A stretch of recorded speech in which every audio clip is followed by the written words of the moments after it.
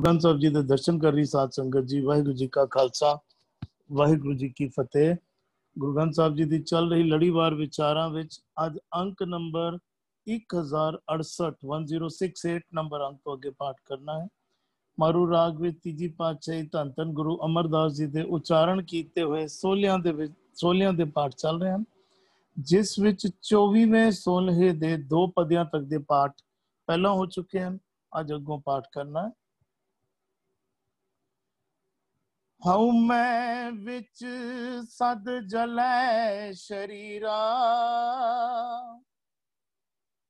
ਕਰਮ ਹੋਵੇ ਭੇਟੇ ਗੁਰਪੂਰਾ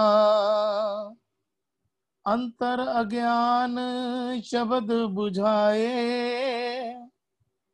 ਸਤਗੁਰ ਤੇ ਸੁਖ ਪਾਇਆ ਹਉ ਮੈਂ ਵਿੱਚ ਸਦ ਜਲੈ ਸ਼ਰੀਰਾ ਕਰਮ ਹੋਵੇ ਭੇਟੇ ਗੁਰਪੂਰਾ ਅੰਤਰ ਅਗਿਆਨ ਸ਼ਬਦ 부ਝਾਏ ਸਤਗੁਰ ਤੇ ਸੁਖ ਪਾਇਆ ਸਤਗੁਰ ਤੇ ਸੁਖ ਪਾਇਆ ਹਉ ਮੈਂ ਵਿੱਚ ਸਦ ਜਲੈ ਸ਼ਰੀਰਾ ਜਦੋਂ ਤੱਕ ਹਉਮੈ ਵਿੱਚ ਮਨੁੱਖ ਹਉਮੈ ਵਿੱਚ ਪਿਆ ਰਹਿੰਦਾ ਹੈ ਮਨੁੱਖ ਦਾ ਮਨ ਹਉਮੈ ਵਿੱਚ ਫਸਿਆ ਰਹਿੰਦਾ ਹੈ ਹਉਮੈ ਵਿੱਚ। ਤੇ ਹਉਮੈ ਕੀ ਕਰਵਾਉਂਦੀ ਹੈ ਉਹਦੇ ਕੋਲੋਂ ਕਾਰ ਵੀ ਵਿਕਾਰਾਂ ਵਾਲੇ ਕਰਾਉਂਦੀ ਹੈ ਵਿਕਾਰਾਂ ਦੀ ਅਧੀਨਗੀ ਦੇ ਵਿਚਕਾਰ ਕਾਰ ਕਰਾਉਂਦੀ ਹੈ ਜਿਸ ਵਜ੍ਹਾ ਕਰਕੇ ਸਦ ਜਲੇ ਸ਼ਰੀਰਾ। ਸਦੀ ਵੀ ਉਸ ਦਾ ਸ਼ਰੀਰ ਵਿਕਾਰਾਂ ਦੀ ਅਧੀਨਗੀ ਵਿਚਕਾਰ ਵਿਹਾਰ ਕਰਦਾ, ਸੜਦਾ ਰਹਿੰਦਾ ਹੈ ਜਲਦਾ ਰਹਿੰਦਾ। ਹੈ ਹਉਮੈ ਵਿੱਚ ਸਦ ਜਲੇ ਸ਼ਰੀਰਾ। ਕਰਮ ਹੋਵੇ ਭੇਟੇ ਗੁਰਪੂਰਾ ਪਰ ਜੇਕਰ ਬਖਸ਼ਿਸ਼ ਹੋ ਜਾਏ ਜੇਕਰ ਪ੍ਰਮਾਤਮਾ ਦੇ ਪ੍ਰਮਾਤਮਾ ਦੀ ਬਖਸ਼ਿਸ਼ ਹੋ ਜਾਏ ਬਖਸ਼ਿਸ਼ ਪ੍ਰਾਪਤ ਕਰ ਲਵੇ ਭੇਟੇ ਗੁਰਪੂਰਾ ਪੂਰੇ ਗੁਰੂ ਨਾਲ ਭੇਂਟ ਹੋ ਜਾਂਦੀ ਹੈ ਭੇਂਟ ਹੋ ਜਾਣਾ ਕੇਵਲ ਮੱਥਾ ਟੇਕਣਾ ਨਹੀਂ ਭੇਂਟ ਹੋ ਜਾਣਾ ਕੇਵਲ ਗੁਰਬਾਣੀ ਪੜਨਾ ਨਹੀਂ ਭੇਟ ਭੇਟੇ ਭੇਟੇ ਮਤਲਬ ਮਿਲਾਪ ਹੋ ਜਾਣਾ ਇਕਮਿਕ ਹੋ ਜਾਣਾ ਗੁਰੂ ਦਾ ਸ਼ਬਦ ਅੰਦਰ ਵਸ ਜਾਏ। ਜਦੋਂ ਉਸ ਦੀ ਬਖਸ਼ਿਸ਼ ਹੁੰਦੀ ਹੈ, ਤਾਂ ਗੁਰੂ ਦੇ ਸ਼ਬਦ ਦੇ ਨਾਲ ਸਾਂਝ ਬਣਦੀ ਹੈ। ਕਰਮ ਹੋਵੇ ਭੇਟੇ ਗੁਰਪੂਰਾ, ਅੰਤਰ ਅਗਿਆਨ ਸ਼ਬਦ 부ਝਾਏ ਭੇਟੇ ਗੁਰਪੂਰਾ। ਜਦੋਂ ਗੁਰੂ ਨਾਲ ਮਿਲਾਪ ਹੁੰਦੀ ਹੈ, ਫਿਰ ਕੀ ਬਦਲਾਵ ਆਉਂਦਾ ਕਹਿੰਦੇ ਨੇ ਅੰਦਰ ਦਾ ਅਗਿਆਨ, ਅੰਤਰ ਅਗਿਆਨ ਜਿਹੜਾ ਹਿਰਦੇ ਵਿੱਚ ਅਗਿਆਨਤਾ ਸੀ ਹਿਰਦੇ ਵਿੱਚ ਵਿਕਾਰਾਂ ਦਾ ਪ੍ਰਭਾਵ ਸੀ। ਹਉਮੈ ਵਿੱਚ ਹਉਮੈ ਵਿੱਚ ਜਦੋਂ ਤੱਕ ਸੀ, ਹਉਮੈ ਵਿੱਚ ਕਿਉਂ ਸੀ? ਅਗਿਆਨਤਾ ਦੀ ਵਜ੍ਹਾ ਕਰਕੇ ਸੀ। ਅੰਤਰ ਅਗਿਆਨ ਸ਼ਬਦ 부ਝਾਏ ਸ਼ਬਦ ਦੇ ਰਾਹੀਂ ਸ਼ਬਦ ਦੇ ਦੱਦੇ ਨੂੰ ਸਿਆਰੀ ਸ਼ਬਦ ਦੇ ਰਾਹੀਂ ਬੁਝਾ ਲੈਂਦਾ। ਹੈ ਅੰਦਰ ਦੀ ਅਗਿਆਨਤਾ ਸ਼ਬਦ ਦੇ ਰਾਹੀਂ ਬੁਝਾ ਦਿੰਦਾ। ਸ਼ਬਦ ਕੀ ਹੈ ਗਿਆਨ ਦਾ ਚਾਨਣ ਹੈ ਗਿਆਨ ਦਾ ਦੀਪਕ ਹੈ ਅੰਦਰ ਗਿਆਨ ਦਾ ਦੀਪਕ ਬਲਿਆ ਤੇ ਅਗਿਆਨਤਾ ਦਾ ਅੰਧੇਰਾ ਬਿਨਸ ਗਿਆ। ਅੰਤਰ ਅਗਿਆਨ ਸ਼ਬਦ 부ਝਾਏ ਅਸੀਂ ਧਿਆਨ ਦਈਏ। ਅਸੀਂ ਗਿਆਨ, ਅਸੀਂ ਕਹਿੰਦੇ ਆ ਗੁਰੂ ਦੀ ਬਾਣੀ ਗਿਆਨ ਹੈ। ਬਿਲਕੁਲ ਗਿਆਨ ਹੈ। ਗੁਰੂ ਦੀ ਬਿਆਨ, ਬਾਣੀ ਸਾਨੂੰ ਸੱਚ ਬਾਰੇ ਦੱਸਦੀ ਹੈ। ਅਸੀਂ ਰੋਜ਼ਾਨਾ ਵਿਦਵਾਨਾਂ ਨੇ ਵੀ ਬੜਾ ਸੌਖਾ ਕੀਤਾ ਹੋਇਆ ਅਰਥ ਜਿਹੜੇ ਹਨ, ਮੌਜੂਦ ਹਨ। ਅਸੀਂ ਰੋਜ਼ਾਨਾ ਉਹਨਾਂ ਦਾ ਸਹਾਇਤਾ ਵੀ ਲੈਂਦੇ ਆ ਅਰਥ ਪੜ੍ਹਦੇ ਵੀ ਆ ਅਰਥ ਬੁੱਝਣ ਦੀ ਕੋਸ਼ਿਸ਼ ਵੀ ਕਰਦੇ ਆ ਹਾਂ, ਸਾਰੀ ਸੰਗਤ ਮਿਲ ਕੇ ਸ਼ਰਵਣ ਵੀ ਕਰਦੀ ਏ, ਅਰਥਾਂ ਦੀ ਉਹਨਾਂ ਨੂੰ ਜਾਣਕਾਰੀ ਵੀ ਹੋ ਜਾਂਦੀ ਹੈ ਪਰ ਗੁਰਬਾਣੀ ਦੇ ਜੇਕਰ ਅਸਲ ਅਰਥ ਸਮਝਣੇ ਹੋਣ ਨਾ, ਤੇ ਜਦੋਂ ਸ਼ਬਦ ਦੇ ਅਰਥ ਸਮਝੇ, ਸਮਝ ਵਿੱਚ ਆਉਣ ਉਹਨਾਂ ਅਰਥਾਂ ਨੂੰ ਆਪਣੀ ਜ਼ਿੰਦਗੀ ਵਿੱਚ ਢਾਲੀਏ ਤਾਂ ਅਸਲ ਗੁਰਬਾਣੀ ਦੇ ਅਰਥ ਸਮਝ ਵਿੱਚ ਆਉਣਗੇ। ਜਦੋਂ ਤੱਕ ਅਸੀਂ ਗੁਰਬਾਣੀ ਜੀਵਾਂਗੇ ਨਹੀਂ, ਤਾਂ ਤੱਕ ਸਾਨੂੰ ਅਸਲ ਗਿਆਨ ਦੀ ਸਮਝ ਨਹੀਂ ਆਏਗੀ, ਅਸਲ ਗਿਆਨ ਦੀ ਪ੍ਰਾਪਤੀ ਨਹੀਂ ਹੋਏਗੀ। ਗੁਰਬਾਣੀ ਜਿਉਣੀ ਪੈਣੀ ਹੈ। ਕੇਵਲ ਸਮਝ ਤੱਕ ਨਾ ਰਹਿ ਜਾਏ। ਸਮਝ ਤੋਂ ਕਰਮਾਂ ਤੱਕ ਵੀ ਆ ਜਾਏ। ਅਸੀਂ ਕੱਲ ਵੀ ਪਾਠ ਕਰਕੇ ਆਏ ਆ ਨਾ ਉੱਤੇ ਮਨ ਤਨ ਸੱਚੀ ਭਗਤੀ ਰਾਤਾ। ਮਨ ਮਨ ਵਿੱਚ ਵੀ ਸੱਚ ਵਸ ਜਾਏ, ਤਨ ਤੋਂ ਭਾਵੇਂ ਕਰਮਾਂ ਵਿੱਚ ਵੀ ਆ ਜਾਏ। ਜਦੋਂ ਤੱਕ ਕਰਮਾਂ ਵਿੱਚ ਨਹੀਂ ਆਏਗੀ, ਤਦ ਤੱਕ ਸਾਨੂੰ ਅਸਲ ਗਿਆਨ ਦੀ ਪ੍ਰਾਪਤੀ ਨਹੀਂ ਹੋਏਗੀ, ਤਦ ਤੱਕ ਅਸੀਂ ਅਸਲ ਗਿਆਨ ਨੂੰ ਬੁੱਝ ਨਹੀਂ ਪਾਵਾਂਗੇ। ਕਈ ਵਾਰੀ ਅਰਥ ਹੁੰਦੇ ਨਾ ਉਪਰੋਂ ਉਪਰੋਂ ਜ਼ਬਾਨੀ ਕੇਵਲ ਸਮਝ ਤੱਕ ਅਰਥ ਸਮਝ ਵਿੱਚ ਆਏ, ਜ਼ਬਾਨ ਨੇ ਉਹ ਅਰਥ ਬਿਆਨ ਕਰ ਦਿੱਤੇ। ਉਹ ਰਸ ਨਾ ਸੁਣਨ ਵਾਲੇ ਨੂੰ ਆਇਆ, ਨਾ ਕਹਿਣ ਵਾਲੇ ਨੂੰ ਆਇਆ। ਜਦੋਂ ਉਹਨੇ ਉਹ ਸ਼ਬਦ ਨੂੰ ਜਿਉਣਾ ਕੀਤਾ ਫਿਰ ਉਹਨੇ ਜਦੋਂ ਉਸ ਸ਼ਬਦ ਦੀ ਵਿਚਾਰ ਕੀਤੀ ਤੇ ਸੁਣਨ ਵਾਲੇ ਨੂੰ ਵੀ ਆਨੰਦ ਆਇਆ ਤੇ ਕਹਿਣ ਵਾਲੇ ਨੂੰ ਵੀ ਆਨੰਦ ਆਇਆ ਗੁਰਬਾਣੀ ਵਿੱਚ ਭਿਜਣਾ ਇਸੀ ਨੂੰ ਕਹਿੰਦੇ ਨੇ ਗੁਰੂ ਸਾਹਿਬ ਕਹਿ ਰਹੇ ਅੰਤਰ ਅਗਿਆਨ ਸ਼ਬਦ 부ਝਾਏ ਸਤਗੁਰ ਤੇ ਸੁਖ ਪਾਇਆ ਕਹਿੰਦੇ ਨੇ ਫਿਰ ਸਤਗੁਰ ਤੇ ਸੁਖ ਪਾਇਆ ਤਾਂ ਫਿਰ ਆਤਮਕ ਆਨੰਦ ਦੀ ਪ੍ਰਾਪਤੀ ਹੁੰਦੀ ਹੈ ਤਾਂ ਫਿਰ ਖੇੜੇ ਦੀ ਆਨੰਦ ਪ੍ਰਾਪਤੀ ਹੁੰਦੀ ਹੈ ਤਾਂ ਫਿਰ ਉਸ ਅਵਸਥਾ ਦੀ ਪ੍ਰਾਪਤੀ ਹੁੰਦੀ ਹੈ ਜਿੱਥੇ ਖੇੜਾ ਹੀ ਖੇੜਾ ਆਨੰਦ ਹੀ ਆਨੰਦ ਹੈ ਜੀ ਬਾਲਵੀਰ ਜੀ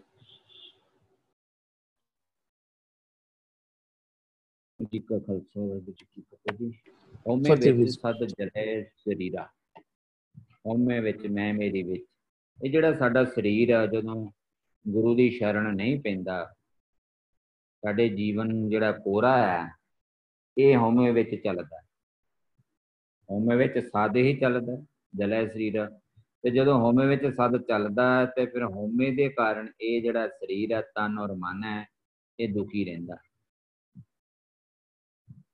ਵਿਕਾਰਾਂ 'ਚ ਗਰਸਿਆ ਹੋਣ ਕਰਕੇ ਦੁੱਖ ਪਾਉਂਦਾ ਹੈ।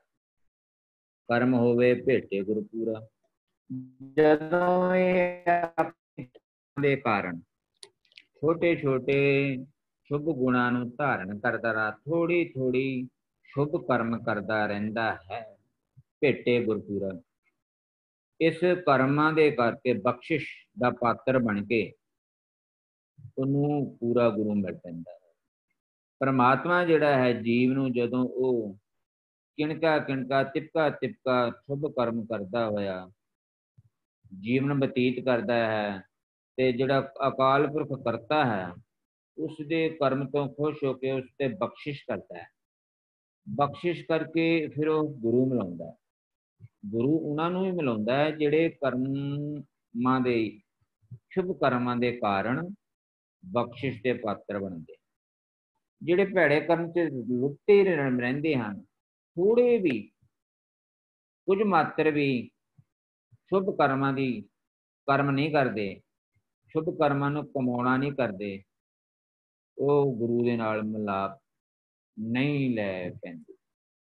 ਪਰਮਾਤਮਾ ਗੁਰੂ ਨਾਲ ਉਹਨਾਂ ਨੂੰ ਹੀ ਮਿਲਾਉਂਦਾ ਹੈ, ਜਿਹੜੇ ਸ਼ੁਭ ਕਰਮਾਂ ਦੇ ਪਾਤਰ, ਬਖਸ਼ਿਸ਼ ਦੇ ਪਾਤਰ ਬਣਦੇ ਹਨ। ਅੰਤਰ ਅਗਿਆਨ ਸ਼ਬਦ ਬੁਝਾਏ। ਜਦੋਂ ਪੂਰਾ ਗੁਰੂ ਪ੍ਰਾਪਤ ਹੋ ਜਾਂਦਾ ਹੈ, ਮਿਲ ਪੈਂਦਾ ਹੈ, ਜੀਵ ਜਿਹੜਾ ਗੁਰੂ ਦੇ ਨਾਲ ਇਕਮਿਤ ਹੋ ਜਾਂਦਾ ਹੈ, ਉਹਦਾ ਅੰਤਰ ਜਿਹੜੀ ਅਗਿਆਨ ਹੈ, ਕਿਉਂਕਿ ਗੁਰੂ ਬਾਜ ਗੁਰੂ ਡੂਬਾ ਸੰਸਾਰ, ਗੁਰੂ ਤੋਂ ਸਖਣਾ ਮਨੁੱਖ ਜਿਹੜਾ ਹੈ ਅਗਿਆਨਤਾ ਦੇ ਹਨੇਰੇ ਵਿੱਚ ਹੀ ਟਕਰਾ ਮਾਰਦਾ ਹੈ। ਜਦੋਂ ਭੇਟੇ, ਭਾਵ ਕਿ ਉਹ ਬਖਸ਼ਿਸ਼ ਦਾ ਪਾਤਰ ਬਣ ਕੇ ਉਹਨੂੰ ਭੇਟ ਦੇ ਵਿੱਚ ਗੁਰੂ ਮਿਲਦਾ ਹੈ, ਸ਼ੁਭ ਕਰਮਾਂ ਦੇ ਵਿੱਚ ਜਿਹੜਾ ਹੈ, ਕੀਤੇ ਹੋਏ ਸ਼ੁਭ ਕਰਮਾਂ ਦੇ ਫਲਸਫੇ ਵਧੋਂ ਜ਼ਮਾਨੇ ਵਧੋਂ ਉਹਨੂੰ ਗੁਰੂ ਦੀ ਪ੍ਰਾਪਤੀ ਹੁੰਦੀ ਹੈ। ਅੰਤਰ ਅਗਿਆਨ ਫਿਰ ਜਦੋਂ ਗੁਰੂ ਮਿਲ ਪੈਂਦਾ ਹੈ, ਜਿਹੜਾ ਉਹਦੇ ਅੰਦਰ ਅਗਿਆਨ ਦਾ ਹਨੇਰਾ ਹੈ, ਸਤਿਗੁਰੂ, ਸੱਚਾ ਗੁਰੂ ਸ਼ਬਦ ਦੇ ਰਾਹੀਂ ਉਹਨੂੰ ਬੁਝਾ ਦਿੰਦਾ ਵੀ ਮੇਰੇ ਅੰਤਰ ਅਗਿਆਨ ਆ। ਫਿਰ ਕਹਿੰਦਾ ਹੈ, ਨਸਵੰਜੋ ਕਿਲ ਵਿਖੋ ਕਰਤਾ ਕਰ ਆਇਆ ਜਦੋਂ ਸ਼ਬਦ ਅੰਦਰ ਟਿਕਾ ਲੈਂਦਾ ਹੈ, ਉਹਦੇ ਅੰਦਰ ਦਾ ਜਿਹੜਾ ਹਨੇਰਾ ਹੈ, ਅਗਿਆਨਤਾ ਹੈ, ਉਹ ਖਤਮ ਹੋ ਜਾਂਦੀ ਹੈ। ਉਹ ਪੂਰੇ ਗੁਰੂ ਨੂੰ ਮਿਲਣ ਦੇ ਕਾਰਨ ਬੁੱਝ ਲੈਂਦਾ ਹੈ, ਸਮਝ ਲੈਂਦਾ ਹੈ। ਕਿ ਮੇਰੇ ਅੰਦਰ ਅੰਤਰ ਅਤੇ ਅਗਿਆਨ ਹੈ। ਸਤਗੁਰ ਤੇ ਸੁਖ ਪੈ, ਜਦੋਂ ਉਹ ਇਹ ਸਮਝ ਲੈਂਦਾ ਵੀ ਮੇਰੇ ਅੰਤਰ ਅਗਿਆਨ ਹੈ, ਤੇ ਗੁਰੂ ਦੇ, ਸਤਗੁਰ ਤੇ, ਗੁਰੂ ਦੇ ਨਾਲ ਇਕਮਿਕ ਹੋ ਕੇ ਗੁਰੂ ਦੇ ਗੁਣਾਂ ਨੂੰ ਹਿਰਦੇ ਵਿੱਚ ਧਾਰਨ ਕਰਕੇ, ਵਸਾ ਕੇ, ਉਸ ਤੇ ਅਮਲ ਕਰਕੇ, ਗੁਰੂ ਵਿੱਚ ਲੀਨ ਹੋ ਕੇ, ਗੁਣਾਂ ਨੂੰ ਇੱਕ ਗੁਰੂਆਂ ਵਿੱਚ ਲੀਨਤਾ ਬਣਾ ਕੇ, ਫਿਰ ਕੀ ਪ੍ਰਾਪਤ ਕਰਦਾ? ਸੁਖ ਪਾਇਆ ਉਹ ਸੁਖ ਪ੍ਰਾਪਤ ਕਰਦਾ ਹੈ। ਗੁਰੂ ਦੇ ਸ਼ਬਦ ਦੇ ਰਾਹੀਂ ਹੀ ਜੀਵ ਨੂੰ ਸੁਖ ਮਿਲਦਾ ਹੈ ਤੇ ਸਦਾ ਆਨੰਦ ਸਹਿਜ ਖੇੜੇ ਵਿੱਚ ਆਪਣਾ ਜੀਵਨ ਬਤੀਤ ਕਰਦਾ ਜੀ। ਬਹੁਤ ਵਧੀਆ ਵੀਰ ਜੀ ਧੰਨਵਾਦ ਆਪ ਜੀ ਦਾ। ਜੀ ਅਰਵਿੰਦ ਵੀਰ ਜੀ। ਇੱਥੇ ਗੁਰੂ ਸਾਹਿਬ ਇੱਕ ਸਟੇਟਮੈਂਟ ਕਰਦੇ ਪਏ ਨੇ ਕਿ ਬਈ ਹਉਮੈ ਵਿੱਚ ਸਦ ਜਲੇ ਸ਼ਰੀਰਾ। ਤੇਰੇ ਤਨ ਦੀ ਸੜਕਣ ਜੇ ਤੂੰ ਹਉਮੈ ਵਿੱਚ ਹੈ ਤੇਰੇ ਇਹ ਇਹ ਮਨੋ ਇੱਕ ਰੱਬੀ ਹੁਕਮਾਂ ਦੀ ਸਾਂਝ ਹੈ। ਜਦ ਤੱਕ ਤੂੰ ਹਉਮੈ ਵਿੱਚ ਰਹੇਗਾ, ਤੇਰੇ ਜੀਵਨ ਵਿੱਚੋਂ ਸੜਕਣ ਮਿਟੇਗੀ ਨਹੀਂ। ਅੱਜ ਕਹਿ ਰਹਾ ਹਉਮੈ ਕੀ ਹੈ? ਮੈਂ ਮੈਂ, ਜਿੱਥੇ ਕਿਤੇ ਮੈਂ ਮੈਂ। ਮੈਂ, ਹਾਂ, ਮੈਂ ਕਰ ਦਾਂਗਾ, ਮੈਨੂੰ ਪਤਾ ਹੈ, ਮੈਂ ਦਿਨ ਰਾਤ ਕੰਮ ਕਰਨਾ ਵਾ। ਮੰਮਾ ਤੁਹਾਡੇ ਵਾਸਤੇ ਕਿਤਨਾ ਮਰਦੀ ਰਹਿੰਦੀ ਹੈ ਮੈਂ ਪਿਓ ਪਿਓ ਤੁਹਾਡੇ ਵਾਸਤੇ ਕਿਤਨਾ ਕੁਝ ਕਰਦਾ ਹੈ, ਮੈਂ ਸਾਰਾ ਦਿਨ ਬਾਹਰ ਰਹਿਣਾ ਵਾ। ਮੈਂ ਤੁਹਾਡੇ ਵਾਸਤੇ ਇਤਨਾ ਕੁਝ ਕਰਨਾ। ਇਹ ਸਾਰੀ ਸਾਰੀ ਹੋਮੇ ਹੋਮੇ ਵਿੱਚ ਗੱਲਾਂ ਨੇ। ਇਹਦੇ ਉਲਟ ਬਿਲਕੁਲ ਅਸੀਂ ਕਹਿ ਰਹੇ ਹਾਂ ਕਿ ਨਾਮ ਜਪਣਾ ਹੈ। ਕਿਰਿਆਵਾਂ ਉਹੀ ਹੋਣੀਆਂ ਨੇ। ਜੇ ਬੱਚੇ ਦੀ ਪਰਵਰਿਸ਼ ਹੋਣੀ ਹੈ, ਘਰ ਵਾਸਤੇ ਕੁਝ ਤੋਂ ਪੈਸਾ ਕਮਾਈ ਹੋਣੀ ਹੈ, ਬਸ ਇਹ ਹੋਮੇ ਵਿੱਚ ਨਾ ਜੈ ਪ੍ਰਸਾਦ ਨਹੀਂ ਜੁੜਿਆ ਹੋਇਆ ਹੁੰਦਾ। ਹੋਮੇ ਵਿੱਚ ਉਹ ਇੱਥੇ ਜੈ ਪ੍ਰਸਾਦ ਜੁੜ ਜਾਏਗਾ। ਕਦੇ ਅੱਛਾ, ਕੁਝ ਖਾਣਾ ਪੀਣਾ ਤਾਂ ਵੀ, ਉਹ ਤਾਂ ਖਾਣਾ ਤੇ ਹੈ, ਲੇਕਿਨ ਕਦੇ ਨਾਮ ਬਿਨਾ ਜੋ ਪਹਿਰੇ ਖਾਏ, ਕਹਿੰਦੇ, ਜਿਉਂ ਕੂਕਰ ਝੂਠਨ ਮੇ ਪਾਏ। ਨਾਮ ਬਿਨਾ ਜੇਤਾ ਵਿਵਹਾਰ, ਜਿਹਦੇ ਵਿੱਚ ਹਉਮੈ ਦੀਆਂ ਗੱਲਾਂ ਹੋਣਗੀਆਂ ਨਾ, ਉਹਦੇ ਵਿੱਚ, ਜਿਹਦੇ ਵਿੱਚ ਨਾਮ ਨਹੀਂ ਰਹੇਗਾ। ਗੁਰੂ ਕਹਿੰਦੇ ਕਹਿੰਦੇ, ਵਿਨ ਨਾਵੇ ਦੁੱਖ, ਦਰਦ, ਸ਼ਰੀਰ। ਕਿਰਿਆਵਾਂ ਉਹੀ ਹੋਣਗੀਆਂ। ਜੇ ਤੁਸੀਂ ਉਹ ਜਿਕਨ ਉਹਨੂੰ ਸ਼ਿਫਟ ਕਰ ਲੋਗੇ ਨਾ, ਤੁਹਾਡਾ ਜਿਹੜਾ ਉਹ ਭੁਪਿੰਦਰ ਜੀ ਵਰਡ ਯੂਜ਼ ਕਰਦੇ ਆਪਣਾ ਪੈਰਾਡਮ ਸ਼ਿਫਟ ਕਰਨਾ। ਸੋ ਆਪਣੀ, ਆਪਣਾ ਦ੍ਰਿਸ਼ਟੀਕੋਣ ਜਿਹੜਾ ਉਹ ਬਦਲੀ ਕਰ ਲੈਣਾ। ਕੰਮ ਤੇ ਸਾਰਾ ਉਹੀ ਹੋਣਾ। ਲੇਕਿਨ ਤੂੰ ਜਿੱਥੇ ਪਹਿਲਾਂ ਤੂੰ ਕਰਤਾ ਬਣਿਆ ਹੋਇਆ ਸੀ ਨਾ, ਵੀ ਜਦੋਂ ਉਹ ਕਹਿੰਦਾ ਹਉਮੈ ਕਰਤਿਆਂ, ਨਹਿ ਸੁਖ ਹੋਏ। ਤੂੰ ਹਉਮੈ ਦੇ ਅਧੀਨ, ਹਉਮੈ ਤੇਰੇ ਜੀਵਨ ਵਿੱਚ ਆਉਣ ਦੇ ਕਾਰਨ ਤੂੰ ਆਪਣੇ ਆਪ ਨੂੰ ਕਰਤਾ ਬਣਾ ਕੇ ਬਹਿ ਗਿਆ ਮੈਂ ਕਰਾਂਗਾ, ਕਹਿੰਦਾ, ਹਮ ਕੀਆ, ਹਮ ਕਰਾਂਗੇ। ਗੁਰੂ ਕਹਿੰਦੇ ਨਾ, ਹਮ ਮੂਰਖ ਗਾਵਾਰ। ਕਰਨੇ ਵਾਲਾ ਵਿਸਰ ਹੈ। ਕਹਿੰਦੇ, ਸਭਨੀ ਛਾਲਾਂ ਮਾਰੀਆਂ, ਕਰਤਾ ਕਰੇ ਸੋ ਹੋਏ। ਮਤਾ ਕਰੇ ਪੱਛਮ ਕੇ ਤਾਈ, ਪੂਰਬ ਹੀ ਲੈ ਜਾਤ। ਗੁਰੂ ਜਿੱਥੇ ਉਦਮ ਕਰਨ ਨੂੰ ਕਹਿੰਦੇ ਨੇ, ਉਹਦੇ ਨਾਲ ਨਾਲ ਬਿਲਕੁਲ ਸਾਡੇ ਮਨ ਨੂੰ ਇਸ ਥਾਂ ਤੇ ਟਿਕਾਣਾ ਚਾਹੁੰਦੇ ਨੇ ਕਿ ਤੇਰੇ ਕੋਲ ਕੁਝ ਨਹੀਂ ਹੋ ਸਕਣ ਲੱਗਾ। ਉਦੋਂ ਗੁਰੂ ਨੇ ਕਹਿੰਦੇ ਉਹ ਸਾਡੇ ਮਨ ਦੀ ਅਵਸਥਾ ਐਸੀ ਬਣ ਜਾਏ ਕਿ ਤੇਰੀ ਕਿਰਪਾ ਸਦਕਾ ਹੋਏਗਾ, ਇਹ ਤੇਰੀ ਬਖਸ਼ਿਸ਼, ਤੇਰੀ ਨਦਰ, ਤੇਰਾ ਕਰਮ। ਇਹ ਤੇ ਕਹਿੰਦੇ ਵੀ ਜਿਹੜਾ ਬੰਦਾ ਹਉਮੈ ਫਸਿਆ ਕਹਿੰਦੇ ਤ੍ਰਿਸ਼ਨਾ, ਅਗਨ, ਜਲੇ, ਸੰਸਾਰਾ। ਤ੍ਰਿਸ਼ਨਾ ਵਿੱਚ, ਤ੍ਰਿਸ਼ਨਾ ਦੀ ਅਗ ਵਿੱਚ ਹੋਰ ਹੋਰ ਮਿਲ ਜਾਏ, ਕਿਉਂਕਿ ਉਹ ਹੀ ਵਾਂਟਸ ਟੂ ਮੇਨਟੇਨ ਉਹਨੂੰ ਆਪਣਾ ਸੋਸਾਇਟੀ ਦਾ ਸਟੇਟਸ ਵੀ ਮੇਨਟੇਨ ਕਰਨਾ ਹੈ, ਉਹ ਚਾਹੁੰਦਾ ਹੈ ਕਿ ਮੈਨੂੰ ਹਰ ਬੰਦਾ ਸਤਕਾਰ ਨਾਲ, ਮਾਣ ਨਾਲ ਮਿਲੇ। ਕਹਿੰਦੇ ਇਹਦੇ ਵਿੱਚ ਉਹ ਕੋਈ ਜਦ ਤੱਕ ਜ਼ਿੰਦਗੀ ਵਿੱਚ ਨਾਮ ਨਹੀਂ ਆਏਗੀ ਨਾ, ਵੀ ਉਹ ਕਹਿੰਦੇ ਨੇ ਨਾਮ ਵੀ ਹੋਣੀ, ਦੁੱਖ ਜਲੇ ਸਵਾਈ। ਜੀਵਨ ਵਿੱਚ ਉਤਨਾ ਉਹ ਕਹਿੰਦੇ ਸਤਿਗੁਰ ਸੀਤਲ ਜੇ ਮਿਲੇ, ਫਿਰ ਜਲੈ ਨਾ ਦੂਜੀ ਵਾਰ। ਜਿਨ੍ਹਾਂ ਨੂੰ ਗੁਰੂ ਮਿਲ ਜਾਏਗਾ ਨਾ, ਉਹ ਉਹਨਾਂ ਦੇ ਜੀਵਨ ਵਿੱਚ ਗੁਰੂ ਸਾਡੀ ਨਾ ਕੋਈ ਨਾ ਸਾਡਾ ਕਲਰ ਬਦਲੀ ਕਰਦਾ ਹੈ, ਨਾ ਸਾਡੀ ਹਾਈਟ ਬਦਲੀ ਕਰਦਾ ਹੈ ਕੁਝ ਨਹੀਂ ਬਦਲੀ ਕਰਦਾ। ਗੁਰੂ ਸਾਡੇ ਸੋਚਣ ਦਾ ਢੰਗ ਤਰੀਕਾ ਬਦਲੀ ਕਰ ਦਿੰਦਾ ਹੈ। ਇਸ ਤਰੀਕੇ ਦੇ ਨਾਲ ਸਾਡੀ ਰੱਬ ਦੇ ਨਾਲ ਗੁਰੂ ਦਾ ਉਹ ਸਾਂਝ ਪਾਉਂਦਾ ਹੈ। ਸਦ ਅਸੀਂ ਕਈ ਵਾਰ ਕਹਿੰਦੇ ਕਿ ਸਾਡੇ ਵਿੱਚ ਹੋਰ ਸਾਡੇ ਹਿੰਦੂ ਵੀਰ ਨੇ ਸਾਡੇ ਵਿੱਚ ਫ਼ਰਕ ਕੀ ਹੈ? ਇੱਕ ਮੰਦਿਰ ਜਾਣ ਦਾ, ਹੋਰ ਗੁਰਦੁਆਰੇ ਜਾਣ ਦਾ ਫ਼ਰਕ ਕੀ ਹੈ? ਉਹ ਉੱਥੇ ਜਾ ਰਿਹਾ ਹੈ, ਜਿਹੜਾ ਹਿੰਦੂ ਵੀਰ ਨੇ ਉਹ ਜਾ ਰਹੇ ਨੇ, ਅਸੀਂ ਕਹਿੰਦੇ ਉੱਥੇ ਜਾ ਕੇ ਦਰਸ਼ਨ ਕਰਨੇ ਨੇ। ਉਹ ਉੱਥੇ ਰੱਬ ਨੂੰ ਦੇਖਣ ਜਾ ਰਹੇ ਨੇ ਗੁਰਦੁਆਰਿਆਂ ਵਿੱਚ ਰੱਬ ਕੋਈ ਵਿਸ਼ੇਸ਼ ਤੌਰ ਤੇ ਨਹੀਂ ਬੈਠਿਆ ਹੋਇਆ ਜੇ ਅਸੀਂ ਕਹਿੰਦੇ ਗੁਰਮਤਿ ਦਾ ਸਿਧਾਂਤ ਨਹੀਂ ਹੈ ਵੀ ਜਿਹੜਾ ਕੋਈ ਸਥਾਨ ਪਵਿੱਤਰ ਹੁੰਦਾ ਕਹਿੰਦੇ ਜਹਾਂ ਬੈਸਾਲੈ ਤਹ ਬੈਸਾ ਸੁਆਮੀ ਜਹ ਭੇਜੈ ਤਹ ਜਾਉ ਸਭ ਨਗਰੀ ਮੈਂ ਏਕੋ ਰਾਜਾ ਸਭੇ ਪਵਿੱਤ ਹੈ ਥਾਂ ਗੁਰਮਤਿ ਐਸਾ ਬਿਲਕੁਲ ਕੋਈ ਸਿਧਾਂਤ ਨਹੀਂ ਕਿ ਕੋਈ ਥਾਂ ਵਿਸ਼ੇਸ਼ ਅਸੀਂ ਅਸੀਂ ਭਾਵੇਂ ਪ੍ਰਚਾਰਨੇ ਪਏ ਆ ਕਿ ਵੀ ਇੱਥੇ ਇਹ ਮਿਰੈਕਲ ਹੋ ਗਿਆ ਇੱਥੇ ਉਹ ਹੋ ਗਿਆ ਉਹ ਕਹਿੰਦੇ ਨਹੀਂ, ਕਹਿੰਦੇ ਉਹ ਸਭੇ ਪਵਿੱਤ ਹੈ ਥਾਵਾਂ, ਕੋਈ ਸਥਾਨ ਜਿਹੜਾ ਹੈ ਨਾ, ਉਹ ਹਾਂ, ਅਸੀਂ ਉਹਨੂੰ, ਕਿਉਂਕਿ ਅਸੀਂ ਉਹਨੂੰ ਕਮਰਸ਼ੀਅਲਾਈਜ਼ ਕਰਨਾ ਚਾਹੁੰਦੇ ਆ ਉੱਥੇ ਸਥਾਨੀਆ ਜਿਹੜਾ ਹੈ ਉਹ ਉਹ ਬਹਿ ਗਿਆ ਹੋਇਆ ਹੈ।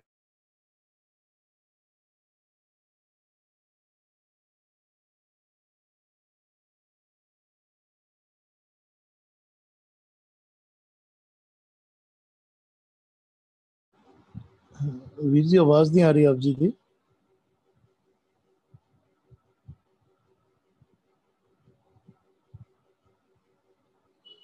जी वी जी आवाज नहीं आ रही और मूवमेंट भी नहीं है वी जी ਆਡੀਓ ਵਿੱਚ ਮੂਵਮੈਂਟ ਨਹੀਂ ਹੈ ਮੇਰੇ ਖਿਆਲ ਉਹਨਾਂ ਦੀ ਨੈਟ ਦੀ ਪ੍ਰੋਬਲਮ ਆਈ ਹੈ ਉਹਨਾਂ ਕੋਲੋਂ ਇਸ ਪਦੇ ਦੇ ਵਿਚਾਰ ਜ਼ਰੂਰ ਲਵਾਂਗੇ ਨਾਲ ਹੀ ਤਦ ਤੱਕ ਪੂਆ ਜੀ ਆਪ ਜੀ ਵਿਚਾਰ ਰੱਖਿਆ ਜੇ ਹਉਮੈ ਵਿੱਚ ਸਦ ਜਲੇ ਸ਼ਰੀਰਾ ਕਰਮ ਹੋਵੇ ਪੇਟੇ ਕੋ ਪੂਰਾ ਹਉਮੈ ਕੀ ਹੈ ਹਉਮੈ ਦੀਰਘ ਰੋਗ ਹੈ ਇਹ ਰੋਗ ਹੈ ਕਿੱਥੇ ਮਨ ਦੇ ਵਿੱਚ। ਨਾਲ ਇਹ ਵੀ ਬਾਣੀ ਕਹਿੰਦੀ ਹੈ ਕਿ ਜੋ ਜੋ ਦੀਸੇ ਸੋ ਸੋ ਰੋਗੀ, ਰੋਗ ਰਹਿਤ ਮੇਰਾ ਸਤਿਗੁਰ ਜੋਗੀ। ਸਾਰੇ ਹੀ ਰੋਗੀ ਹਨ। ਕਿਉਂ? ਕਿਉਂਕਿ ਜਿਹੜਾ ਸੂਖਸ਼ਮ ਹੈ, ਇਹ ਹਉਮੈ, ਇਹ ਸਭ ਦੇ ਅੰਦਰ ਪ੍ਰਵੇਸ਼ ਹੈ, ਮਨ ਦੇ ਅੰਦਰ। ਬਾਹਰੋਂ ਜਦੋਂ ਵੀ ਕੋਈ ਵੀ ਸਿਚੁਏਸ਼ਨ ਆਉਂਦੀ ਹੈ, ਜੋ ਮਨ ਨੂੰ ਨਹੀਂ ਪਾਉਂਦੀ, ਉਹ ਹਉਮੈ ਨੂੰ ਹੀ ਚੋਟ ਦਿੰਦੀ ਹੈ। ਉਹ ਮੈਂ ਨੂੰ ਹੀ ਮਾਰਦੀ ਹੈ। ਉਸ ਨੂੰ ਚੋਟ ਦਿੰਦੀ ਹੈ। ਜਦੋਂ ਚੋਟ ਦਿੰਦੀ ਹੈ ਤੇ ਸਾਡੇ ਅੰਦਰ ਸਾਰੇ ਵਾਇਸ ਪ੍ਰਵੇਸ਼ ਕਰ ਜਾਂਦੇ ਨੇ। ਵਾਇਸਸ ਕਿਉਂਕਿ ਇਹ ਸਾਰੇ ਹਉਮੈ ਦੇ ਹੀ ਪਰਿਵਾਰ ਹੈ। ਹੁਣ ਜਦੋਂ ਇਹ ਹਉਮੈ ਰੋਗ ਹੈ, ਤੇ ਫਿਰ ਕਹਿੰਦੇ ਨੇ ਕਿ ਕਿਹੜਾ ਸਰੀਰ ਜਲਦਾ ਹੈ? ਮਨ। ਮਨ ਟੋਟਲੀ ਦੁਖੀ ਹੋ ਜਾਂਦਾ ਹੈ, ਰੋਗੀ ਹੋ ਜਾਂਦਾ ਹੈ। ਨਾਲ ਹੀ ਉਸਦੇ ਸਾਰੇ ਇੰਦਰੀਆਂ, ਉਸਦੇ ਔਗਨ ਉਸਦਾ ਸਰੀਰ ਵੀ ਰੋਗੀ ਹੋ ਜਾਂਦਾ ਹੈ। ਕਿਉਂਕਿ ਮਨ ਦੇ ਅੰਦਰ ਉਹ ਹਉਮੈ ਦਾ ਰਾਜ ਹੈਗਾ ਹੈ। ਪਰ ਕਹਿੰਦੇ ਨੇ ਕਰਮ ਹੋਵੇ ਬੇਟੇ ਕੋ ਪੂਰਾ ਕਰਮ ਕੀ ਹੈ ਇਟ ਇਜ਼ ਅ ਗ੍ਰੇਸ ਜਦੋਂ ਸੁਮਤ ਸੁਮਤ ਹੀ ਗ੍ਰੇਸ ਹੈ ਜਦੋਂ ਉਸ ਮਨ ਨੂੰ ਸੁਮਤ ਆ ਗਈ ਉਹਦੀ ਗ੍ਰੇਸ ਮਿਲ ਗਈ ਤੇ ਫਿਰ ਕੀ ਹੁੰਦਾ ਹੈ ਕਿ ਉਹ ਮਿਲ ਜਾਂਦਾ ਹੈ ਕਿਸ ਨਾਲ ਮਿਲਦਾ ਹੈ ਕਿਉਂਕਿ ਉਸਨੇ ਗ੍ਰੇਸ ਦੇ ਨਾਲ ਸੁਮਤ ਦੇ ਨਾਲ ਉਹਦੇ ਇੱਕ ਦੇ ਗੁਣਾਂ ਦੇ ਨਾਲ ਉਹਦੇ ਸਿੱਖਿਆ ਦੇ ਨਾਲ ਉਹ ਮਿਲ ਜਾਂਦਾ ਹੈ ਉਸ ਇੱਕ ਦੇ ਨਾਲ ਜਦੋਂ ਉਹ ਮਿਲ ਜਾਂਦਾ ਹੈ ਤੇ ਫਿਰ ਅੰਤਰ ਅਗਿਆਨ ਸ਼ਬਦ 부 ਝਾਏ ਹੁਣ ਅੰਤਰ ਗਿਆਨ ਅਗਿਆਨ ਸੀ ਕਿਉਂਕਿ ਪਹਿਲੇ ਹਉਮੈ ਵਿੱਚ ਸੀ ਅਗਿਆਨਤਾ ਸੀ ਪਰ ਜਦੋਂ ਉਸ ਦੀ ਗ੍ਰੇਸ ਉਹਦੀ ਸੁਮਤ ਦੇ ਨਾਲ ਜਦੋਂ ਉਹ ਇੱਕ ਨੂੰ ਧਾਰ ਲੈਂਦਾ ਹੈ ਉਸ ਸ਼ਬਦ ਦੇ ਨਾਲ ਉਸ ਗੁਣਾ ਦੇ ਨਾਲ ਉਹਦੀ ਸਿੱਖਿਆ ਦੇ ਨਾਲ ਤੋ देयर इज एन ਅਵੇਕਨਿੰਗ ਜੋ ਅਗਿਆਨਤਾ ਵਿੱਚ ਸੁੱਤਾ ਹੋਇਆ ਸੀ देयर इज एन ਅਵੇਕਨਿੰਗ ਜੋ ਅੰਧੇਰੇ ਵਿੱਚ ਸੀ ਪ੍ਰਕਾਸ਼ ਵਿੱਚ ਆ ਗਿਆ ਜੋ ਭੁਲੇਖਿਆਂ ਵਿੱਚ ਸੀ ਉਹ ਬੁੱਝ ਗਿਆ ਉਹਦੇ ਸਾਰੇ ਕਨਸੈਪਟ ਨੂੰ ਬੁੱਝ ਕੇ ਉਸਨੇ ਸਾਰੇ ਜਿਹੜੇ ਸਰੀਰ ਦੇ ਅੰਦਰ ਜਿਹੜਾ ਜਲ ਰਿਹਾ ਸੀ ਉਹਨਾਂ ਸਾਰਿਆਂ ਨੂੰ ਬੁਝਾ ਦਿੱਤਾ ਔਰ ਜਦੋਂ ਬੁਝਾ ਦਿੰਦਾ ਤੇ ਸਤਗੁਰ ਤੇ ਸੁਖ ਪਾਇਆ ਉਸਨੇ ਇੱਕ ਦੇ ਨਾਲ ਮਿਲਾਪ ਕਰਕੇ ਮਨ ਨੇ ਨਾਲ ਸਾਰਾ ਆਪਣੇ ਪਰਿਵਾਰ ਨੂੰ ਮਿਲਾ ਕੇ ਸੁਖ ਪਾ ਲਿੱਤਾ ਕਿਉਂਕਿ ਨਾਮ ਸ਼ਬਦ ਹੀ ਸੁਖ ਹੈ ਹਉਮੈ ਦੁੱਖ ਹੈ ਹਾਂਜੀ ਨਾਮ ਸ਼ਬਦ ਹੀ ਸੁਖ ਹੈ ਹਉਮੈ ਦੁੱਖ ਹੈ ਬਹੁਤ ਸੋਹਣੇ ਵਿਚਾਰ ਆਪ ਜੀ ਨੇ ਰੱਖੇ ਮਨ ਕਿਸ ਕਿਸ ਤਰੀਕੇ ਦੇ ਨਾਲ ਅੰਦਰ ਦੀ ਸ੍ਰਿਸ਼ਟੀ ਹਉਮੈ ਦੀ ਵਜ੍ਹਾ ਕਰਕੇ ਵਿਗਾੜਦਾ ਹੈ ਤੇ ਮਨੁੱਖ ਨੂੰ ਭੈੜੇ ਕਰਮਾਂ ਤੇ ਲਾ ਦਿੰਦਾ ਹੈ। ਧੰਨਵਾਦ ਭੂਆ ਜੀ। ਰਵਿੰਦਰ ਵੀਰ ਜੀ ਨੇ ਰੀਜੁਆਇਨ ਕੀਤਾ ਬਹੁਤ ਸੋਹਣੇ ਵਿਚਾਰ ਰੱਖ ਰਹੇ ਸੀ ਅਰਵਿੰਦਰ ਵੀਰ ਜੀ। ਅਹ ਕਿ ਉਹਨਾਂ ਨੇ ਬਹੁਤ ਸੋਹਣੇ ਕਿ ਗੁਰੂ ਸਾਹਿਬ ਸਾਡਾ ਕਦ ਕਾਠੀ ਨਹੀਂ ਬਦਲਦੇ, ਫਿਰ ਵੀ ਸਭ ਕੁਝ ਬਦਲ ਦਿੰਦੇ ਹਨ। ਬਹੁਤ ਅੱਛੇ ਵਿਚਾਰ ਸਨ ਵੀਰ ਜੀ। ਪਲੀਜ਼ ਅੱਗੇ ਕੰਟੀਨਿਊ ਕਰਿਆ ਜੇ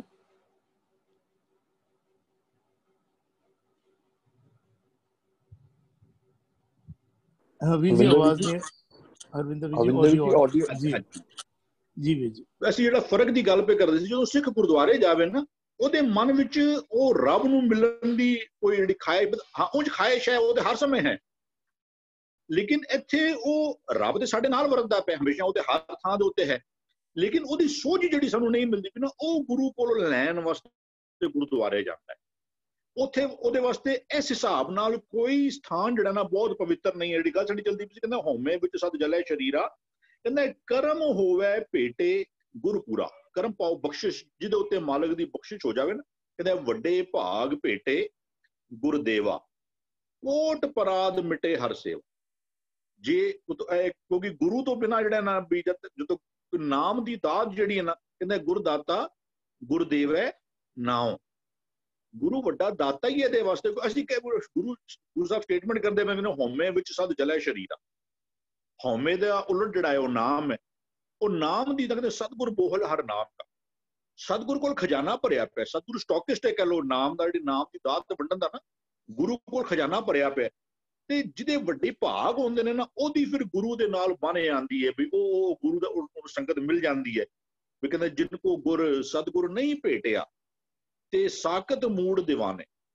ਜਿਹਨਾਂ ਨੂੰ ਗੁਰੂ ਨਹੀਂ ਮਿਲਿਆ ਨਾ ਕਹਿੰਦੇ ਤਿਨਕੇ ਕਰਮਹੀਨ ਧੁਰ ਪਾਏ। ਇੱਕ ਪਾਸੇ ਕਹਿੰਦੇ ਨੇ ਵੱਡਾ ਕਰਮ ਹੋਵੇ ਭੇਟ ਹੈ ਵੀ ਬਖਸ਼ਿਸ਼ ਹੁੰਦੀ ਤੇ ਮਿਲਦਾ। ਤੇ ਜਿਹੜੇ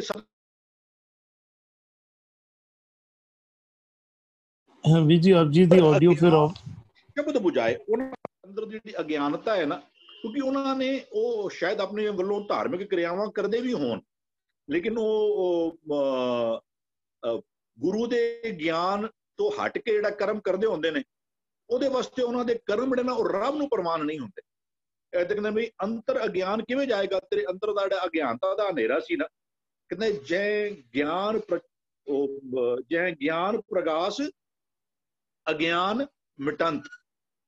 ਜਿੱਥੇ ਗੁਰੂ ਦੇ ਗਿਆਨ ਦਾ ਚਾਨਣ ਆ ਜਾਏਗਾ ਉਹ ਤੋਂ ਅੰਧੇਰਾ ਆਟੋਮੈਟਿਕਲੀ ਜਿਹੜਾ ਹੈ ਨਾ, ਵੀ ਅਗਿਆਨ ਅੰਧੇਰਾ ਕਟਿਆ, ਗੁਰ ਗਿਆਨ ਘਟ ਬਲਿਆ। ਜਦੋਂ ਗੁਰੂ ਦਾ ਗਿਆਨ ਸਾਡੇ ਜੀਵਨ ਵਿੱਚ ਆ ਜਾਏਗਾ ਅਗਿਆਨਤਾ ਜਿਹੜੀ ਹੈ ਨਾ ਵੀ ਉਹ ਅਹ, ਗਿਆਨਹੀਨ ਅਗਿਆਨ ਪੂਜਾ ਉਹ ਸਾਡੇ ਜੀਵਨ ਵਿੱਚ ਚਲੇ ਜਾਏਗੀ ਉਹ ਜਾਏਗੀ ਕਿਵੇਂ?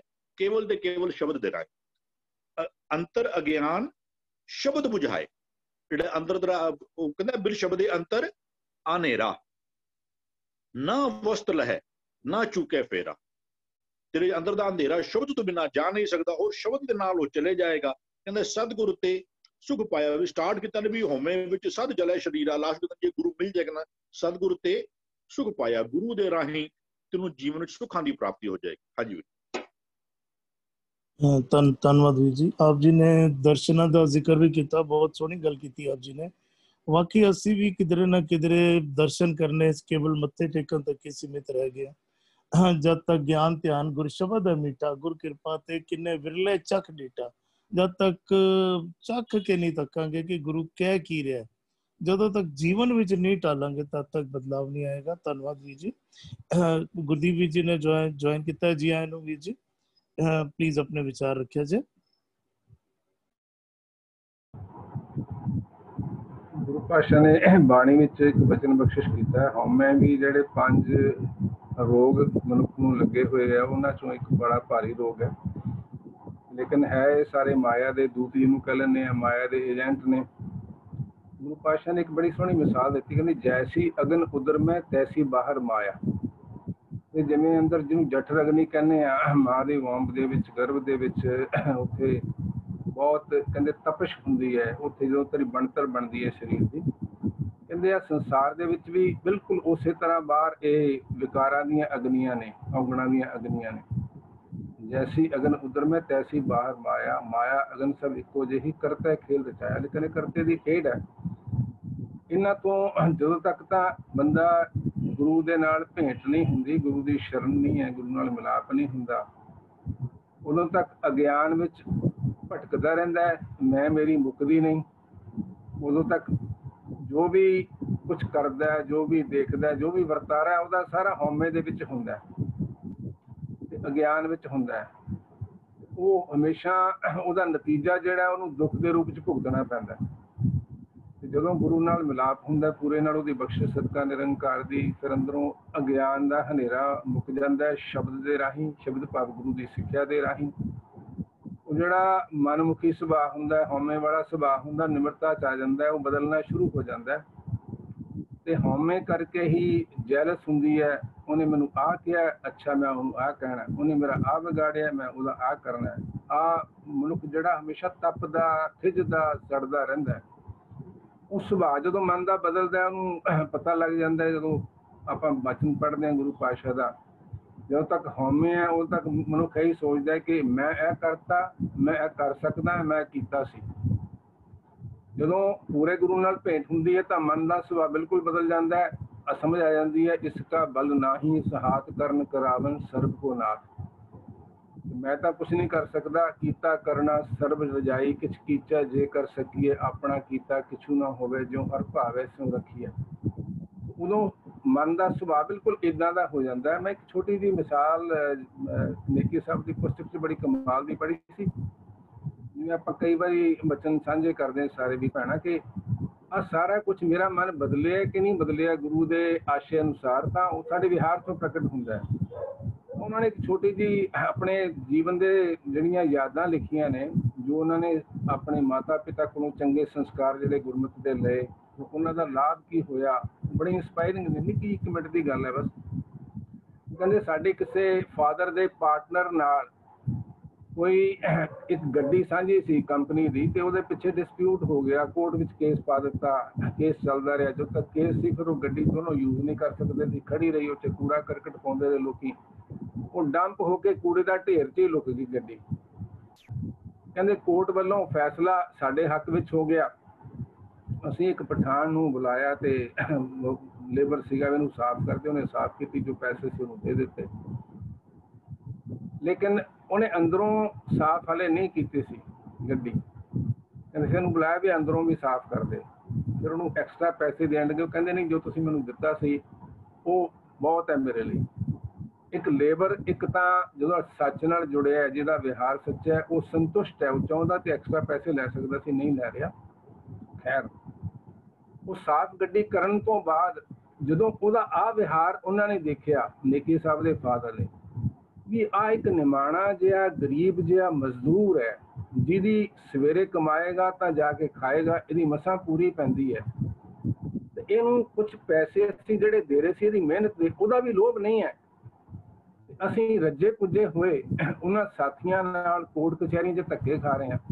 ਕਹਿੰਦੇ ਉਹ ਫੇਵਰ ਵਿੱਚ ਉਹਨਾਂ ਦੇ ਡਿਸੀਜ਼ਨ ਹੋਇਆ, ਉਹਨਾਂ ਦਾ ਪੋਜੀਸ਼ਨ ਗੱਡੀ ਦਾ ਉਹਨਾਂ ਕੋਲ ਸੀ, ਮਲਕੀਅਤ ਉਹਨਾਂ ਕੋਲ ਸੀ। ਲੇਕਿਨ ਉਹਨਾਂ ਨੇ ਜਾ ਕੇ ਆਪਣੇ ਪਾਰਟਨਰ ਨੂੰ ਕਿਹਾ ਜੀ ਗੱਡੀ ਤੁਸੀਂ ਲੈ ਲਓ, ਸਾਨੂੰ ਨਹੀਂ ਚਾਹੀਦੀ। ਸੋ ਕਈ ਵਾਰੀ ਇੱਕ ਨਿੱਕਾ ਜਿਹਾ ਜੈਸਰ ਇੱਕ ਸਧਾਰਨ ਜੇ ਮਨੁੱਖ ਦਾ ਵੀ ਸੱਚ ਤੇ ਆਧਾਰਿਤ ਹੁੰਦਾ ਹੈ, ਉਹ ਸਾਨੂੰ ਇਨਸਪਾਇਰ ਕਰਕੇ ਸੱਚ ਵੱਲ ਤੋਰ ਦਿੰਦਾ ਤੇ ਜਿਹੜਾ ਪੂਰਾ ਗੁਰੂ ਹੈ, ਜਦੋਂ ਉਹਦੇ ਬਚਨਾਂ ਨਾਲ ਆਪਾਂ ਜੁੜਾਂਗੇ ਤਾਂ ਸੱਚਮੁੱਚ ਗੁਰੂ ਪਾਤਸ਼ਾਹ ਜਿਵੇਂ ਬਚਨ ਬਖਸ਼ਿਸ਼ ਕਰਦੇ ਨੇ, ਨਾਮ ਜਪਤ, ਕੋਟ, ਸੂਰ ਉਜਾਰਾ ਬਿਨ ਸਹਿ ਪਰਮ ਅੰਧੇਰਾ। ਉੱਥੇ ਅਗਿਆਨ ਦਾ ਇੱਕ ਰੱਤਾ, ਕਿਣਕਾ ਮਾਤਰ ਨਹੀਂ ਰਹਿੰਦਾ। ਉਹ ਜਦੋਂ ਚਾਨਣ ਹੀ ਚਾਨਣ ਹੈ, ਤੇ ਫਿਰ ਗੁਰੂ ਦੀ ਅਗਵਾਈ ਤੁਸੀਂ ਠੀਕ ਰਸਤੇ ਤੁਰਦੇ ਹੋ, ਉਹ ਸਾਰੀਆਂ ਭਾਏ ਬਲੰਦੜੀ, ਬੁਝ ਗਈ ਰਖੰਦੜੋ ਪ੍ਰਭ ਆਪ। ਕਹਿੰਦੇ ਉਹ ਮਾਲਕ ਭਾਏ ਬਉਲੇ ਅੱਗ, ਕਹਿੰਦੇ ਜਿੰਨੀਆਂ ਵੀ ਕਾਮ, ਕ੍ਰੋਧ, ਲੋਭ, ਓੰਕਾਰ ਈਰਖਾ ਦਵੈਸ਼, ਨਿੰਦਾ ਦੀਆਂ ਅਗਨੀਆਂ ਅੰਦਰ ਸੜ, ਜਿਹਨਾਂ ਸੜ ਰਿਹਾ ਹੁੰਦਾ ਤਨ ਮਨ, ਕਹਿੰਦੇ ਉਹ ਸਾਰੀਆਂ ਸ਼ਾਂਤ ਹੋ ਜਾਂਦੀਆਂ ਤੇ ਉਸ ਮਾਲਕ ਦੀ ਕਿਰਪਾ ਨਾਲ ਜੀਵਨ ਵਿੱਚ ਔਰ ਮਨ ਵਿੱਚ ਸੁਖ ਵਸ ਜਾਂਦਾ ਹੈ। ਧੰਨਵਾਦ ਜੀ। ਧੰਨਵਾਦ ਵੀਰ ਜੀ। ਬਿਲਕੁਲ ਆਪ ਜੀ ਨੇ ਗੁਰੂ ਦੇ ਮਿੱਠੇ ਬੋਲਾਂ ਦਾ ਜ਼ਿਕਰ ਕੀਤਾ। ਅਸੀਂ ਧਿਆਨ ਦਈਏ ਨਾ, ਸਾਨੂੰ ਅਗਰ ਕੋਈ ਅਪਸ਼ਬਦ ਬੋਲੇ, ਅਸੀਂ ਉਸੇ ਟਾਈਮ ਉਹਦੇ ਨਾਲ ਝਗੜਨ ਲੱਗ ਪੈਂਦੇ ਆ ਹਾਂ। ਇਸ ਦਾ ਮਤਲਬ ਹੈ ਕਿ ਸਾਡੇ ਮਨ ਦੇ ਉੱਤੇ ਉਸ ਦੇ ਅਪਸ਼ਬਦਾਂ ਦਾ ਉਹਦੇ ਭੈੜੇ ਬੋਲਾਂ ਦਾ ਪ੍ਰਭਾਵ ਪਿਆ। ਤੇ ਸਾਡੇ ਉੱਤੇ ਜਦੋਂ ਭੈੜੇ ਬੋਲਾਂ ਦਾ ਪ੍ਰਭਾਵ ਪੈਂਦਾ ਹੈ, ਤੇ ਸਾਡੇ ਉੱਤੇ ਸਤਿਗੁਰੂ ਦੇ ਮਿੱਠੇ ਬੋਲਾਂ ਦਾ ਪ੍ਰਭਾਵ ਕਿਉਂ ਨਹੀਂ ਪਏਗਾ? ਭੈੜੇ ਬੋਲਾਂ ਦਾ ਰਿਐਕਸ਼ਨ ਇਹ ਸੀ ਕਿ ਅਸੀਂ ਡਾਂਗਾ ਚੁੱਕ ਲਈਆਂ, ਅਸੀਂ ਝਗੜਾ ਕਰ ਲਿਆ, ਤੇ ਗੁਰੂ ਦੇ ਮਿੱਠੇ ਬੋਲ ਸਾਨੂੰ ਸੱਚ ਦੀ ਰਾਹ ਤੇ ਕਿਉਂ ਨਹੀਂ ਲੈ ਕੇ ਜਾਣਗੇ? ਇਹ ਭਰੋਸਾ ਰੱਖੀਏ, ਇਹ ਭਰੋਸਾ ਰੱਖ ਕੇ ਗੁਰੂ ਦੇ ਬੋਲਾਂ ਨਾਲ ਜੁੜੀਏ ਗੁਰੂ ਦੇ ਗੁਰੂ ਸਾਹਿਬ ਆਪ ਬਖਸ਼ਿਸ਼ ਕਰਨਗੇ ਆਪ ਬਾਹ ਪਕੜ ਕੇ ਆਪਣੀ ਰਾਹ ਤੇ ਤੋਰਨਗੇ ਧੰਨਵਾਦ ਵੀਰ ਜੀ ਬੜੀ ਖੂਬਸੂਰਤੀ ਨਾਲ ਆਪ ਜੀ ਨੇ ਦੱਸਿਆ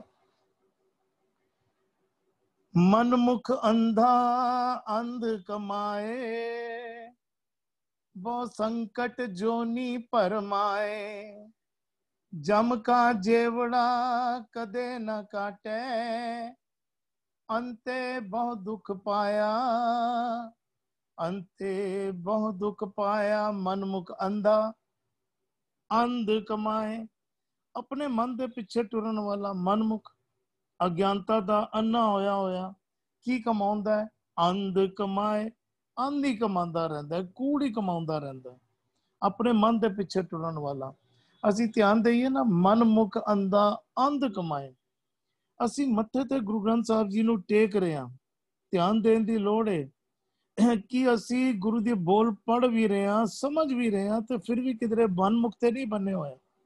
ਗੁਰੂ ਦੀ ਗੱਲ ਕੇਵਲ ਪੜਨ ਸੁਣਨ, ਸਮਝਣ, ਬੁੱਝਣ ਤੱਕ ਤੇ ਨਹੀਂ ਰਹਿ ਗਈ।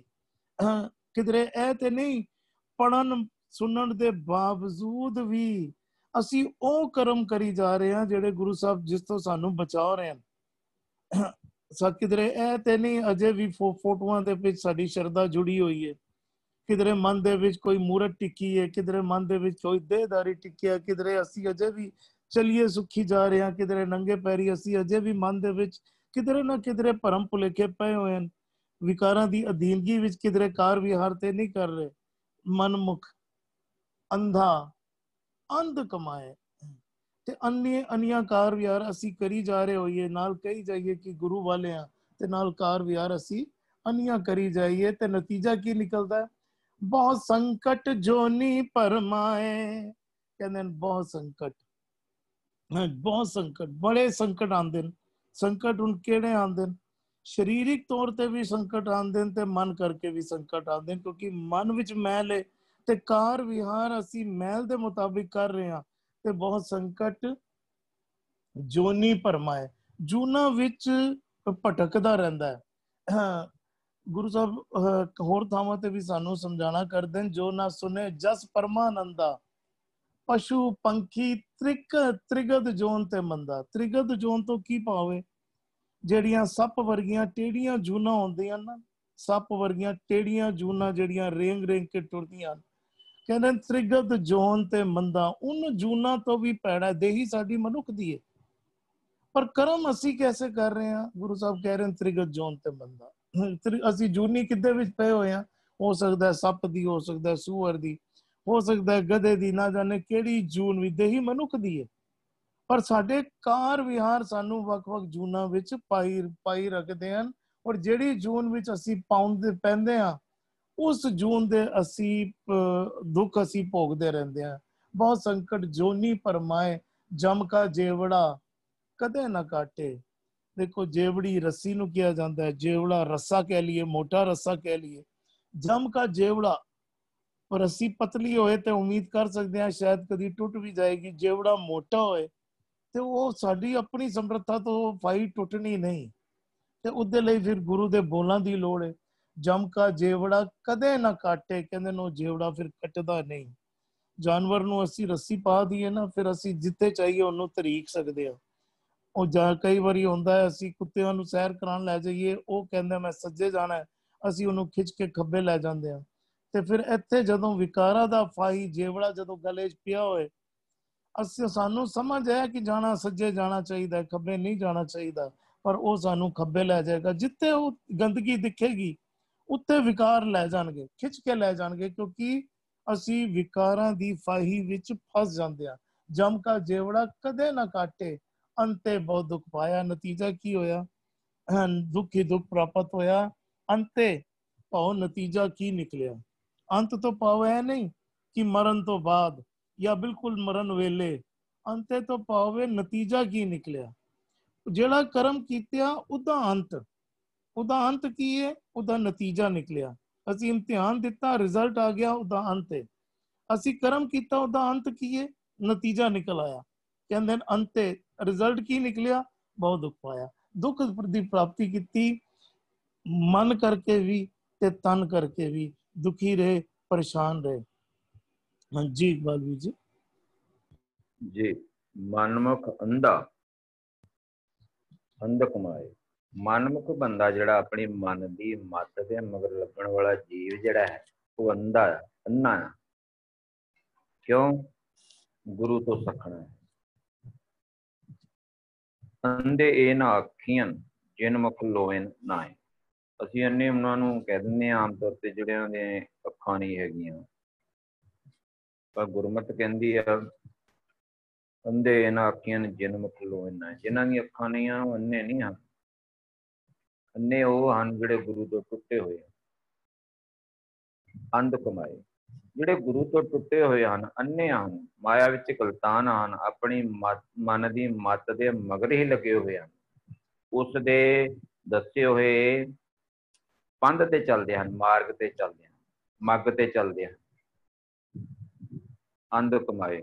ਤੇ ਉਹਨਾਂ ਦੀ, ਉਹਨਾਂ ਦਾ ਜਿਹੜਾ ਫਲ ਹੈ, ਉਹ ਵੀ ਅੰਨਾ ਹੀ ਹੁੰਦਾ ਹੈ। ਭਾਵ ਵਿਕਾਰਾਂ ਵਾਲਾ ਹੁੰਦਾ ਹੈ, ਭਾਵ ਲੁੱਟ ਕਸੁੱਟ ਵਾਲਾ ਹੁੰਦਾ ਹੈ।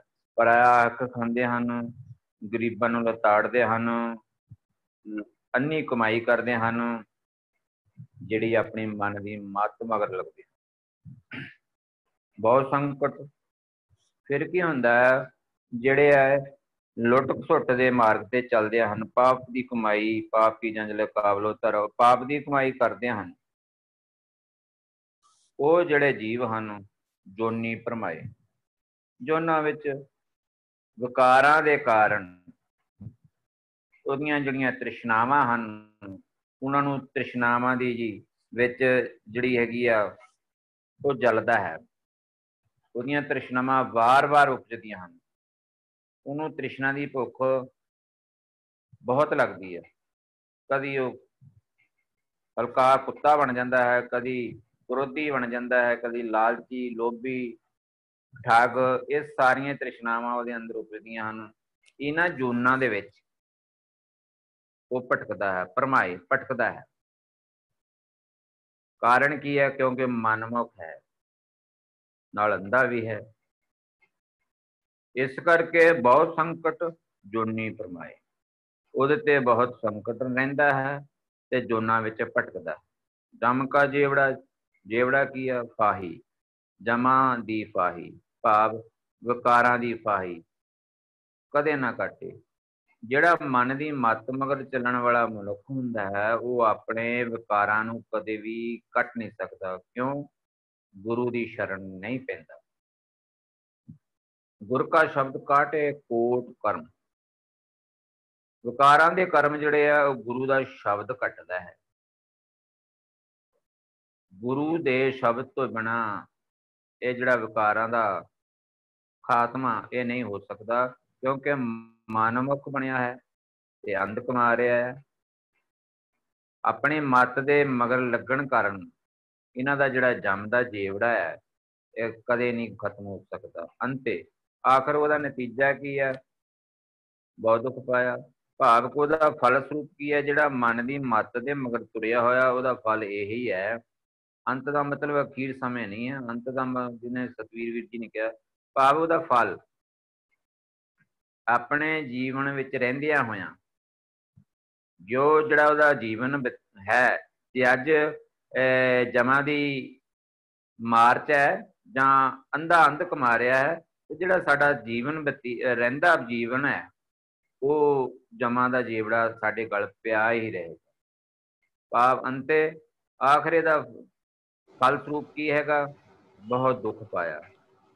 ਜਿਹੜਾ ਮਾਨਵ ਦੀ ਮੱਤ ਚੱਲਣ ਵਾਲਾ ਮਨੁੱਖ ਹੈ, ਜਦੋਂ ਉਹ ਵਿਕਾਰਾਂ ਨੂੰ ਕਦੇ ਵੀ ਨਹੀਂ ਕੱਟ ਸਕਦਾ, ਤੇ ਅੰਤ ਵਿੱਚ ਅਖੀਰ ਉਹਦਾ ਫਲ ਇਹ ਮਿਲਦਾ ਵੀ ਉਹਨੂੰ ਬਹੁਤ ਦੁੱਖ ਪਾਇਆ। ਉਹ ਦੁੱਖ, ਹੀ ਦੁੱਖ ਪ੍ਰਾਪਤ ਕਰਦਾ ਹੈ। ਦੁੱਖਾਂ ਵਿੱਚ ਹੀ ਘਿਰਿਆ ਰਹਿੰਦਾ ਹੈ। ਦੁੱਖਾਂ ਵਿੱਚ ਹੀ ਜੀਵਨ ਉਹਦਾ ਨਿਕਲਦਾ ਹੈ। ਭਾਵ ਉਹ ਸਦਾ ਹੀ ਦੁਖੀ ਰਹਿੰਦਾ ਹੈ। ਜੀ। ਧੰਨਵਾਦ ਵੀਰ ਜੀ। ਬਿਲਕੁਲ ਅੰਨੇ ਨੂੰ ਬੜੀ ਅੱਛੀ ਤਰੀਕੇ ਨਾਲ ਆਪ ਜੀ ਨੇ ਸਮਝਾਇਆ ਔਰ ਗੁਰੂ ਤੋਂ ਬਿਨਾ ਅੱਖਾਂ ਮਿਲਨੀਆਂ ਵੀ ਨਹੀਂ। ਪਰ ਅਸੀਂ ਇਹ ਵੀ ਧਿਆਨ ਰੱਖਣਾ ਹੈ, ਗੁਰੂ ਥਾਪਣਾ ਕਿੰਨੂੰ ਹੈ? ਗੁਰੂ ਕਿਹੜੀ ਗੁਰੂ ਦੀ ਸ਼ਰਨ ਵਿੱਚ ਜਾਣਾ ਹੈ? ਅੰਦੇ ਗੁਰੂ ਤੇ ਭਰਮ ਨਾ ਜਾਈ। ਅੰਨੇ ਗੁਰੂਆਂ ਦੇ ਕੋਲੋਂ ਭਰਮ ਜਾਂਦਾ ਵੀ ਨਹੀਂ। ਜੀ, ਜ਼ਿੰਦਗੀ ਸਾਡੀ ਹੈ, ਅਸੀਂ ਜਿੰਨੂੰ ਮਰਜ਼ੀ ਗੁਰੂ ਬਣਾ ਲਈਏ।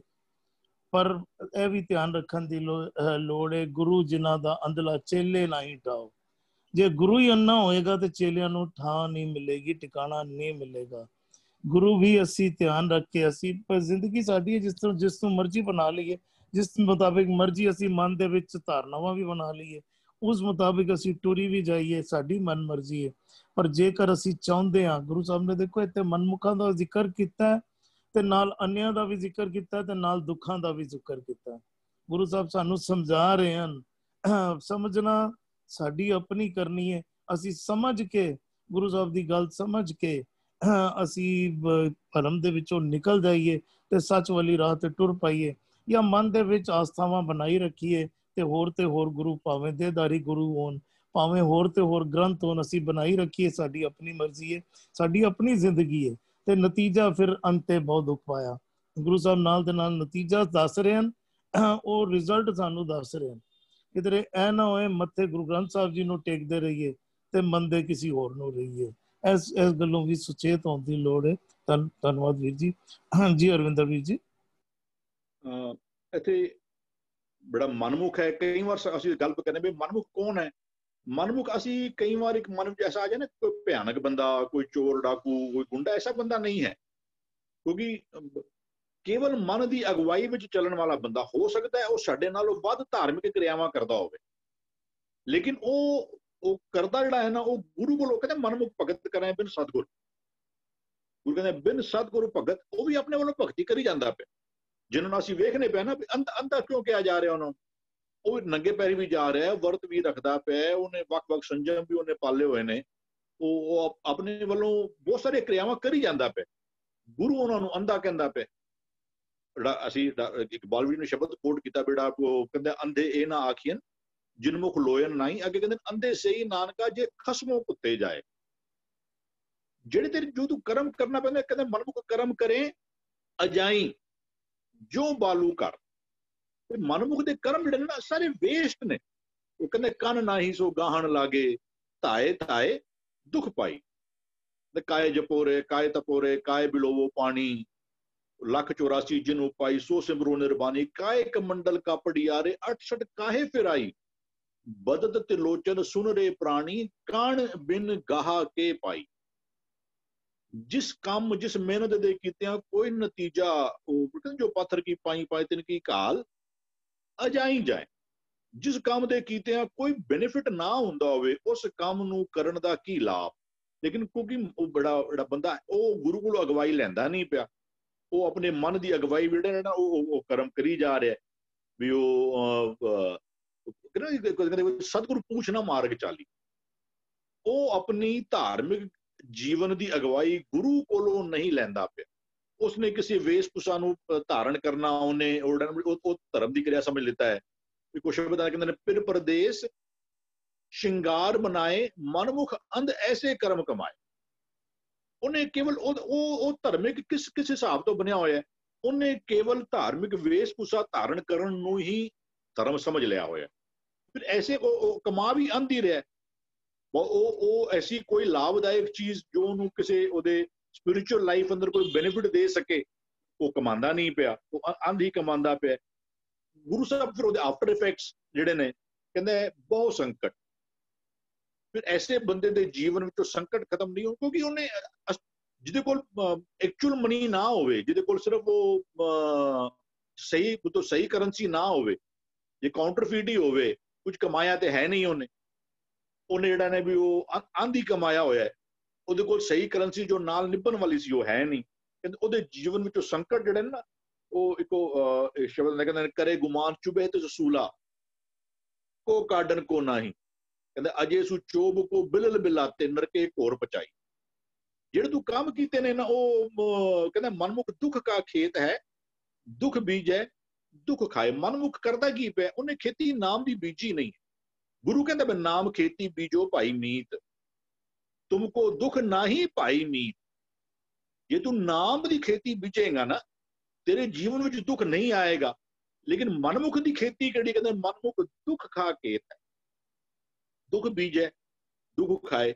ਉਹ ਕਰਮ, ਉਹ ਬੀਜਦਾ ਹੀ ਐਸੇ ਕਰਮ ਪਿਆ ਜਿਹਦੇ ਨਾਲ ਦੁੱਖ ਉਪਜਨੇ ਨੇ। ਕਹਿੰਦੇ ਬਹੁ ਸੰਕਟ ਜੋਨੀ ਪਰਮਾਏ। ਫਿਰ ਉਹ ਵਕ-ਵਕ ਜੂਨਾ ਵਿੱਚ ਭਟਕਦਾ ਰਹਿੰਦਾ ਹੈ। ਕਦੀ ਉਹ ਕਹਿੰਦਾ ਜਿਹਨਾਂ ਨੇ ਕਰਤੂਤ ਪਸ਼ੂ ਕੀ ਮਾਨਸ ਜਾਤ ਵਾਲੀ ਜਿਹੜੀ ਹਾਲ ਹੋ ਜਾਂਦੀ ਹੈ। ਕਹਿੰਦੇ ਜਮ ਕਾ ਜੇਵੜਾ ਕਦੇ ਨਾ ਕਾਟੈ। ਦੋ, ਇੱਕ ਹੁੰਦਾ ਜਿਹਦੇ ਗਲੇ ਵਿੱਚ ਸੰਗਲ ਪਾਈ ਹੋਈ ਹੈ ਤੇ ਇੱਕ ਜਿਸ ਨੇ ਸੰਗਲ ਪਾਈ ਹੋਈ ਹੈ। ਜਿਸ ਨੇ ਸੰਗਲ ਪਾਈ ਹੋਈ ਹੈ ਨਾ, ਉਹ ਜਿਹਦੇ ਗਲੇ ਵਿੱਚ ਸੰਗਲ ਪਾਈ ਹੈ, ਉਹਨੂੰ ਖਿੱਚ ਕੇ ਲੈ ਜਾਂਦਾ ਜਿੱਥੇ ਮਰਜ਼ੀ ਹੋ ਜਾਵੇ।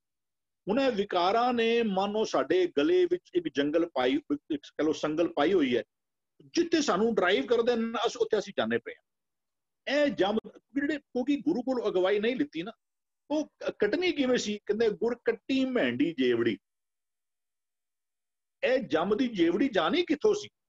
ਗੁਰੂ ਸਾਡੀ ਇਹ ਜਿਹੜੇ ਜਿਹੜੇ ਜਿਹੜੇ ਜਾਮ ਨੇ, ਵਿਕਾਰ ਰੂਪੀ ਜਾਮ ਨੇ, ਜਿਨ੍ਹਾਂ ਨੂੰ, ਜਿਨ੍ਹਾਂ ਨੇ ਸਾਨੂੰ ਸੰਗਲ ਉਹ ਸਾਨੂੰ ਡਰਾਈਵ ਕਰਦੇ ਪਏ ਨੇ, ਅਸੀਂ ਡਰਾਈਵ ਹੋਈ ਜਾਂਦੇ ਪਏ ਤੇ ਇਹ ਇਹ ਇਹ ਜੇਵੜੀ ਕੱਟਣੀ ਕਿਵੇਂ ਸੀ? ਕਹਿੰਦਾ ਗੁਰ ਕੱਟੀ ਮਹਿੰਡੀ ਜੇਵੜੀ ਗੁਰੂ ਦੇ ਰਾਹੀਂ ਜਿਹੜਾ ਹੈ ਨਾ, ਉਹ ਜਾਂ ਇਹ ਇੱਕ ਸਾਨੂੰ ਜਿਹੜੇ ਵਿਕਾਰ ਸਾਨੂੰ ਚੰਗੇ ਲੱਗਦੇ ਪਏ ਨੇ। ਇਹ ਮਾਨੋ ਕਹਿੰਦੇ ਕਹਿੰਦੇ ਕਹਿੰਦੇ ਬਾਂਦੇ ਜਮ ਕੀ ਜੇਵੜੀ, ਮਿੱਠੀ ਮਾਇਆ ਰੰਗ। ਐਡੀ ਮਾਇਆ ਸਾਨੂੰ ਬਹੁਤ ਮਿੱਠੀ ਲੱਗਦੀ ਪਈ, ਕੂੜ ਮਿੱਠਾ, ਕੂੜ ਮਾਖਿਓ। ਇਹ ਮਨੋ ਸਾਡੇ ਗਲੇ ਦੀਆਂ ਜੰਜੀਰ ਤੇ ਕਹਿੰਦੇ, ਨਾਨਕ ਔਗੁਣ ਜੇਤੜੇ ਤੇਤੇ ਗਲੀ ਜੰਜੀਰ। ਇਹ ਤੇਰੇ ਔਗੁਣ ਹੀ ਤੇਰੇ ਗਲੇ ਦੀਆਂ ਜੰਜੀਰਾਂ ਨੇ ਤੇ ਗੁਰੂ ਤੋਂ ਬਿਨਾਂ ਲੜਾਇਆ ਨਾ ਗੁਰ ਗੁਰ ਕੱਟੀ ਮੈਂਡੀ ਜੇਵੜੀ ਗੁਰੂ ਕੱਟ ਸਕਦਾ ਅਦਰਵਾਈਜ਼ ਹੋਣਾ ਕੀ ਹੈ? ਕਬੀਰ ਸਾਹਿਬ ਦਾ ਸ਼ਬਦ ਆਂਦਾ ਕਹਿੰਦੇ ਨੇ, ਕਬੀਰ, ਜਗ ਬਾਂਧਿਓ ਜੈ ਜੇਵਰੀ ਤਹ ਮਤ ਬੰਦੋ ਕਬੀਰ। ਇੱਕ ਬੇਨਤੀ ਕਰਦੇ ਪਏ ਨੇ ਵੀ ਸਾਰਾ ਸੰਸਾਰ ਜਿਸ ਜਿਸ ਜੰਜੀਰ ਦੇ ਨਾਲ ਬੰਧਿਆ ਹੋਇਆ ਹੈ ਨਾ, ਕਬੀਰ, ਜਗ ਬਾਂਧਿਓ ਜੈ ਜੇਵਰੀ ਤਹਿ ਮਤ ਬੰਧੋ ਕਬੀਰ ਕਹਿੰਦਾ ਹੋਏਗਾ ਕੀ? ਕਹਿੰਦਾ ਜੈ ਹੈ ਆਟਾ ਲੋਨ ਜਿਉ, ਸੋਨ ਸਮਾਨ ਸ਼ਰੀਰ। ਬੜਾ ਮੈਨੂੰ ਉਹ ਸੋਨੇ ਵਰਗਾ ਜਿਹੜਾ ਨਾ ਵੀ ਉਹ ਮਨੁੱਖਾ ਜਨਮ ਦਾ ਅਵਸਰ ਮਿਲਿਆ ਸੀ।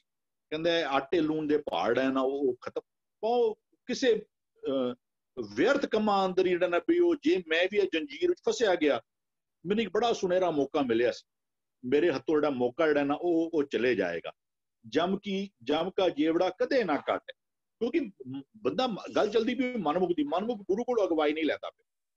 ਗੁਰੂ ਕੋਲੋਂ ਸਮਰੱਥਾ ਸੀ, ਉਹ ਤੇਰੀ ਜੰਮਾਂ ਦੀ ਜੇਵੜੀ ਕੱਟ ਸਕਦਾ ਲੇਕਿਨ ਤੂੰ ਗੁਰੂ ਕੋਲ ਅਗਵਾਈ ਲੈਂਦਾ ਹੀ ਨਹੀਂ ਪਿਆ। ਤੂੰ ਅਗਵਾਈ ਸਾਰੀ ਆਪਣੇ ਮਨ ਦੀ, ਜਿਹੜਾ ਉਸ ਤੇ ਉਸ ਤੇ ਟੁੱਟ ਜਾਣਾ ਪਿਆ। ਜਮ ਕਾ ਜੇਵੜਾ ਕਦੇ ਨਾ ਟੁੱਟੇ। ਅੰਤੇ ਬਹੁਤ ਦੁੱਖ ਪਾਇਆ। ਨੈਟ ਰਿਜ਼ਲਟ ਜੋ ਤੈਨੂੰ ਆਏਗਾ ਨਾ ਤੇਰੇ ਹੱਥ ਵਿੱਚ। ਉਹ ਰਿਜ਼ਲਟ ਜਦੋਂ ਵੀ ਆਏਗਾ। ਉਹ ਉਹ ਤੇਰੇ ਤੇਰੇ ਵਾਸਤੇ ਦੁੱਖਾਂ ਦਾ ਹੀ ਕਾਰਨ ਹੋਏਗਾ। ਉਹ ਉਹ ਉਹ ਤੇਰੇ ਅੱਗੇ ਜੋ ਵੀ ਆਏਗਾ ਨਾ ਤੇਰਾ ਅਗਲਾ ਜਿਹੜਾ ਹੈ ਨਾ ਤੇਰਾ ਨੈਟ ਰਿਜ਼ਲਟ ਜੋ ਆਣਾ ਹੈ ਤੇਰੇ ਕੀਤੇ ਇਸ ਵਾਲੇ ਇਸ ਵਾਲੇ ਕੰਮ ਦਾ ਉਹ ਕੇਵਲ ਤੇ ਕੇਵਲ ਦੁੱਖ ਹੀ ਰਹੇਗਾ ਹਾਂਜੀ ਵੀਰ ਜੀ। ਧੰਨਵਾਦ ਵੀਰ ਜੀ ਬਿਲਕੁਲ ਗੁਰੂ ਕੋਲ ਸਮਰੱਥਾ ਹੈ ਗੁਰੂ ਦੀ ਗਵਾਹੀ ਵਿੱਚ ਅਸੀਂ ਅਹ, ਜੀਵਨ ਬਤੀਤ ਕਰੀਏ ਗੁਰੂ ਜ਼ਰੂਰ ਸਾਡੀ ਜੇਵੀਆਂ ਕੱਟੇਗਾ ਧੰਨ ਧੰਨਵਾਦ ਆਪ ਜੀ ਦਾ ਕਰਮਵੀਰ ਵੀਰ ਜੀ ਨੇ ਜੁਆਇਨ ਕੀਤਾ ਹੈ। ਵੀਰ ਜੀ ਅਹ, ਹਾਂ ਕੱਲ ਆਪ ਜੀ ਦੇ ਨੈਟ ਵਿੱਚ ਕੁਝ ਪ੍ਰੋਬਲਮ ਸੀ ਸ਼ਾਇਦ ਆਪ ਨਦਰ ਦੇ ਉੱਤੇ ਵੀ ਕੁਝ ਵਿਚਾਰ ਰੱਖਣਾ ਚਾਹ ਰਹੇ ਸੀ ਤੇ ਇੱਕ ਸ਼ਾਰਟ ਵਿੱਚ ਵਿਚਾਰ ਰੱਖਿਆ ਜੀ ਆਪ ਜੀ ਅਗਰ ਕਰਮਵੀਰ ਵੀਰ ਜੀ ਵੀਰ ਜੀ ਹਾਂ ਨਹੀਂ ਹੈਗੇ ਨੇ ਗਰੁੱਪ ਵਿੱਚ ਓਕੇ ਹਾਂ ਉਹਨਾਂ ਨੇ ਜੁਆਇਨ ਕੀਤਾ ਸੀ ਹਾਂ, ਅਹ, ਜੀ ਪੂਆ ਜੀ ਆਪ ਵਿਚਾਰ ਰੱਖਿਆ ਜੀ ਹਾਂਜੀ ਮਨਮੁਖ ਅੰਦਾ ਅੰਧ ਕਮਾਏ ਬੌਰ ਸੰਕਟ ਜੋਨੀ ਪਰਮਾਏ ਮਨਮੁਖ ਕੌਣ ਹੈ ਉਹ ਮਨ ਜਿਹੜਾ ਆਪਣੇ ਮਨ ਦੇ ਆਖੇ ਲੱਗਦਾ ਹੈ। Goes on the opposite direction of the guru ਉਹ ਮਨਮੁਖੀ ਜਿਸ ਨੇ ਆਪਣੇ ਮਨ ਦੇ ਉੱਪਰ ਟੁਰ ਕੇ ਉਹ ਕੀ ਬਣ ਜਾਂਦਾ ਹੈ? ਅੰਨਾ ਬਣ ਜਾਂਦਾ ਹੈ। ਸੁੱਤਾ ਹੋਇਆ ਮਨ ਮਨਮਤੀ ਮਨ ਜਿਹੜਾ ਕੂੜ ਦੇ ਵਿੱਚ ਹੈਗਾ ਹੈ, ਉਹ ਸੁੱਤਾ ਹੋਇਆ ਉਹ ਅੰਨਾ ਹੋ ਚੁੱਕਾ ਹੈ। ਔਰ ਫਿਰ ਕੀ ਕਮਾਉਂਦਾ ਹੈ? ਉਹ ਕੂੜ ਕਮਾਉਂਦਾ ਹੈ ਠੋਕਰਾਂ ਖਾਂਦਾ ਹੈ। ਅਗਿਆਨਤਾ ਦੇ ਵਿੱਚ ਹੈ ਵਾਈਸਸ ਦੀ ਕਮਾਈ ਕਰਦਾ ਹੈ ਮਨ ਜਿਹੜਾ ਹੈ, ਮਨ ਮੁਖ ਦਾ ਉਹ ਟਿਊਨਡ ਹੋ ਜਾਂਦਾ ਹੈ ਖਾਲੀ ਵਾਈਸਸ ਦੇ ਨਾਲ ਅਵਗੁਣਾ ਦੇ ਨਾਲ ਜਦੋਂ ਟਿਊਨਡ ਹੋ ਜਾਂਦਾ ਹੈ ਤੇ ਫਿਰ ਉਹ ਠੋਕਰਾਂ ਹੀ ਠੋਕਰਾਂ ਖਾਂਦਾ ਹੈ ਬੌਰ ਸੰਕਟ ਜੋਨੀ ਪਰਮਾਏ ਉਹੀ ਮਨ ਜਿਹੜਾ ਗਲਤਾਨ ਹੋ ਚੁੱਕਾ ਹੈ ਉਹਨਾਂ ਵਾਈਸਸ ਦੇ ਵਿੱਚ ਅਗਿਆਨਤਾ ਦੇ ਵਿੱਚ ਸੁੱਤਾ ਹੋਇਆ ਮਨ ਅੰਨਾ ਮਨ ਉਹ ਫਿਰ ਕੀ ਪਾਉਂਦਾ ਹੈ ਕਿ ਉਹ ਭਟਕਦਾ ਹੈ ਕਿਸ ਵਿੱਚ ਭਟਕਦਾ ਹੈ ਕਹਿੰਦੇ ਨੇ ਕਿ ਕਰਤੂਤ ਪਸ਼ੂ ਕੀ ਮਾਨਸ ਦਾ? ਹੈ ਤੇ ਸਰੀਰ ਇਨਸਾਨ ਦਾ, ਪਰ ਜਿਹੜਾ ਮਨ ਹੈਗਾ ਜਿਸ ਨੇ ਪੂਰੀ ਤਰ੍ਹਾਂ ਗਲਤਾਨ ਹੋ ਚੁੱਕਾ ਹੈ, ਉਹਨਾਂ ਅਵਗੁਣਾਂ ਦੇ ਵਿੱਚ ਫਿਰ ਉਹ ਜੂਨਾ ਵਿੱਚ ਪਟਕਦਾ ਹੈ। ਅਲੱਗ-ਅਲੱਗ ਜਾਨਵਰਾਂ ਦਾ ਜੂਨ ਲੈਂਦਾ ਹੈ, ਜੰਮਦਾ ਤੇ ਮਰਦਾ ਰਹਿੰਦਾ ਹੈ। ਔਰ ਇਸੇ ਵਾਈਸਸ ਕਰਕੇ, ਇਹੀ ਅਵਗੁਣਾ ਕਰਕੇ, ਇਹੀ ਅਵਗੁਣ ਹੈ ਜਿਹੜਾ ਇੱਕ ਬੰਧਨ ਪਾ ਲੈਂਦਾ ਹੈ, ਉਹ ਇੱਕ ਫਾਈ ਪਾ ਲੈਂਦਾ ਹੈ, ਜਿਸ ਤੋਂ ਉਹ ਨਿਕਲ ਨਹੀਂ ਪਾਉਂਦਾ।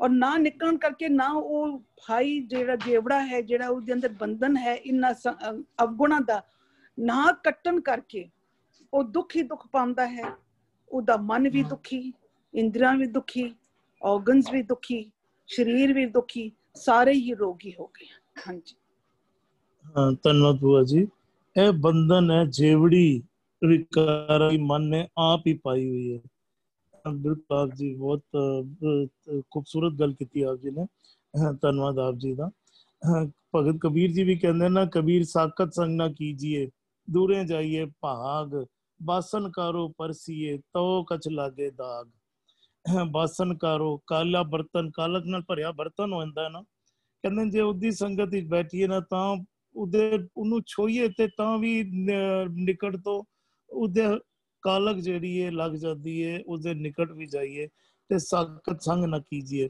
ਸਾਕਤ ਦੀ ਸੰਗਤ ਨਾ ਕਰੀਏ। ਦੇਖੋ, ਅਸੀਂ ਧਿਆਨ ਦਈਏ ਨਾ, ਸੰਗਤ ਦਾ ਜ਼ਿਕਰ ਆਉਂਦਾ ਤੇ ਅਸੀਂ ਬਾਹਰਲੀ ਸਰੀਰਕ ਸੰਗਤ ਦਾ ਵੀ ਜ਼ਿਕਰ ਕਰਦੇ ਹਾਂ। ਸਾਕਤ ਜਿਹੜੇ ਸ਼ਕਤੀ ਦੇ ਉਪਾਸ਼ਕ ਹਨ ਜਾਂ ਵਿਕਾਰੀ ਹਨ ਅੰਜ ਕਹਿ ਲਈਏ।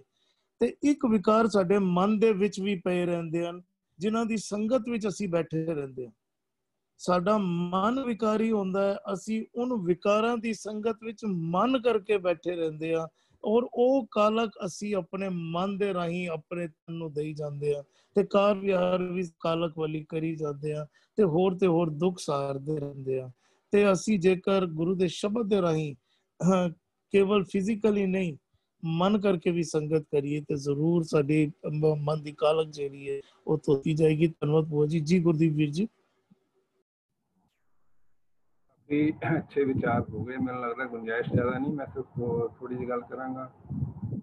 ਜਿਹੜੀ ਸੱਤ ਦੀ ਗੱਲ ਇਹ ਆ ਰਹੀ ਹੈ ਕਿ ਜੇ ਤੁਸੀਂ ਗੁਰੂ ਦੀ ਮਤ ਗ੍ਰਹਿਣ ਕਰਕੇ ਗੁਰਮੁਖ ਨਹੀਂ ਬਣਦੇ, ਭਾਵ ਆਪਣਾ ਜੀਵਨ ਗੁਰੂ ਦੇ ਬਚਨਾਂ, ਗੁਰੂ ਦੀ ਸਿੱਖਿਆ ਦੀ ਅਗਵਾਈ ਵਿੱਚ ਨਹੀਂ ਬਤੀਤ ਕਰਦੇ, ਤਾਂ ਤੁਸੀਂ ਅਗਿਆਨ ਦੇ ਹਨੇਰੇ ਵਿੱਚ ਅੰਨਿਆਂ ਵਾਂਗ ਕੰਮ ਕਰਦੇ ਹੋ ਔਰ ਅੰਨੇ ਦਾ ਕੰਮ ਕੀਤਾ ਕੋਈ ਰਾਸ ਨਹੀਂ ਚੜਦਾ ਜਦੋਂ ਕੰਮ ਖਰਾਬ ਹੁੰਦਾ, ਜਿਸ ਕਾਰਜ ਲਈ ਆਪਾਂ ਆਏ ਆ, ਜੋ ਗੁਰੂ ਪਾਤਸ਼ਾਹ ਨੇ ਸਾਨੂੰ ਬਚਨ ਬਖਸ਼ਿਸ਼ ਕੀਤਾ ਹੈ, ਭਈ ਪ੍ਰਾਪਤ ਮਾਨਸ ਦੇ ਹੋਈ ਆ, ਗੋਬਿੰਦ ਮਿਲਣ ਕੀ ਇਹ ਤੇਰੀ ਵਧੀਆ ਅਵਰ ਕਾਜ ਤੇਰੇ ਕਿਤੇ ਨਾ ਕਾਮ। ਤੇ ਜਿਹੜਾ ਮੁੱਖ ਕੰਮ ਇਸ ਲਈ ਅਸੀਂ ਆਏ, ਉਹਦੇ ਤੋਂ ਵਿਛੜਿਆ ਨੂੰ ਮਿਲਣਾ ਉਹ ਕੰਮ ਜਿਹੜਾ ਸਕਾਰਥਾ ਨਹੀਂ ਹੁੰਦਾ ਸਾਰਥੇ ਨਹੀਂ ਹੁੰਦਾ। ਤੇ ਅਸੀਂ ਮਾਇਆ ਦੀ ਜਿਹੜੀਆਂ ਫਾਹੀਆਂ ਹੈ ਜੇਵੜੇ ਹੈ ਜੰਜਾਲ ਹੈ ਉਹਦੇ ਚ ਟ੍ਰੈਪ ਦੇ ਵਿੱਚ ਫਸੇ ਹੋਏ ਅਖੀਰ ਨੂੰ ਔਗਣਾ ਵਿੱਚ ਆਪਣਾ ਜੀਵਨ ਬਤੀਤ ਕਰਦੇ ਆ ਤੇ ਔਗਣ ਜਿਹੜੇ ਨੇ ਉਹਨਾਂ ਦਾ ਨਤੀਜਾ ਜਿਹੜਾ ਰਿਜ਼ਲਟੈਂਟ ਹੈ ਉਹ ਦੁੱਖਾਂ 'ਚ ਹੀ ਸਾਹਮਣੇ ਆਉਂਦਾ ਕਰ ਔਗਣ ਪਛੋਤਾਵਣਾ ਬਹੁਤ ਸੰਕਟ ਜੋਨੀ ਪਰਮਾਏ ਪਾਵ ਹੁੰਦੇ ਆਪਾਂ ਮਨੁੱਖਾ ਜਨਮ ਦੇ ਵਿੱਚ ਜਿਹਨੂੰ ਗੁਰੂ ਪਾਤਸ਼ਾਹ ਨੇ ਕਿਹਾ, ਅਵਰ ਜੋਨ ਤੇਰੀ ਪਨਹਾਰੀ ਇਸ ਧਰਤੀ ਮੈਂ ਤੇਰੀ ਸਿੱਖਦਾਰੀ ਕਿ ਤੈਨੂੰ ਸਾਰਿਆਂ ਤੋਂ ਉੱਤਮ ਬਣਾਇਆ ਸੀਗਾ, ਗੁਣਾ ਕਰਕੇ। ਲੇਕਿਨ ਤੂੰ ਔਗਣਾ ਦੇ ਵਿੱਚ ਪਸ਼ੂ ਦੇ ਤਲ ਤੇ ਜਿਉਂਦਾ ਹੈ। ਗੁਰੂ ਪਾਤਸ਼ਾਹ ਨੇ ਬਹੁਤ ਸਾਰੇ ਬਚਨ ਬਖਸ਼ਿਸ਼ ਕੀਤੇ ਨੇ। ਇੱਕ ਆਪਾਂ ਨੌਵੇਂ ਪਾਤਸ਼ਾਹ ਦੇ ਸ਼ਲੋਕਾਂ 'ਚ ਪੜ੍ਹਦੇ ਹਾਂ। ਏਕ ਭਗਤ ਭਗਵਾਨ, ਜਹ ਪ੍ਰਾਣੀ ਕੇ ਨਾਹੇ ਮਨ, ਜੈਸੇ ਸੂਕਰ ਸਵਾਨ ਨਾਨਕ ਮਾਨੋ ਤਾਹੇ ਤਨ। ਕਹਿੰਦੇ ਜਿਹੜੇ ਗੁਰੂ ਦੇ ਬਚਨ, ਗੁਰੂ ਦੀ ਸਿੱਖਿਆ ਤੋਂ ਟੁੱਟੇ ਹੋਏ ਨੇ ਉਹ ਮਨੁੱਖਾਂ ਦੇ ਜਾਮੇ 'ਚ ਹੁੰਦਿਆਂ ਹੋਇਆਂ ਵੀ ਔਗਣਾ ਵਿਸ਼ੇ ਵਿਕਾਰਾਂ ਦੀ ਗੰਦਗੀ ਖਾਂਦੇ ਨੇ ਸੂਕਰ ਆਖਦੇ ਨੇ ਸੂਰ ਨੂੰ ਸਵਾਨ ਆਖਦੇ ਨੇ ਕੁੱਤੇ ਨੂੰ। ਭਾਵ ਉਹ ਲੋਭ ਦੇ ਵਿੱਚ ਵਿਸ਼ੇ ਵਿਕਾਰਾਂ, ਕਾਮ ਕ੍ਰੋਧ ਵਿੱਚ ਫਸੇ ਹੋਏ ਜਿਹੜੇ ਨੇ, ਉਹ ਕੁੱਤੇ ਵਾਂਗ ਜੂਠਨ ਵਿੱਚ ਜਾਂ ਸੂਰ ਵਾਂਗ ਗੰਦਗੀ ਦੇ ਵਿੱਚ ਮਾਨੂੰ ਮੂੰਹ ਮਾਰਦੇ ਨੇ, ਜਿਹੜਾ ਉਹਨਾਂ ਦਾ ਬਰਤਨ ਵਿਹਾਰ ਹੈ। ਬਿਲਕੁਲ ਉਹ ਜਾਨਵਰਾਂ ਦੇ ਪੱਧਰ ਦਾ ਹੁੰਦਾ ਹੈ। ਔਰ ਇਹ ਜੰਮਦੀ ਜੇਵੜੀ ਹੈ ਆਪਣੇ ਆਪ ਅਸੀਂ ਜਿਹੜੇ ਮਨ ਮਨ ਦੇ ਪਿੱਛੇ ਤੁਰਾਂਗੇ ਤਾਂ ਨਹੀਂ ਕੱਟੀ ਜਾਂਦੀ, ਸਗੋਂ ਹੋਰ ਫਸਦੇ ਜਾਂਦੇ, ਗਹਿਰੇ ਫਸਦੇ ਜਾਂਦੇ ਵਿੱਚ ਗੁਰੂ ਪਾਸ਼ਾ ਨੇ ਇੱਕ ਬੜਾ ਪਿਆਰਾ ਵਚਨ ਬਖਸ਼ਿਸ਼ ਕੀਤਾ। ਜਿੰਨਾ ਰਾਸ ਨਾ ਸੱਚ ਹੈ, ਕਿਉਂ ਤਿੰਨਾ ਸੁਖ ਹੋਏ? ਕੋਟਾ ਵਣਜ ਵਣਜਿਆ, ਮਨ ਤਨ ਖੋਟਾ ਹੋਏ। ਫਾਹੀ ਫਾਥੇ ਮਿਰਗ ਜਿਉ ਦੁੱਖ ਘਣੋ ਨਿਤ ਰੋਏ। ਕਹਿੰਦੇ ਜਿਹੜੇ ਔਗਣਾ ਦੀ ਟੈਂਪਟੇਸ਼ਨ ਵਿੱਚ ਲੁਭਾਵਣੇ ਦੇਖ ਕੇ ਕੂੜ ਮਿੱਠਾ, ਕੂੜ ਮਾਖਿਓ, ਕੂੜ ਲੋਭੇ, ਕੂੜ ਫਸ ਜਾਂਦੇ ਨੇ ਉਹ ਫਿਰ ਗਰਕੇ ਹੁੰਦੇ ਜਾਂਦੇ ਨੇ ਤੇ ਜਦੋਂ ਨਿਕਲ ਨਹੀਂ ਪਾਉਂਦੇ, ਫਿਰ ਮਾਇਆ ਦੇ ਦੂਤਾਂ ਤੋਂ ਕੁੱਟ ਮਾਰ ਦੁਖੀ ਹੁੰਦੇ ਨੇ। ਕਹਿੰਦੇ ਫਿਰ ਉਹ ਬਿਲਕੁਲ ਉਹਨਾਂ ਦੀ ਹਾਲਤ ਉਹ ਹੁੰਦੀ ਹੈ ਵੀ ਜਿਵੇਂ ਹਿਰਨ ਜਿਹੜਾ ਉਹ ਸ਼ਿਕਾਰੀ ਦੇ ਟ੍ਰੈਪ ਦੇ ਵਿੱਚ ਤਾਂ ਆ ਗਿਆ। ਫਾਹੀ ਫਾਤੇ ਮਿਰਜੋਂ ਦੂਤ ਕਣੋਂ ਨਿਤਰੋ ਕਹਿੰਦੇ ਰੋਜ਼ ਉਹਨਾਂ ਦਾ ਜੀਵਨ ਜਿਹੜਾ ਉਹ ਵਿਸ਼ੇ ਵਿਕਾਰਾਂ ਦੀਆਂ ਚੋਟਾਂ ਖਾਂਦੇ ਹੋਏ ਦੁੱਖਾਂ ਦੇ ਵਿੱਚ ਔਰ ਬਹੁਤ ਸਾਰੇ ਉਹਨਾਂ ਦੇ ਜੋ ਨਤੀਜੇ ਭੈੜੇ ਨਿਕਲਦੇ ਨੇ, ਗੁਰੂ ਸਾਹਿਬ ਨੇ ਆਪਾਂ ਕੱਲ ਵੀ ਬਚਨ ਪੜਿਆ ਸੀ, ਕਾਮ ਕ੍ਰੋਧ ਕਾਇਆ ਕੋ ਗਾਲੇ ਜਿਉ ਕੰਚਨ ਸੁਹਾਗਾ ਢਾਲੇ। ਤਾਂ ਉਹ ਤਨ, ਮਨ ਦੋਨੋਂ ਦੇ ਦੋਨੋਂ ਨਾਸ਼ ਹੁੰਦੇ ਨੇ ਔਰ ਰੋਗ ਆਉਂਦੇ ਨੇ। ਇੱਕ ਹੋਰ ਬਚਨ ਗੁਰੂ ਸਾਹਿਬ ਨੇ, ਬਹੁਤ ਸਾਰੇ ਪਾਵਨ ਬਚਨ ਨੇ, ਨਾਮ ਵਿਸਾਰ ਕੀਏ ਰਸ ਭੋਗ, ਸੁਖ ਸੁਪਨੇ ਨਹੀਂ ਤਨ ਮੈਂ ਰੋਗ, ਜੈ ਤਨ ਬਾਣੀ ਵਿਸਰ ਜਾਏ, ਜਿਉ ਪੱਕਾ ਰੋਗੀ ਵਿਲ ਲਾਏ। ਕਹਿੰਦੇ ਜਿਹੜੇ ਮਨ ਦੇ ਪਿੱਛੇ ਤੁਰ ਕੇ ਉਹ ਜਿਹੜੇ ਮਿੱਠੇ ਮਿੱਠੇ ਲੁਭਾਵਣੇ ਮਾਇਆ ਦੇ ਭੋਗ ਨੇ ਉਹਨਾਂ 'ਚ ਗਰਸੇ ਰਹਿੰਦੇ ਨੇ, ਉਸ ਸਮੇਂ ਤਾਂ ਲੱਗਦਾ ਉਹਨਾਂ ਨੂੰ ਕਿ ਬਹੁਤ ਆਨੰਦ ਹੈ, ਬਹੁਤ ਖੇੜਾ ਹੈ। ਗੁਰੂ ਸਾਹਿਬ ਨੇ ਤਾਂ ਬਾਣੀ ਵਿੱਚ ਬਹੁਤ ਸਾਰੇ ਬਚਨ ਬਖਸ਼ਿਸ਼ ਕੀਤੇ ਨੇ ਨਿਮਖ ਕਾਮ ਸਵਾਦ ਕਰਨੇ, ਕਈ ਕੋਟ ਦਿਨਸ ਦੁਖ ਪਾਵੇ। ਕਹਿੰਦੇ ਉਦੋਂ ਬੜੇ ਲੁਭਾਵਣੇ ਲੱਗਦੇ ਨੇ ਉਹਨਾਂ ਨੂੰ, ਬੜੇ ਮਿੱਠੇ ਲੱਗਦੇ ਨੇ। ਲੇਕਿਨ ਜਦੋਂ ਉਹਨਾਂ ਦਾ ਨਤੀਜਾ ਫਿਰ ਪ੍ਰਗਟ ਹੁੰਦਾ ਤਨ ਮਨ ਦੇ ਉੱਤੇ, ਕਹਿੰਦੇ ਫਿਰ ਉਦੋਂ ਉਹ ਰੋਗ, ਮਨ ਵੀ ਰੋਗੀ ਔਰ ਤਨ ਵੀ ਰੋਗੀ, ਤੇ ਰੋਗੀ ਕਦੇ ਸੁਖ ਚੈਨ ਵਿੱਚ ਟਿਕਾ ਵਿੱਚ ਬਹਿ ਨਹੀਂ ਸਕਦਾ, ਤੇ ਉਹ ਦੁਖੀ ਹੁੰਦੇ ਨੇ, ਕਲਪਦੇ ਨੇ, ਲੇਕਿਨ ਉਹ ਪੂਰੇ ਗੁਰੂ ਤੋਂ ਬਿਨਾ ਇਹ ਮਾਇਆ ਦੇ ਫਾਹੀਆਂ ਕੱਟਣ ਦੀ ਕਿਸੇ ਵਿੱਚ ਸਮਰੱਥਾ ਨਹੀਂ ਹੈ। ਗੁਰੂ ਸਾਹਿਬ ਨੇ ਨਿਰਣੇ ਬਖਸ਼ਿਸ਼ ਕੀਤੇ ਹੋਏ ਨੇ।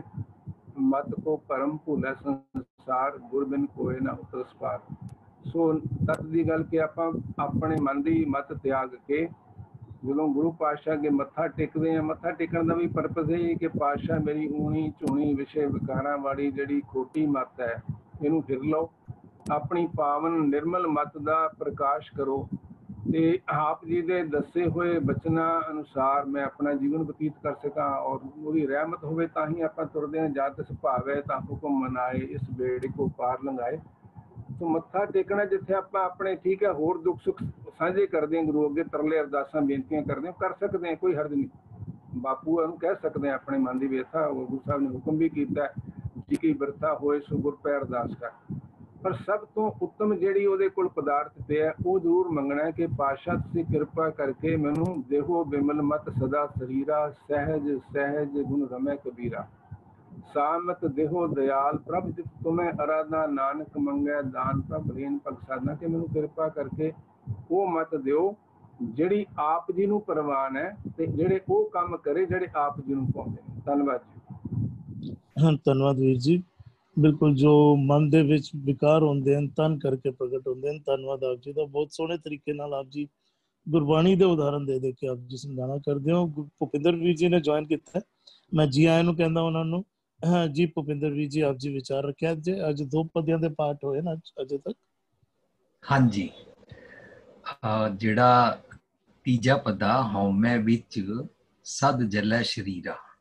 ਜਦੋਂ ਵਿੱਚ ਦੇ ਚੱਚੇ ਨੂੰ ਸਿਆਰੀ ਲੱਗ ਜਾਂਦੀ ਹੈ ਤਾਂ ਉੱਥੇ ਅਸੀਂ ਵਿਸ਼ਰਾਮ ਦਿੰਦੇ ਆ ਭਈ ਮੇਰਾ ਅਹ, ਹਉਮੈ ਵਿੱਚ ਹੈ ਨਾ ਜਦੋਂ ਮੇਰਾ ਥਾਟ ਪ੍ਰੋਸੈਸ ਮੇਰੇ ਮਨ ਕੀ ਮਤ ਤਾਂ ਮੇਰੇ ਮਨ ਕਾਰਨ ਮੇਰੇ ਅੰਦਰ ਦਾ ਸਾਰਾ ਸਰੀਰ ਸੜਦਾ ਹੈ। ਉਹਦੇ ਕਾਰਨ ਫਿਰ ਮੇਰੇ ਬਾਹਰ ਬਾਹਰਲੇ ਵੀ ਨਾ ਉਹੀ ਹੋ ਜਾਂਦੇ ਨੇ ਜਿਸ ਨੂੰ ਕਹਿੰਦੇ ਨਾ ਆਪਣੇ ਅਹੰਕਾਰ ਜਗਤ ਜੱਲਿਆ।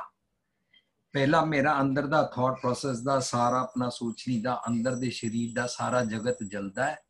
ਫਿਰ ਮੈਂ ਉਹ ਜਲੇ ਹੋਏ ਦੇ ਕਾਰਨ ਬਾਹਰ ਵੀ ਹੰਕਾਰੀ ਗੱਲਾਂ ਕਰਦਾ ਇਹ ਜਗ ਜਰਤਾ ਦੇਖ ਕੇ ਭੱਜ ਪਏ ਸ਼ਰਣਾਈ ਜਦੋਂ ਤੱਕ ਮੈਂ ਆਪਣਾ ਜਲਿਆ ਹੋਇਆ ਸਰੀਰ ਨਾ ਨਾ ਮਹਿਸੂਸ ਕਰਾਂ ਫੋਰ ਐਗਜ਼ਾਮਪਲ ਮੈਂ ਕਿਸੇ ਦੀ ਗੱਲ ਬਰਦਾਸ਼ਤ ਨਹੀਂ ਕੀਤੀ, ਮੈਂ ਉਹਨੂੰ ਨਾ ਚਾਰ ਗਾਲਾਂ ਕੱਢ ਦਿੱਤੀਆਂ।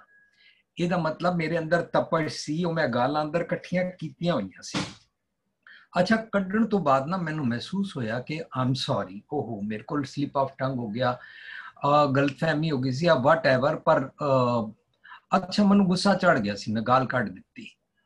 ਜਦੋਂ ਇਹ ਵਾਲਾ ਆਪਣਾ ਕਿਸੇ ਵੀ ਅਵਗੁਣ ਦੇ ਕਾਰਨ ਹੰਕਾਰ ਨਾਲ ਜਲਦਾ ਦੇਖ ਸਕਦੇ ਆ ਨਾ, ਉਸ ਅਵਸਥਾ ਨੂੰ ਫਰੀਦ ਜੀ ਕਹਿੰਦੇ ਨੇ, ਮੈਂ ਜਾਣਿਆ ਦੁੱਖ ਮੁਝ ਮੈਂ ਜਾਣ ਲਿਆ। ਕਿਸ ਤਰ੍ਹਾਂ ਦੁੱਖ ਸਬਾਇਆ ਜਗ ਉੱਚੇ ਚੜ ਕੇ ਦੇਖਿਆ ਤਾਂ ਘਰ ਘਰ ਇਹ ਅਗ, ਮਨੂ, ਹਰ ਇੰਦਰੇ ਗਿਆਨ ਇੰਦਰੇ ਚ ਅਗ ਲੱਗੀ ਨਜ਼ਰ ਆ ਗਈ। ਜਿਨ੍ਹਾਂ ਨੂੰ ਨਜ਼ਰ ਆ ਜਾਂਦੀ ਹੈ ਨਾ, ਉਹ ਸਤਗੁਰ ਦੀ ਮੱਤ ਲੈਣਾ ਚਾਹੁੰਦੇ ਨੇ ਕਿ ਮੈਂ ਇਸ ਅੱਗ ਤੋਂ ਬਚਣਾ ਚਾਹੁੰਦਾ, ਇਹ ਦੋਜ਼ਖ ਦੀ ਅੱਗ ਹੈ। ਮੈਂ ਤੇਰ ਮੇਰ ਊਂਚ ਨੀਚ ਲਾਈ ਰੱਖਣਾ ਫਰੀਦਾ ਮਨ ਮੈਦਾਨ ਕਰ ਟੋਏ ਟਿੱਬੇ ਲਾ, ਅੱਗੇ ਮੂਲ ਨਾ ਆਪਸੀ ਦੋਜ਼ਖ ਸੰਦੀ ਭਾ ਦੋਜ਼ਖ ਦੀ ਅੱਗ। ਜਿਹਨੂੰ ਦੋਜ਼ਖ ਦੀ ਅੱਗ ਸਮਝ ਆ ਜਾਂਦੀ ਹੈ ਉਹਦੇ ਤੋਂ ਬਚਣਾ ਚਾਹੁੰਦਾ, ਜਿਹੜਾ ਬਚਣਾ ਚਾਹੁੰਦਾ, ਉਹ ਸਤਗੁਰ ਦੀ ਮੱਤ ਦਾ ਫਲਸਫਾ, ਵਿਚਾਰਧਾਰਾ ਲੈਂਦਾ ਉਹਨੂੰ ਕਹਿੰਦੇ ਨੇ ਕਰਮ ਹੋਵੇ। ਤਾਂ ਫਿਰ ਉਹ ਸਤਗੁਰ ਦੀ ਮੱਤ ਦਾ ਕਰਮ, ਵਿਚਾਰਧਾਰਾ ਲੈਂਦਾ ਹੈ। ਪੇਟੇ ਪੁਰ ਗੁਰਪੂਰਾ। ਉਹਦਾ ਭੇਟਿਆ ਉਹਨ ਕਹਿੰਦਾ ਜਿਨਾ ਭੇਟਿਆ ਮੇਰਾ ਪੂਰਾ ਸਤਿਗੁਰੂ ਤਿਨ ਹਰ ਨਾਮ ਦ੍ਰਿੜਾਵੇ RAM ਰਾਜੇ, ਹੁਣ ਕੀ ਹੋਏਗਾ? ਤਿਸकी ਤ੍ਰਿਸ਼ਨਾ ਭੁੱਖ ਸਭ ਉਤਰੇ। ਤ੍ਰਿਸ਼ਨਾ ਹੀ ਤੇ ਅੱਗ ਹੈ। ਤ੍ਰਿਸ਼ਨਾ ਹੋਮੈ ਇਹ ਸਾਰੇ ਹੀ ਤੇ ਅਗਨੀ ਬਾਲਦੇ ਨੇ ਸਾਡੇ ਅੰਦਰ। ਤ੍ਰਿਸ਼ਨਾ ਕਾਰਨ ਹੋਮੈ ਵੱਧਦੀ ਜਾਂਦੀ ਹੈ, ਹੋਰ ਹੋਮੈ ਵੱਧਦੀ ਜਾਂਦੀ ਹੈ, ਜਿਤਨੀ ਹੋਮੈ ਵੱਧਦੀ ਜਾਂਦੀ ਹੈ, ਉਤਨੀ ਤ੍ਰਿਸ਼ਨਾ ਦੀ ਅੱਗ ਲੱਗਦੀ ਜਾਂਦੀ ਹੈ। ਇਹ ਜਗ ਜਰਦਾ ਦੇਖੇ, ਭਇਓ ਕਬੀਰ ਉਦਾਸ। ਅੱਛਾ, ਇਸ ਕਰਕੇ ਮੈਨੂੰ ਸਤਗੁਰ ਦੀ ਮਤ ਦਾ ਕਰਮ ਚਾਹੀਦਾ ਹੈ। ਕਰਮ ਹੋਵੇ ਉਸ ਮਨ ਕੋਲ। ਇਹ ਮਨ ਰਿਅਲਾਈਜ਼ ਕਰਿਆ। ਅੰਤਰ ਗਿਆਨ, ਇਹਦੇ ਕਾਰਨ ਅੰਦਰ ਹਨੇਰਾ ਰਹਿੰਦਾ ਹੈ। ਸ਼ਬਦ 부ਝਾਏ ਉਹ ਸਤਗੁਰੂ ਨਾਲ ਭੇਟ ਹੋ ਗਈ ਹੈ।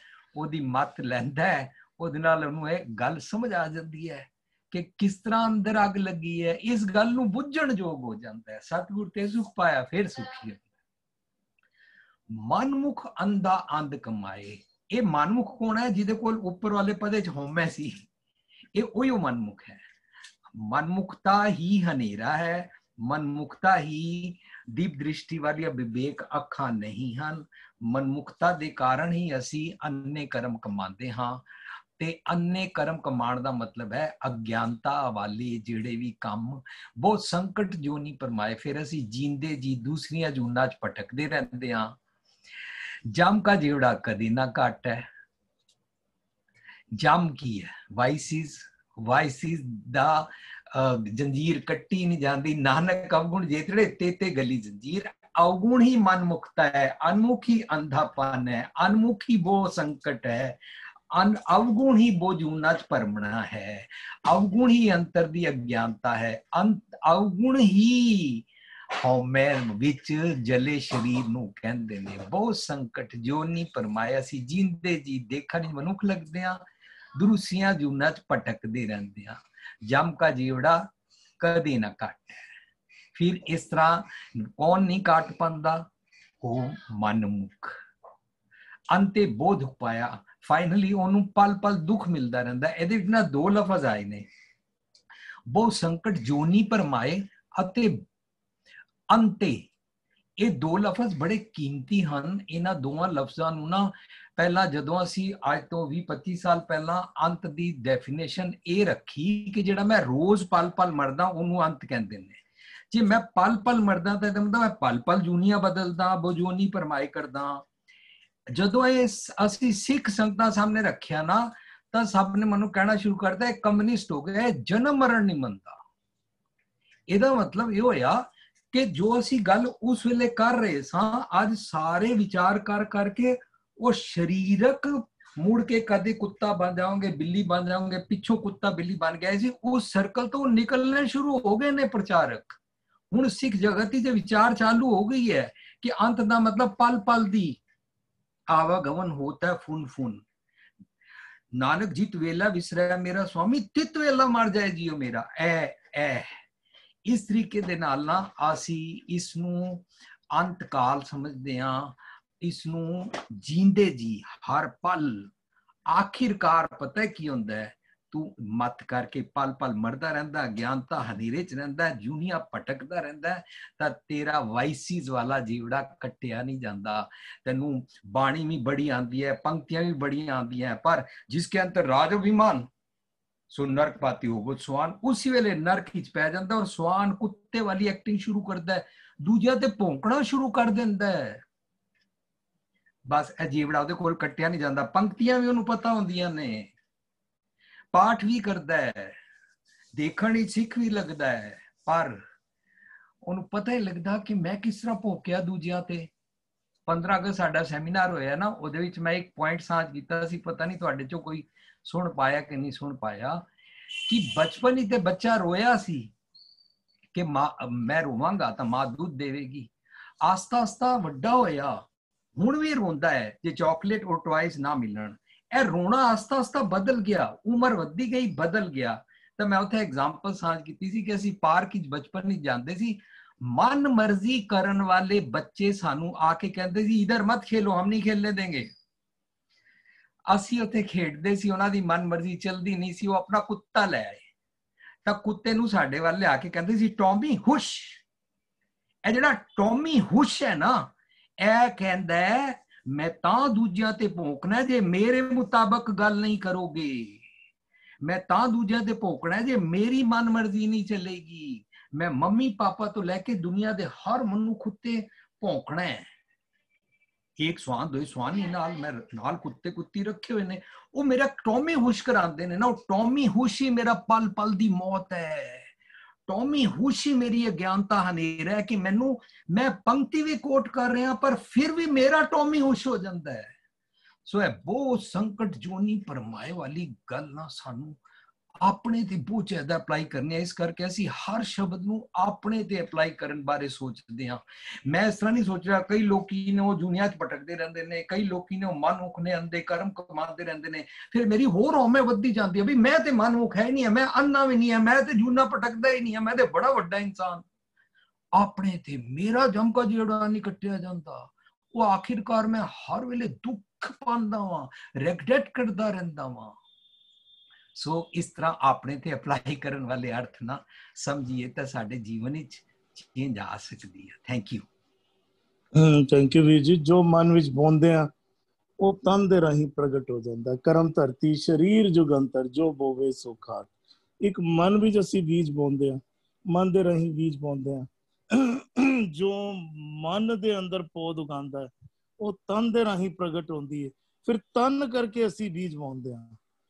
ਤਨ ਕਰਕੇ ਅਸੀਂ ਬੀਜ ਬੋਂਦੇ ਆ ਜੋ ਤਨ ਕਰਕੇ ਅਸੀਂ ਬੀਜ ਬੋਂਦੇ ਆ ਉਹ ਫਿਰ ਮਨ ਬੀਜਾਂ ਨੂੰ ਹੋਰ ਪ੍ਰਫੁੱਲ ਕਰਦੀ ਹੈ ਖਾਦ ਦਾ ਕੰਮ ਕਰਦੀ ਹੈ ਤੇ ਮਨ ਤੇ ਤਨ ਦਾ ਸੁਮੇਲ ਹੋ ਕੇ ਜਿਹੜੀ ਹੈ ਸਾਡਾ ਸਰੀਰ ਬਣਿਆ ਤੇ ਗੁਰੂ ਸਾਹਿਬ ਨੇ ਦੋਨੋਂ ਬਾਰੇ ਸਾਨੂੰ ਸਮਝਾਣਾ ਕੀਤਾ ਕਰਵਾਦ ਆਪ ਜੀ ਦਾ, ਆਪ ਜੀ ਨੇ ਟੌਮੀ ਹੁਸ਼ ਦਾ ਵੀ ਐਗਜ਼ਾਮਪਲ ਬੜਾ ਖੂਬਸੂਰਤ ਐਗਜ਼ਾਮਪਲ ਦਿੱਤਾ ਬਹੁਤ ਸੋਹਣੇ ਤਰੀਕੇ ਦੇ ਨਾਲ ਆਪ ਜੀ ਨੇ ਟੌਮੀ ਹੁਸ਼, ਜਿਹੜਾ ਇੱਕ ਐਗਜ਼ਾਮਪਲ ਹੁੰਦਾ ਨਾ ਉਹ ਮਨ ਦੇ ਵਿੱਚ ਘਰ ਕਰ ਜਾਂਦਾ ਟਿਕ ਜਾਂਦਾ ਸ਼ਾਇਦ ਗੁਰੂ ਦਾ ਸ਼ਬਦ ਇੰਨੀ ਛੇਤੀ ਯਾਦ ਨਹੀਂ ਰਹਿੰਦਾ ਲੇਕਿਨ ਐਗਜ਼ਾਮਪਲ ਟਿਕ ਜਾਂਦਾ ਟੌਮੀ ਹੁਸ਼ ਸਾਡੇ ਸਾਰਿਆਂ ਨੂੰ ਹੀ ਧਿਆਨ ਦੇਣ ਦੀ ਲੋੜ ਹੈ। ਕਦੋਂ ਸਾਡੇ ਅੰਦਰੋਂ ਟੌਮੀ ਬੋਲ ਪੈਂਦਾ ਸਾਨੂੰ ਨਹੀਂ ਪਤਾ ਲੱਗਦਾ ਤੇ ਸਾਡੇ ਸਾਰਿਆਂ ਨੂੰ ਲੋੜ ਹੈ ਕਿ ਅਸੀਂ ਧਿਆਨ ਰੱਖੀਏ। ਕਿਧਰੇ ਅਸੀਂ ਇਹ ਨਾ ਹੋਏ ਕਿ ਮੈਂ ਸੋਚ ਰਿਹਾ ਹੋ ਰਿਹਾ ਹੋਵਾਂ ਕਿ ਅਗਲੇ ਦਾ ਟੌਮੀ ਹੋਸ਼ ਹੈ ਕਿਧਰੇ ਮੇਰਾ ਆਪਣਾ ਟੌਮੀ ਹੋਸ਼ ਨਾ ਹੋ ਰਿਹਾ ਹੋਵੇ। ਧੰਨਵਾਦ। ਧੰਨ ਧੰਨਵਾਦ ਆਪ ਜੀ ਦਾ ਵੀਰ ਜੀ ਅੱਜ ਦੋ ਪਦਿਆਂ ਦਾ ਪਾਠ ਪਾਠ ਹੋਇਆ ਆਓ ਰਲ ਮਿਲ ਕੇ ਪਾਠ ਕਰ ਲਈਏ ਫਿਰ ਪਾਠ ਸੈਸ਼ਨ ਦੀ ਸਮਾਪਤੀ ਹੈ ਹਉ ਮੈਂ ਵਿੱਚ ਸਦ ਜਲੈ ਸ਼ਰੀਰਾ ਕਰਮ ਹੋਵੇ ਭੇਟੇ ਗੁਰਪੂਰਾ ਅੰਤਰ ਅਗਿਆਨ ਸ਼ਬਦ 부ਝਾਏ ਸਤਗੁਰ ਤੇ ਸੁਖ ਪਾਇਆ ਮਨ ਮੁਖ ਅੰਧਾ ਅੰਧ ਕਮਾਏ ਬਹੁ ਸੰਕਟ ਜੋਨੀ ਪਰਮਾਏ ਜਮ ਕਾ ਜੇਵੜਾ ਕਦੇ ਨਾ ਕਾਟੈ ਅੰਤੇ ਬਹੁ ਦੁਖ ਪਾਇਆ ਜਮ ਕਾ ਜੇਵੜਾ ਕਦੇ ਨਾ ਕਾਟੈ ਅੰ- ਅੰਤੇ ਬਹੁ ਦੁਖ ਪਾਇਆ ਹੋਈਆਂ ਬੇਅੰਤ ਭੁੱਲਾਂ ਦੀ ਕਿਰਪਾ ਵਾਹਿਗੁਰੂ ਜੀ ਕਾ ਖਾਲਸਾ ਵਾਹਿਗੁਰੂ ਜੀ ਕੀ ਫਤਿਹ। ਜੀ ਤਜਿੰਦਰ ਵੀਰ ਜੀ। ਵੀਰ ਜੀ ਵਾਹਿਗੁਰੂ ਜੀ ਕਾ ਖਾਲਸਾ ਵਾਹਿਗੁਰੂ ਜੀ ਕੀ ਫਤਿਹ। ਇੱਕ ਛੋਟੀ ਜੀ ਰਿਕੁਐਸਟ ਕਰਨੀ ਸੀ ਵੀਰ ਜੀ ਜਿਵੇਂ ਅਸੀਂ ਆਖਰੀ ਵਿੱਚ ਇਹ ਪਦਾ ਪੜ੍ਹਦੇ ਹਾਂ ਦੋ ਪਦੇ ਜਾਂ ਤਿੰਨ ਪਦੇ ਤੇ ਮੈਂ ਇੱਕ ਬੇਨਤੀ ਕਰਨਾ ਚਾਹੁੰਦਾ ਕਿ ਅਗਰ ਆਖਰੀ ਪਦਾ ਹਰਵਿੰਦਰ ਵੀਰ ਜੀ ਗਾਇਨ ਕਰਕੇ ਸਮਾਪਤੀ ਕਰਨ ਤੇ ਬਹੁਤ ਵਧੀਆ ਬਹੁਤ ਵਧੀਆ ਬਹੁਤ ਵਧੀਆ। ਜੀ ਜੀ। ਹਮੇ ਹੁਣ ਹਰਵਿੰਦਰ ਵੀਰ ਜੀ ਆਪ ਜੀ ਨੂੰ ਬੇਨਤੀ ਹੈ ਕਿ ਹਮੇਸ਼ਾ ਆਪ ਜੀ ਆਖਰੀ ਵਿੱਚ ਇਹ ਪਦੇ ਜੋ ਹੁੰਦੇ ਨੇ ਵਿਚਾਰ ਹੋਏ ਹੁੰਦੇ ਨੇ ਉਹ ਗਾਇਨ ਕਰਕੇ ਸਮਾਪਤੀ ਕਰਿਆ ਕਰੋ। ਸਾਡੀ ਸੁਰਤ ਔਰ ਜੁੜ ਜਾਂਦੀ ਹੈ ਗੁਰੂ ਦੇ ਨਾਲ। ਤੇ ਹਰਵਿੰਦਰ ਵੀਰ ਜੀ ਇੱਕ ਵਾਰੀ ਪਹਿਲੇ ਆਪ ਜੀ ਗਾਇਨ ਕਰ ਲਓ। ਉਹ ਦੋ ਪਦੇ ਜੋ ਵਿਚਾਰ ਹੋਏ ਨੇ। ਤੇ ਫਿਰ ਵੀਰ ਜੀ ਨੇ ਸ਼ਬਦ ਸਕਰੀਨ ਤੇ ਸ਼ੇਅਰ ਕੀਤਾ ਹੈ। ਇਸ ਸ਼ਬਦ ਦੀ ਵਿਚਾਰ ਹੋਣੀ ਹੈ। ਇੱਕ ਵੀਰ ਜੀ ਨੇ ਭੇਜਿਆ ਮੈਨੂੰ। ਇਸ ਸ਼ਬਦ ਦੀ ਵਿਚਾਰ ਹੋਣੀ ਹੈ। ਹਰਵਿੰਦਰ ਵੀਰ ਜੀ। ਹਉ ਮਹਿ ਵਿੱਚ ਸਦ ਜਲਹਿ ਸ਼ਰੀਰਾ।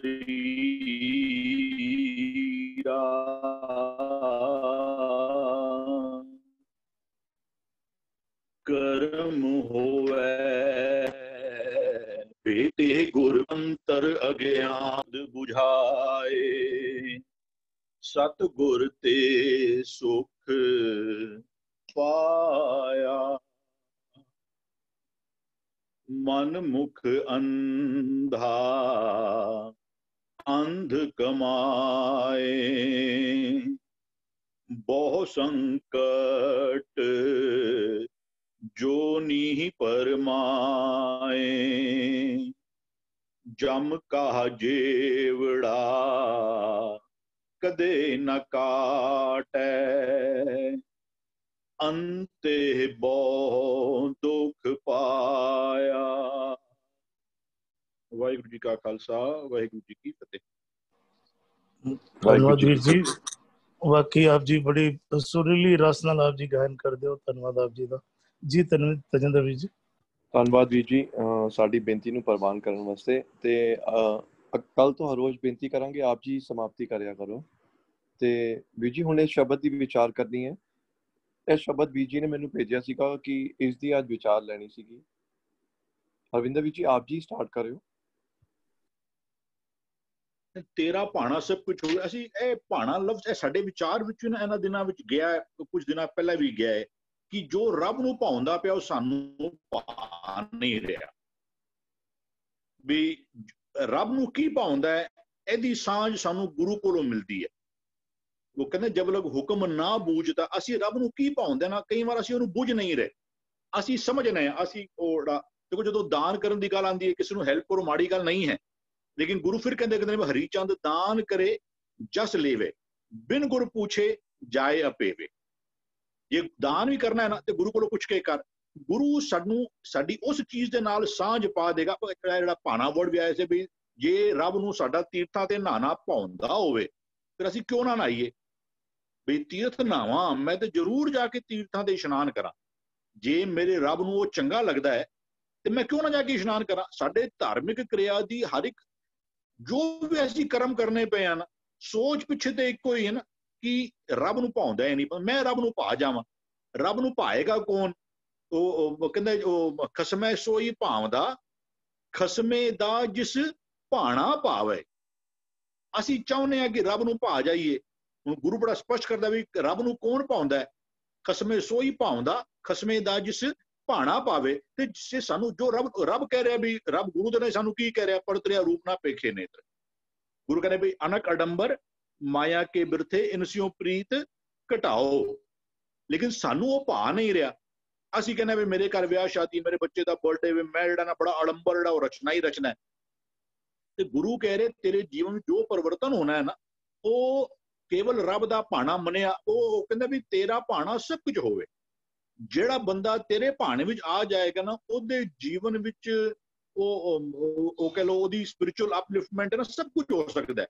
ਜੇ ਤੂੰ ਸੋਚੇ ਕਿ ਮੈਂ ਮਨ ਹਟ ਗੁਰੂ ਨਹੀਂ ਪਸੰਦ, ਜੇ ਤੂੰ ਨੰਗੇ ਪੈਰੀ ਜਾਣਾ ਪਿਆ ਉਹ ਕਹਿੰਦਾ ਅੰਨ ਨਾ ਖਾਇਆ, ਸਾਧ ਗਵਾਇਆ ਬੋਧਕ ਪਾਇਆ, ਦੂਜਾ ਪਾਇਆ, ਵਸਤਰ ਨਾ ਪਹਿਰੇ, ਕੱਪੜੇ ਨਹੀਂ ਪਾਣੇ ਹੁਣ ਗੁਰੂ ਸਾਂਝ ਕਰਦਾ ਪਿਆ ਕਿ ਇਹ ਰੱਬ ਦਾ ਭਾਣਾ ਨਹੀਂ ਹੈ। ਰੱਬ ਦਾ ਭਾਣਾ ਤਾਂ ਮਤਲਬ ਰੱਬ ਨੂੰ ਇਹ ਚੀਜ਼ ਨਹੀਂ ਪਾਉਂਦੀ ਕਿ ਤੂੰ ਇਹ ਕੰਮ ਕਰ। ਵਸਤਰ ਨਾ ਪਹਿਰੇ ਐਨਸ ਕਹਿ ਰਹੇ ਤੂੰ ਜਿਹੜਾ ਮੌਸਮ ਦਾ ਕਹਿਰ ਹੈ, ਉਹ ਹਰ ਸਮੇਂ ਬਰਦਾਸ਼ਤ ਕਰੇਗਾ। ਠੰਡੀਆਂ ਵਿੱਚ ਠੰਡੀ ਬਰਦਾਸ਼ਤ ਕਰੇਗਾ। ਗਰਮੀ ਵਿੱਚ ਅੱਧ ਦੀ ਸੇਕ ਬਰਦਾਸ਼ਤ ਕਰੇਗਾ। ਉਹ ਅੰਨ ਨਾ ਖਾਇਆ, ਬਹੁਤ ਦੁੱਖ ਪਾਇਆ। ਬਸ ਨਾ ਪੈਰੇ ਐਨਸ ਕਹਿ ਰਹੇ ਮੋਨ ਵੀ ਗੂਤਾ। ਵੀ ਮੈਂ ਮੋਨ ਰਵਾਂਗਾ, ਮੈਂ ਜੀ ਗੱਲ ਨਹੀਂ ਕਰਾਂਗਾ। ਉਹ ਗੁਰੂ ਸਾਹਿਬ ਕਹਿੰਦੇ ਕਹਿੰਦੇ ਬੋਲੇ ਨਹੀਂ, ਹੋਏ ਬੈਠਾ ਮੋਨੀ ਅੰਤਰ ਕਲਬ ਭਵਾਈਏ ਜੂਨੀ ਲੇਕਿਨ ਜੇ ਤੂੰ ਮਨ ਹਟ ਜਿਹੜਾ ਕਰਨਾ ਉਹ ਜਿਤਨੇ ਵੀ ਕਰਮ ਕਰੇਗਾ ਨਾ ਉਹਦਾ ਤੈਨੂੰ ਕੋਈ ਬੈਨੀਫਿਟ ਨਹੀਂ ਮਿਲੇਗਾ ਚੰਗਾ ਇਹ ਵੇ ਕਿ ਤੂੰ ਰੱਬ ਦੇ ਭਾਣੇ ਨੂੰ ਦੇਖ ਲੈ ਜੋ ਰੱਬ ਨੂੰ ਪਾਉਂਦਾ ਹੈ ਨਾ ਤੇਰੇ ਸਾਰੇ ਐਫਰਟਸ ਜਿਹੜੇ ਨੇ ਨਾ ਉਹ ਉਸ ਪਾਸੇ ਡਾਇਰੈਕਟ ਕਰ ਕਿ ਰੱਬ ਨੂੰ ਜੋ ਪਾਉਂਦਾ ਸੀ ਨਾ ਮੈਂ ਉਹ ਵਾਲੇ ਕੰਮ ਕਰਾਂ ਵੀ ਜਿਹੜੇ ਮਨ ਹਟ ਕਰਨ ਦੇ ਜੇ ਅੰਤ ਉਹਦਾ ਨੈਟ ਰਿਜ਼ਲਟ ਜਿਹੜਾ ਹੈ ਨਾ ਅੰਤ ਵਿਗੂਤੇ ਪਾ ਉਹਦਾ ਨੈਟ ਰਿਜ਼ਲਟ ਜਿਹੜਾ ਤੈਨੂੰ ਆਏਗਾ ਨਾ ਉਹ ਤੈਨੂੰ ਐਸ ਪਰ ਸੈਟੀਸਫੈਕਸ਼ਨ ਨਹੀਂ ਆਏਗਾ ਹਾਂਜੀ ਅੱਛਾ ਹਰਵਿੰਦਰ ਵੀਰ ਜੀ। ਹਾਂਜੀ। ਨਾ ਵੀਰ ਜੀ ਤਾਂ ਵਿਚਾਰ ਜਿਹਨਾਂ ਨੇ ਮੰਗੀ ਹੈ ਨਾ ਉਹ ਕਹਿ ਰਹੇ ਸੀ ਜਿਵੇਂ ਵੀ ਮਨ ਹਟ ਕੀਚ ਅੰਤ ਵਿਗੋਵੇ ਲਿਖਿਆ ਹੈ ਉਹ ਕਹਿੰਦੇ ਜੇ ਗੁਰੂ ਦੀ ਰਾਹ ਤੇ ਚੱਲਣਾ ਹੈਗਾ ਤੇ ਕਹਿੰਦਾ ਮਨ ਨੂੰ ਤੇ ਹਟ ਕਰਨੀ ਅਸੀਂ ਉਸ ਰਾਹ ਤੇ ਤੋਰ ਸਕਦੇ ਆ ਨਾ ਨਹੀਂ ਤੇ ਮਨ ਤੇ ਦੁਰਮਤ ਵਿੱਚ ਫਸਿਆ ਹੋਇਆ। ਇੱਥੇ ਇੱਥੇ ਮਨ ਦੀ ਹਟ ਜਦੋਂ ਮਨ ਦੀ ਗੱਲ ਹੈ ਨਾ ਜੋ ਗੁਰੂ ਕਹਿੰਦਾ ਨਾ ਜੋ ਕਹਿੰਦੇ ਜੋ ਗੁਰ ਕਹੇ ਸੋਈ ਭਲ ਮਨ ਅਸੀਂ ਮਨਮੁਖ ਕਿਨੂੰ ਕਹਿੰਦੇ ਪਿਆ ਜੋ ਮਨ ਦੀ ਅਗਵਾਈ ਵਿੱਚ ਚੱਲਦਾ ਪਿਆ। ਸੋ ਮਨ ਹਟ ਕੀ ਹੋ ਜਾਏਗਾ? ਕਿ ਜੋ ਮੇਰੇ ਮਨ ਨੂੰ ਠੀਕ ਲੱਗਦਾ ਹੈ ਦੇਖੋ we come across so many thing but ਅਸੀਂ ਕਿੰਨਾ ਗੱਲ ਕਰਨਾ ਕੋਈ ਡਿਸਕਸ ਕਰਨੇ ਆ ਕਹਿੰਦੇ ਮੈਨੂੰ ਬੜਾ ਚੰਗਾ ਲੱਗਦਾ ਮੈਂ ਨਾ ਇੱਥੇ ਜਾਣਾ ਅੱਛਾ ਤੁਸੀਂ ਅੱਛਾ ਮੈਂ ਇੱਥੇ ਹਮੇਸ਼ਾ ਨਾ ਫਲਾਣੇ ਇਹ ਵਾਲੇ ਦਿਨ ਮੈਂ ਮੰਨਿਆ ਹੋਇਆ ਹੈ ਮੈਂ ਪੰਜ ਪੂਰਨ ਮਸਜਿਦਾਂ ਨਾ ਬੰਗਲਾ ਸਾਹਿਬ ਜਾ ਕੇ ਇਸ਼ਨਾਨ ਕਰਕੇ ਆਣਾ ਤੇ ਜਦੋਂ ਉਸ ਨਾਲ ਗੱਲ ਕਰੋ ਕਿ ਵੀ ਨਹੀਂ ਨਹੀਂ ਗੁਰਮਤਿ ਦੇ ਸਿਧਾਂਤ ਨਹੀਂ ਕਹਿੰਦੇ ਨਹੀਂ ਮੈਨੂੰ ਬੜਾ ਚੰਗਾ ਲੱਗਦਾ ਉਹਨੂੰ ਮਨ ਦੇ ਹਟ ਨਾਲ ਕਰਦਾ ਪਿਆ ਨਾ ਗੁਰੂ ਤੇ ਉਹਨੂੰ ਇੱਕ ਵੱਖਰਾ ਰਸਤਾ ਬਿਲਕੁਲ ਦਿਖਾਉਂਦਾ ਪਿਆ ਸੀ ਗੁਰੂ ਨੂੰ ਕਹਿੰਦਾ ਵੀ ਤੀਰਥ ਕਿਹੜਾ ਹੈ ਗੁਰਦੇਵ ਤੀਰਥ ਅੰਮ੍ਰਿਤ ਸਰੋਵਰ ਗੁਰ ਗਿਆਨ ਮਜਨ ਅਪਰੰਪਰਾ ਗੁਰੂ ਤੇ ਉਹਨੂੰ ਦੱਸਦਾ ਪਿਆ ਸੀ। ਉਹਨੂੰ ਗੁਰੂ ਦੀ ਗੱਲ ਨੂੰ ਨਾ ਫੜਦਿਆਂ ਹੋਇਆਂ ਉਹਨੇ ਮਨ ਹਟ ਕਰ ਲਿੱਤਾ ਕਿ ਮੇਰਾ ਮਨ ਜੋ ਅਗਵਾਈ ਦੇਗਾ ਉਹ ਹੀ ਮੈਂ ਕਰਾਂਗਾ। ਇਹਨੂੰ ਮਨ ਹਟ ਕਹਿੰਦੇ ਪਏ ਨੇ ਮੇਰੇ ਖਿਆਲ ਇਜ਼ ਇਟ ਕਲੀਅਰ ਔਰ ਗੁਰਦੀਪ ਵੀਰ ਜੀ ਹੈ ਜਾਂ ਵੀਰ ਜੀ ਵੀਰ ਜੀ ਬੇਨਤੀ ਕਰਾਂਗੇ। ਕਿ ਅਸੀਂ ਨਾ ਇਸ ਸ਼ਬਦ ਦੀ ਵਿਚਾਰ ਗੁਰਦੀਪ ਜੀ ਤੋਂ ਲੈਣ ਤੋਂ ਬਾਅਦ ਅਸੀਂ ਸੈਕਿੰਡ ਕੁਐਸਚਨ ਲੈ ਲੈਂਦੇ ਆ ਤਾਂ ਕਿ ਦੋਨੋਂ ਕੁਐਸਚਨ ਇੱਕ ਇੱਕ ਕੁਐਸਚਨ ਦੀ ਅਸੀਂ ਦੋ ਵਿਜੀ ਤੋਂ ਲੈ ਲੈਂਦੇ ਆ ਸੈਕਿੰਡ ਕੁਐਸਚਨ ਦੀ ਪੂਆ ਜੀ ਔਰ ਭੁਪਿੰਦਰ ਵੀ ਜੀ ਤੋਂ ਲੈ ਲੈਂਦੇ ਆ ਦੋਨੋਂ ਕੁਐਸਚਨ ਇੱਕੋ ਸਮੇਂ ਵਿੱਚ ਹੋ ਜਾਣਗੇ। ਗੁਰਦੀਪ ਜੀ, ਆਪ ਜੀ ਇਸ ਬਾਬਤ ਕੁਝ ਵਿਚਾਰ ਦੇ ਦਿਓ ਤੇ ਸੈਕਿੰਡ ਕੁਐਸਚਨ ਅਸੀਂ ਭੂਆ ਜੀ ਔਰ ਭੁਪਿੰਦਰ ਵੀ ਜੀ ਤੋਂ ਲੈ ਲਾਂਗੇ। ਬਿਲਕੁਲ ਹਰਵਿੰਦਰ ਵੀ ਜੀ ਨੇ ਜਿਵੇਂ ਦੱਸਿਆ ਵੀ ਗੁਰੂ ਦੀ ਮਤ ਨੂੰ ਛੱਡ ਕੇ ਆਪਣੇ ਮਨ ਦੀ ਮਤ ਨਾਲ ਕੀਤੇ ਹੋਏ ਭਾਵੇਂ ਉਹ ਧਰਮ ਦੇ ਖੇਤਰ ਦੇ ਕੰਮ ਹੋਣ, ਕਿਉਂ ਨਾ ਹੋਣ। ਜਿਵੇਂ ਆਪਾਂ ਗੁਰੂ ਘਰ ਜਾਂਦੇ ਗੁਰੂ ਪਾਤਸ਼ਾਹ ਨੇ ਕਿਤੇ ਨਹੀਂ ਕਿਹਾ ਵੀ ਜਿੱਥੇ ਸੰਗਤ ਪੈਰ ਧੋਂਦੀ, ਉੱਥੋਂ ਪਾਣੀ ਪੀਓ। ਆਪਾਂ ਉੱਥੋਂ ਚੂੜੀਆਂ ਲੈਣੇ ਆ ਔਰ ਬੜੀ ਭਾਵਨਾ ਨਾਲ ਲੈਣੇ ਜੇ ਕਹੋ ਤਾਂ ਫਿਰ ਆਪਾਂ ਬੁਰਾ ਵੀ ਮੰਨ ਜਾਂਦੇ ਆ ਹੋਰ ਇਹੋ ਜਿਹੇ ਬਹੁਤ ਸਾਰੇ ਕੰਮ ਆ। ਗੁਰੂ ਸਾਹਿਬ ਨੇ ਬਚਨ ਬਖਸ਼ਿਸ਼ ਕੀਤਾ। ਮਨ ਹਟ ਕਰਮ ਕਰੇ ਅਭਿਮਾਨੀ। ਉੱਥੇ ਮਨ ਨੂੰ ਇਹ ਤਸੱਲੀ ਹੁੰਦੀ ਕਿ ਮੈਂ ਜੋ ਕਰ ਰਿਹਾ, ਠੀਕ ਹੈ। ਇਹ ਜੋ ਕਹਿ ਰਹੇ, ਐਵੇਂ ਕੋਈ ਨਹੀਂ। ਮਤਲਬ ਜੇ ਤੁਸੀਂ ਗੁਰੂ ਦਾ ਗੱਲ ਦਾ, ਗੁਰੂ ਦੇ ਬਚਨਾਂ ਦਾ ਰੈਫਰੈਂਸ ਦੇ ਕੇ ਵੀ ਉਹਨਾਂ ਨੂੰ ਸਮਝਾਉਣ ਦਾ ਯਤਨ ਕਰਦੇ ਹੋ ਨਾ, ਤਾਂ ਉਹਨਾਂ ਦਾ ਮਨ ਸੁਣ ਸੁਣ ਤਾਂ ਲਿਆ, ਉਹਨਾਂ ਨੇ ਮੰਨਣਗੇ ਨਹੀਂ ਤੁਹਾਡੀ ਗੱਲ। ਕਿਉਂਕਿ ਉਹਨਾਂ ਦਾ ਮਨ, ਜੋ ਉਹਨਾਂ ਦਾ ਮਨ ਕਹਿ ਰਿਹਾ ਹੈ, ਗੁਰੂ ਦੀ ਮੱਤ ਦੇ ਉਲਟ ਗੱਲ ਵੀ ਹੈ, ਉਸ ਤੇ ਟਿਕਿਆ ਹੋਇਆ ਉਹਨੂੰ ਮੰਨੀ ਬੈਠਾ ਹੈ। ਆਪਾਂ ਪਹਿਲਾਂ ਵੀ ਬਚਨ ਸਾਂਝਾ ਕੀਤਾ ਸੀ, ਮਨ ਹਟ ਕਰਮ ਕਰੇ ਅਭਿਮਾਨੀ। ਜੋ ਬਾਰਕ ਬਾਰੂ ਕਰ ਉਸਰਈਆ, ਆਵੇ ਲਹਿਰ ਸਮੁੰਦ ਸਾਗਰ ਕੀ ਖਿਨ ਮੈਂ ਪਿੰਨ ਪਿੰਨ ਟੈ ਪਈ ਕਹਿੰਦੇ ਜਿਵੇਂ ਉਹ ਰੇਤ ਦੇ ਘਰ ਬਣਾਉਂਦਾ ਬੱਚਾ ਸਮੁੰਦਰ ਦੇ ਦਰਿਆ ਦੇ ਕਿਨਾਰੇ ਤੇ ਕਹਿੰਦੇ ਲਹਿਰ ਆਉਂਦੀ ਹੈ ਤੇ 1 ਮਿੰਟ ਚ ਟਹਿ ਜਾਂਦੀ ਹੈ। ਤਾਂ ਉਹ ਕੰਮ ਇਹੋ ਜਿਹੇ ਨੇ, ਉਹ ਕਿਸੇ ਅੰਤ ਨੂੰ ਫਿਰ ਪਛਤਾਉਣਾ, ਜਦੋਂ ਵੀ ਪਾਪ ਖੁਆਰ ਹੁੰਦਾ, ਦੁਖੀ ਹੁੰਦਾ ਇੱਕ ਬਚਨ ਬਸ ਮੈਂ ਕਹਿ ਕੇ ਖਿਮਾ ਚਾਹਾਂਗਾ ਗੁਰੂ ਪਾਤਸ਼ਾਹ ਨੇ ਜੁਗਤਾ ਹੀ ਨੇ, ਤਤ ਬਖਸ਼ਿਆ ਜੋ ਬਚਨਾਂ ਵਿੱਚ। ਗੁਰੂ ਔਰ ਪਰਮੇਸ਼ਰ ਬੇਅੰਤ ਗੁਣਾਂ ਦੇ ਮਾਲਕ ਨੇ। ਗੁਰੂ ਦੇ ਬਚਨਾਂ ਦੀ ਸਾਂਝ ਕਰਨ ਦਾ ਅਲਟੀਮੇਟ ਪਰਪਸ ਹੈ ਕਿ ਅਸੀਂ ਗੁਨਾਹ ਕਰਕੇ ਗੁਰੂ ਪਰਮੇਸ਼ਰ ਵਰਗੇ ਹੋਣ। ਲੇਕਿਨ ਉਹ, ਕਿਉਂਕਿ ਉਹਨਾਂ ਦੇ ਗੁਣ ਬੇਅੰਤ ਨੇ, ਸਾਨੂੰ ਪਤਾ ਨਹੀਂ, ਸਾਡੀ ਮਤ ਬੁੱਧੀ ਨਹੀਂ ਹੈਗੀ ਕਿ ਕਿਹੜੇ ਕਿਹੜੇ ਗੁਣ ਅਸੀਂ ਧਾਰਨ ਕਰਨੇ, ਕਿਹੜੇ ਕਿਹੜੇ ਔਗਣ ਤਿਆਗਣੇ ਇਹ ਸੋਝੀ ਗੁਰੂ ਕੋਲੋਂ ਬਖਸ਼ਿਸ਼ ਹੁੰਦੀ ਹੈ, ਤਾਂ ਬਚਨ ਆਉਂਦਾ ਹਰ ਕੇ ਗੁਣ ਹਰ ਭਾਵ ਦੇ ਸੇ ਗੁਰੂ ਤੇ ਪਾਏ। ਜਿਨ ਗੁਰ ਕਾ ਭਾਣਾ ਮੰਨਿਆ, ਤਿੰਨ ਘੁੰਮ ਘੁੰਮ ਜਾਏ। ਤੇ ਮੈਂ ਉਹਨਾਂ ਤੋਂ ਸਦਕੇ ਜਾਣਾ ਕੁਰਬਾਨ ਜਾਣਾ ਬਲਿਹਾਰ ਜਾਣਾ ਕਿ ਜਿਨ੍ਹਾਂ ਨੂੰ ਜੋ ਗੁਰੂ ਬਖਸ਼ਿਸ਼ ਕਰਦਾ ਜੋ ਵੀਰੀ ਨੇ ਹੁਣੇ ਸਾਂਝੀ ਕੀਤੀ ਪੰਕਤੀ ਜੋ ਗੁਰ ਕਹੈ, ਸੋਈ ਭਲ ਮਾਨੋ, ਹਰ ਹਰ ਕਥਾ ਨਿਰਾਲੀ। ਕਿ ਜੋ ਗੁਰੂ ਪਾਸ਼ਾ ਤੈਨੂੰ ਹੁਕਮ ਕਰਦੇ ਨੇ, ਬੇਸ਼ੱਕ ਤੇਰਾ ਮਨ ਅੱਜ ਤੋਂ ਪਹਿਲਾਂ ਉਹਦੇ ਉਲਟ ਕੰਮ ਕਰ ਰਿਹਾ ਸੀ, ਉੱਥੇ ਟਿਕਿਆ ਹੋਇਆ ਸੀ, ਹੋ ਸਕਦਾ ਇੱਕ ਵਾਰੀ ਸੁਣ ਕੇ, ਦੋ ਵਾਰੀ ਸੁਣ ਕੇ ਨਾ ਮੰਨੇ। ਹੌਲੀ ਹੌਲੀ ਉਹਨੂੰ ਮੰਨਣਾ ਸ਼ੁਰੂ ਕਰੇ। ਲੇਕਿਨ ਜਦੋਂ ਉਹ ਮੰਨਣਾ ਸ਼ੁਰੂ ਹੋ ਗਿਆ, ਸੱਚਮੁੱਚ ਉਸ ਮਨ ਨੂੰ ਫਿਰ ਜਿਵੇਂ ਆਪਾਂ ਇੱਕ ਪੰਜਾਬੀ ਦੀ ਕਹਾਵਤ ਹੈ, ਸਿਆਣੇ ਦਾ ਆਖਿਆ ਤੇ ਆਮਲੇ ਦਾ ਖਾਦਾ ਔਲੇ ਦਾ ਖਾਦਾ ਪਿੱਛੋਂ ਮਿੱਠਾ ਲੱਗਦਾ ਸੋ ਕਈ ਵਾਰੀ ਗੁਰੂ ਦੇ ਬਚਨ ਅਸੀਂ ਪਹਿਲੀ ਵਾਰੀ, ਦੋ ਵਾਰੀ ਸੁਣਿਆ, ਮਨ ਕਿਤੇ ਹੋਰ ਥਾਂ ਤੇ ਟਿਕਿਆ ਹੁੰਦਾ ਆਪਣੇ ਮਨ ਦੀ ਮਤ ਪਿੱਛੇ। ਉਹਨੂੰ 100% ਐਕਸੈਪਟ ਨਹੀਂ ਕਰਦਾ। ਲੇਕਿਨ ਜਦੋਂ ਉਹਦੇ ਨਤੀਜੇ ਸਾਨੂੰ ਵਿਹਾਰ ਦੇ ਵਿੱਚ ਆਪਣੇ ਚੰਗੇ ਆਉਣੇ ਸ਼ੁਰੂ ਹੁੰਦੇ ਆ, ਮਨ ਮੰਨ ਜਾਂਦਾ ਸੋ ਗੱਲ ਇਹ ਹੈ ਕਿ ਜੋ ਗੁਰੂ ਨੂੰ ਪਾਉਂਦਾ ਹੈ ਜਦੋਂ ਮਨ ਇਹ ਮੰਨ ਲੈਂਦਾ ਹੈ ਤਾਂ ਉਹ ਕੰਮ ਦਾ ਨਤੀਜਾ ਜਿਹੜਾ ਹੈ ਹਮੇਸ਼ਾ ਚੰਗਾ ਹੋਏਗਾ ਭਲਾ ਹੋਏਗਾ। ਜਦੋਂ ਤੱਕ ਆਪਣੇ ਮਨ ਦੇ ਪਿੱਛੇ ਕੰਮ ਕਰੀ ਜਾਵਾਂਗੇ ਗੁਰੂ ਦੇ ਬਚਨਾਂ ਨੂੰ ਅੱਖੋਂ ਓਲੇ ਕਰਕੇ ਤਾਂ ਖੁਆਰੀ ਹੋਏਗੀ ਵਿਗੋਵੇ ਦਾ ਭਾਵ ਖੁਆਰ ਹੋਣਾ ਪਏਗਾ ਪਰੇਸ਼ਾਨ ਹੋਣਾ ਪਏਗਾ। ਧੰਨਵਾਦ ਜੀ। ਧੰਨਵਾਦ ਜੀ। ਆਪ ਜੀ ਨੇ ਬੜੀ ਚੰਗਾ ਉਦਾਹਰਨ ਦਿੱਤਾ ਹੈ ਕਿ ਸਿਆਣਿਆਂ ਦਾ ਕਿਹਾ ਤੇ ਆਮਲੇ ਦਾ ਖਾਦਾ ਬਿਲਕੁਲ ਵੀਰ ਜੀ ਬਿਲਕੁਲ ਬਾ ਕਮਾਲ। ਜੀ ਤਜਿੰਦਰ ਵੀਰ ਜੀ ਇੱਕ ਮਿੰਟ ਤਜਿੰਦਰ ਵੀਰ ਜੀ ਵੀਰ ਜੀ ਨੇ ਬਹੁਤ ਅੱਛੇ ਵਿਚਾਰ ਰੱਖੇ। ਅਰਵਿੰਦਰ ਵੀਰ ਜੀ ਨੇ ਵੀ ਗੱਲ ਬੜੀ ਸੋਹਣੀ ਕੀਤੀ ਕਿ ਪਰਮਾਤਮਾ ਨੂੰ ਕੀ ਪਾਉਂਦਾ ਉਹ ਸਾਨੂੰ ਵਿਚਾਰਨ ਦੀ ਲੋੜ ਹੈ ਸਮਝਣ ਦੀ ਲੋੜ ਹੈ ਪਰ ਅਸੀਂ ਨਾਲ ਇਹ ਵੀ ਸੋਚਣਾ ਕਰੀਏ ਕਿ ਮਨ ਹਟ ਹੈ ਕੀ? ਜਿਨ੍ਹਾਂ ਨੂੰ ਅਸੀਂ ਕਰਮ ਕਾਂਡ ਵੀ ਕਹਿੰਦੇ ਆ ਕਰਮ ਕਾਂਡ ਕੀ ਚੀਜ਼ ਹਨ? ਕਰਮ ਕਾਂਡਾਂ ਨੂੰ ਕਰਮ ਕਾਂਡ ਕਿਉਂ ਕਿਹਾ ਜਾਂਦਾ ਉਸ ਗੱਲ ਨੂੰ ਵੀ ਇਸ ਦੇ ਵਿੱਚ ਸੋਚਣ ਦੀ ਲੋੜ ਹੈ। ਧਰਮ ਦੇ ਮਿੱਥੇ ਹੋਏ ਕਰਮਾਂ ਨੂੰ ਕਰਮ ਕਾਂਡ ਕਿਹਾ ਜਾਂਦਾ ਹੈ ਜਾਂ ਮਿੱਥੇ ਹੋਏ ਕਰਮਾਂ ਨੂੰ ਅਸੀਂ ਕਰਮ ਕਾਂਡ ਕਰਕੇ ਸੰਬੋਧਿਤ ਕਰਦੇ ਹਾਂ, ਪਰ ਉਹਨਾਂ ਨੂੰ ਕਰਮ ਕਾਂਡ ਕਿਉਂ ਕਹਿੰਦੇ ਆ ਅਸੀਂ ਤੀਰਥਾਂ ਨੂੰ ਜਾਣਾ ਵੀ ਧਰਮ ਦਾ ਇੱਕ ਮਿੱਥਿਆ ਹੋਇਆ ਕਰਮ ਹੈ। ਤੇ ਗੁਰੂ ਸਾਹਿਬ ਕੀ ਕਹਿ ਰਹੇ ਨੇ? ਤੀਰਥ ਜਾਤੇ ਤਾਂ ਹਉ ਹਉ ਕਰਤੇ। ਤੀਰਥ ਜਾ ਕੇ ਤੇ ਹੰਕਾਰ ਵਧਾ ਲਿਆ ਤੇ ਮਨ ਮਨ ਹਟ ਦਾ ਜਿਹੜਾ ਜ਼ਿਕਰ ਆ ਰਿਹਾ ਨਾ, ਮਨ ਹਟ ਕੀਚੇ ਅੰਤ ਵਿਗੋਵੇ। ਤੇ ਮਨ ਦੇ ਕੀਤੇ ਹੋਏ, ਮਨ ਦੇ ਹਟ ਦੇ ਕੀਤੇ ਹੋਏ ਕਰਮਾਂ ਦੇ ਨਾਲ ਮਨ ਤੇ ਕੀ ਪ੍ਰਭਾਵ ਪੈ ਰਿਹਾ ਹੈ? ਮਨ ਹੋਰ ਤੇ ਹੋਰ ਮੈਲਾ ਹੋ ਰਿਹਾ ਗੁਰੂ ਸਾਹਿਬ ਐਸੀ ਲਈ ਜਿਹੜਾ ਸਮਝਾਣਾ ਕਰ ਰਹੇ ਹਨ, ਉਹ ਗੁਰੂ ਦੀ ਮਤ ਦੇ ਰਾਹੀਂ ਕਿਉਂ ਟੁਰਨਾ ਕਿਉਂਕਿ ਗੁਰੂ ਦੀ ਮਤ ਜਿਹੜੀ ਹੈ, ਸਾਡੇ ਮਨ ਦੀ ਮੈਲ ਧੋਂਦੀ ਹੈ। ਔਰ ਸਾਡੇ ਮਨ ਹੱਟ ਦੇ ਜਿਹੜੇ ਕਰਮ ਹਨ, ਸਾਡੇ ਮਨ ਦੇ ਵਿੱਚ ਮੈਲ ਵਧਾਉਂਦੇ ਹਨ। ਇਹ ਗੱਲ ਮੈਂ ਐਡ ਕਰਨਾ ਚਾਹ ਰਿਹਾ ਸੀਗਾ। ਤੁਸੀਂ ਅਗਲਾ ਸਵਾਲ ਲੈ ਲਿਓ ਜੀ, ਤਜਿੰਦਰ ਜੀ। ਜੀ ਵੀ ਜੀ। ਹਰਪ੍ਰੀਤ ਵੀ ਜੀ, ਆਪ ਜੀ ਸਕਰੀਨ ਤੇ ਸ਼ੇਅਰ ਕਰ ਦਿਓ। ਤੇ ਭੁਪਿੰਦਰ ਵੀ ਜੀ ਕੁਐਸਚਨ ਆਇਆ ਸੀਗਾ ਕਿ ਅਸੀਂ ਗੁਰਬਾਣੀ ਪੜ੍ਹਦੇ ਹਾਂ, ਲੇਕਿਨ ਸਾਡੇ ਜੀਵਨ ਵਿੱਚ ਫਿਰ ਵੀ ਬਦਲਾਅ ਕਿਉਂ ਨਹੀਂ ਆਉਂਦਾ? ਗੁੱਸਾ ਘਟ ਕਿਉਂ ਨਹੀਂ ਆਉਂਦਾ? ਭੁਪਿੰਦਰ ਵੀ ਜੀ, ਆਪ ਜੀ ਇਸ ਬਾਬਤ ਥੋੜੀ ਜੀ ਵਿਚਾਰ ਦੇ ਦਿਓ। ਹਾਂਜੀ, ਅਸੀਂ ਬਾਣੀ ਪੜ੍ਹਦੇ ਹਾਂ। ਬਾਣੀ ਪੜਨਾ ਮਾੜੀ ਗੱਲ ਨਹੀਂ ਹੈ, ਬੜਾ ਅੱਛਾ ਉਦਮ ਹੈ।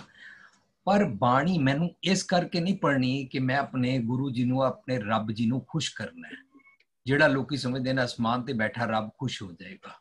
ਜਿਹੜਾ ਲੋਕੀ ਸਮਝਦੇ ਨੇ, ਸਰਬ ਆਸਾਂ ਪੂਰੀਆਂ ਕਰਨ ਵਾਲੀ ਆਸਾ ਦੀ ਵਾਰ ਸੁਣੋ। ਇਸ ਤਰੀਕੇ ਦੇ ਨਾਲ ਨਾ ਲੋਕਾਂ ਆਸਾ ਦੀ, ਆਸਾਂ ਪੂਰੀਆਂ ਕਰਨ ਵਾਲੀ ਆਪਣੇ ਮਨ ਦੀਆਂ ਚਤਰਾਈਆਂ ਸਿਆਣਪਾਂ ਵਾਲੀ ਲਾ ਖੁਸ਼ੀਆਂ ਪਾਤਸ਼ਾਹੀਆਂ ਪ੍ਰਾਪਤ ਕਰਨ ਵਾਲੀ, ਮਨ ਕੀ ਮਤ ਦੇ ਨਾਲ ਆਪਣੀ ਮਨ ਮਰਜ਼ੀ ਕਰਨ ਵਾਲੀਆਂ ਜਿਹੜੀਆਂ ਚੀਜ਼ਾਂ ਪ੍ਰਾਪਤ ਕਰਨ ਦੀਆਂ ਗੱਲਾਂ ਕਰਦੇ ਨੇ ਨਾ, ਉਹ ਫਿਰ ਇਹ ਸੋਚਦੇ ਨੇ 108 ਵਾਰੀ ਪਾਠ ਕਰ ਲੂੰ ਮਨ ਦੀ ਮੁਰਾਦ ਪੂਰੀ ਹੋ ਜਾਏਗੀ। ਮੈਂ ਕੋਰਟ ਕੇਸ ਵੀ ਜਾਊਂਗਾ ਤੀਜਾ ਰਿਸ਼ਤਾ ਮਿਲ ਜਾਏਗਾ, ਮਕਾਨ ਵੀ ਬਣ ਜਾਏਗਾ। ਉਹ ਫਿਰ ਇਸ ਤਰੀਕੇ ਦੀ ਹਰ ਗੱਲ ਨੂੰ ਉਸ ਤਰ੍ਹਾਂ ਲੈਂਦੇ ਹਨ। ਅਸੀਂ ਬਾਣੀ ਇਸ ਇੰਟੈਂਸ਼ਨ ਨਾਲ ਪੜ੍ਹਨੀ ਹੈ, ਬਹੁਤ ਨਮਰਤਾ ਭਾਵ ਵਿੱਚ ਕਿ ਮੈਂ ਰੋਗੀ ਹਾਂ। ਇਸੇ ਕਰਕੇ ਮੈਂ ਗੁਰੂ ਦੇ ਦਰ ਤੇ ਆਇਆ ਕਿ ਗੁਰੂ ਮੇਰਾ ਵੈਦ ਹੈ। ਮੇਰਾ ਵੈਦ ਗੁਰੂ ਗੋਬਿੰਦਾ ਹਰ ਹਰ ਨਾਮ ਔਖਦ ਮੁਖ ਦੇਵੈ ਉਹ ਮੈਨੂੰ ਬਾਣੀ ਰਾਹੀਂ ਮੈਨੂੰ ਡਾਇਗਨੋਸ ਕਰਨਾ ਸਿਖਾਏਗਾ। ਰੋਗ दारू ਦੋਵੇਂ ਬੁੱਝੇ ਤਾਂ ਵੈਦ ਸੁਜਾਨ ਡਾਇਗਨੋਸ ਹੀ ਕਰਾਏਗਾ ਕਿ ਤੇਰੇ ਬਿਮਾਰੀ ਰੋਗ ਕਿੱਥੇ ਕਿੱਥੇ ਹੈ। ਅਤੇ ਡਾਇਗਨੋਸ ਕਰਾਉਣ ਤੋਂ ਬਾਅਦ ਮੈਨੂੰ ਦੀ ਦਵਾਈ ਵੀ ਸੁਝਾਏਗਾ। ਇਹ ਇਹਨੂੰ ਪੂਰਾ ਗੁਰੂ ਕਹਿੰਦੇ ਨੇ। ਸੋ ਅਸੀਂ ਜੇ ਬਾਣੀ ਇਸ ਤਰ੍ਹਾਂ ਪੜ੍ਹੀਏ ਕਿ ਬਾਣੀ ਨਾਲ ਮੈਂ ਆਪਣਾ ਸੁਭਾਅ ਚੇਂਜ ਕਰਨਾ ਹੈ। ਬਾਣੀ ਨਾਲ ਮੈਂ ਆਪਣੇ ਐਟੀਟਿਊਡ ਉੱਤੇ ਅਵਲੋਕਨ ਕਰਨਾ ਹੈ। ਜੋ ਸਤਗੁਰ ਕਿਰਪਾ ਕਟਾਖ ਅਵਲੋਕਨ, ਕੀਨੋ ਦਾਸ ਕਾ ਦੁੱਖ ਵਿਦਾਰਿਓ ਕਰਦੇ ਹਨ ਨਾ ਸਤਗੁਰ ਜੀ। ਮੈਂ ਆਪਣੇ ਤੇ ਉਹ ਅੱਖ ਖੋਲਣੀ ਹੈ। ਜੇ ਮੇਰੀ ਅੱਖ ਮੇਰੇ ਤੇ ਨਹੀਂ ਨਾ ਖੁੱਲੀ, ਉਹਨੂੰ ਕਹਿੰਦੇ ਨੇ ਅ ਉਹਨਾਂ ਨੂੰ ਕਬੀਰ ਸਾਹਿਬ ਆਪਣੀ ਅਵਰਨ ਹਸਤ ਆਪ ਹੈ ਕਾਣੇ। ਜਿਹੜੇ ਦੂਜਿਆਂ ਨੂੰ ਦੇਖ ਕੇ ਦੂਜਿਆਂ ਦੇ ਔਗੁਣ ਕੱਢਦੇ ਨੇ ਨਾ, ਉਹ ਕਾਣੇ ਹੁੰਦੇ ਨੇ। ਉਹਨਾਂ ਦੀ ਅੱਖ ਆਪਣੇ ਵੱਲ ਨਹੀਂ ਖੁੱਲਦੀ। ਬਾਣੀ ਪੜ ਕੇ ਨਾ ਸਤਗੁਰ ਕੋਲੋਂ ਐਨਕ ਲੈਣੀ ਹੈ ਕਿ ਮੈਨੂੰ ਆਪ ਨੜੇ ਗਿਰਵਾਨ ਮੈਂ ਦੇਖਣਾ ਆ ਜਾਵੇ। ਅਸੀਂ ਜਦੋਂ ਇੰਜ ਪੜਦੇ ਆ ਨਾ, ਫਿਰ ਮੇਰਾ ਕ੍ਰੋਧ ਵੀ ਠੀਕ ਹੋਏਗਾ, ਫਿਰ ਮੇਰਾ ਸਬਰ ਵੀ ਠੀਕ ਹੋਏਗਾ, ਫਿਰ ਮੈਨੂੰ ਟੋਲਰੈਂਸ ਵੀ ਆ ਜਾਏਗੀ, ਫਿਰ ਮੈਨੂੰ ਗੁੱਸਾ ਵੀ ਨਹੀਂ ਗੱਲ ਗੱਲ ਤੇ ਚੜਿਆ ਕਰੇਗਾ। ਮੈਂ ਤੇ ਗਰੰਟਿਡ ਲੈ ਲਿਆ, ਮੈਂ ਸਵੇਰੇ ਉੱਠ ਚੁੱਕਾ ਹੋਇਆ, ਮੈਂ ਪਾਠ ਕਰ ਚੁੱਕਾ ਹੋਇਆ, ਮੈਂ ਗੁਰਦੁਆਰੇ ਜਾ ਚੁੱਕਾ ਹਾਂ ਰੱਬ ਮੇਰੀ ਮੁੱਠੀ ਚ ਸਾਰੀ ਦੁਨੀਆ ਮੇਰੇ ਮੁਤਾਬਕ ਚੱਲਣੀ ਚਾਹੀਦੀ ਹੈ। ਇਸ ਕਰਕੇ ਮੈਨੂੰ ਗੱਲ ਗੱਲ ਤੇ ਗੁੱਸਾ ਚੜਦਾ ਹੈ। किसी ने मेरे रब ਨੂੰ ਕੁਝ ਕਿਉਂ ਕਹਿ ਦਿੱਤਾ ਕਿਸੇ ਨੇ ਮੇਰੇ ਗੁਰੂ ਨੂੰ ਕਿਉਂ ਕੁਝ ਕਹਿ ਦਿੱਤਾ ਕੋਈ ਮੇਰੇ ਮੁਤਾਬਕ ਕਿਉਂ ਨਹੀਂ ਚੱਲਦਾ ਜਿਹੜੇ ਨੋਰਮਸ ਮੈਂ ਫੋਲੋ ਕਰਦਾ ਹਾਂ ਕਿਉਂ ਨਹੀਂ ਚੱਲਦਾ ਬਸ ਉਹ ਧਰਮ ਦਾ ਠੇਕੇਦਾਰ ਬਣ ਜਾਂਦਾ ਹੈ ਜਗਾ ਜਗਾ ਜਗਾ ਜਗਾ ਫਤਵੇ ਦੇਣੇ ਸ਼ੁਰੂ ਕਰ ਦਿੰਦਾ ਉਹਨੂੰ ਕ੍ਰੋਧ ਹੀ ਚੜਦਾ ਰਹਿੰਦਾ ਹੈ ਬਿਜ਼ਨਸ ਦੀ ਨੌਕਰੀ ਦੀ ਪਰਿਵਾਰ ਦੀ ਦੁਨੀਆ 'ਚ ਅਤੇ ਧਾਰਮਿਕ ਦੁਨੀਆ ਵਿੱਚ ਹੀ ਉਹ ਬਾਣੀ ਰਾਹੀਂ ਆਪਣੇ ਕ੍ਰੋਧ ਨੂੰ ਰੈਕਗਨਾਈਜ਼ ਹੀ ਨਹੀਂ ਕਰ ਪਾਉਂਦਾ ਬਾਣੀ ਰੈਕਗਨਾਈਜ਼ ਕਰਨਾ ਸਿਖਾਉਂਦੀ ਹੈ। ਸਬਜੈਕਟ ਟੂ ਟੂ ਸ਼ਬਦ ਫਸਟ ਪਰਸਨ ਦੀ ਲੈਂਗੁਏਜ ਪੜਿਆ ਕਰ। ਬਸ ਸਾਧੋ ਮਨ ਕਾ ਮਾਨ ਤਿਆਗੂ। ਤਿਆਗੋਂ ਦੇ ਊੜੇ ਨੂੰ ਫਸਟ ਪਰਸਨ ਦੀ ਲੈਂਗੁਏਜ ਬਿੰਦੀ ਲਗਾ ਕੇ ਪੜਾਂਗੇ ਮੈਂ ਆਪਣੇ ਤੇ ਅਪਲਾਈ ਕਰਾਂਗਾ ਸਾਧੋ ਮਨ ਕਾ ਮਾਨ ਤਿਆਗੂ। ਮੈਂ ਤਿਆਗਦਾ ਹਾਂ। ਕਾਮ ਕ੍ਰੋਧ ਸੰਗਤ ਦੁਰਜਨ ਕੀ ਤਾਂ ਤੇ ਐਨਿਸ ਭਾਗੂ। ਜਿਨ੍ਹਾਂ ਦੇ ਨਾਲ ਕਾਮ ਕ੍ਰੋਧ ਵਰਗੇ ਦੁਰਮਤ ਦੀ ਸੰਗਤ ਮੇਰਾ ਮਨ ਸੁਰਤ ਕਰਕੇ ਕਰਦਾ ਨਾ, ਉਹਨਾਂ ਤੋਂ ਮੈਂ ਦੂਰ ਰਹਿਣਾ ਵਾਂ। ਇੰਜ ਇੰਜ ਸਿੱਖਾਂਗੇ ਨਾ ਅਸੀਂ।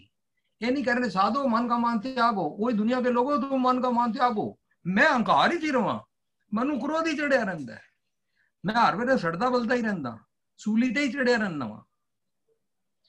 ਬਸ ਇੰਜ ਅਸੀਂ ਬਾਣੀ ਪੜਾਂਗੇ ਨਾ ਤਾਂ ਸਾਡੇ ਜ਼ਰੂਰ ਬਦਲਾਹਟ ਆਏਗੀ। ਮੈਂ ਆਪਣੇ ਆਪ ਨੂੰ ਚੈੱਕ ਕਰਨਾ ਹੈ। ਜਬ ਲਗ ਤਾਰੇ ਬੈਰੀ ਨਹੀਂ ਤਬ ਲਗ ਨੇਚਲ ਨਹੀਂ ਜੀ ਜਿਨ੍ਹਾਂ ਦਾ ਚਿੱਤ ਨੇਚਲ ਨਹੀਂ ਹੁੰਦਾ, ਜਿਹੜੇ ਸਟੇਬਲ ਨਹੀਂ ਹੁੰਦੇ ਨੇ, ਉਹ ਗੱਲ ਗੱਲ ਤੇ ਕ੍ਰੋਧ ਕਰਦੇ ਨੇ।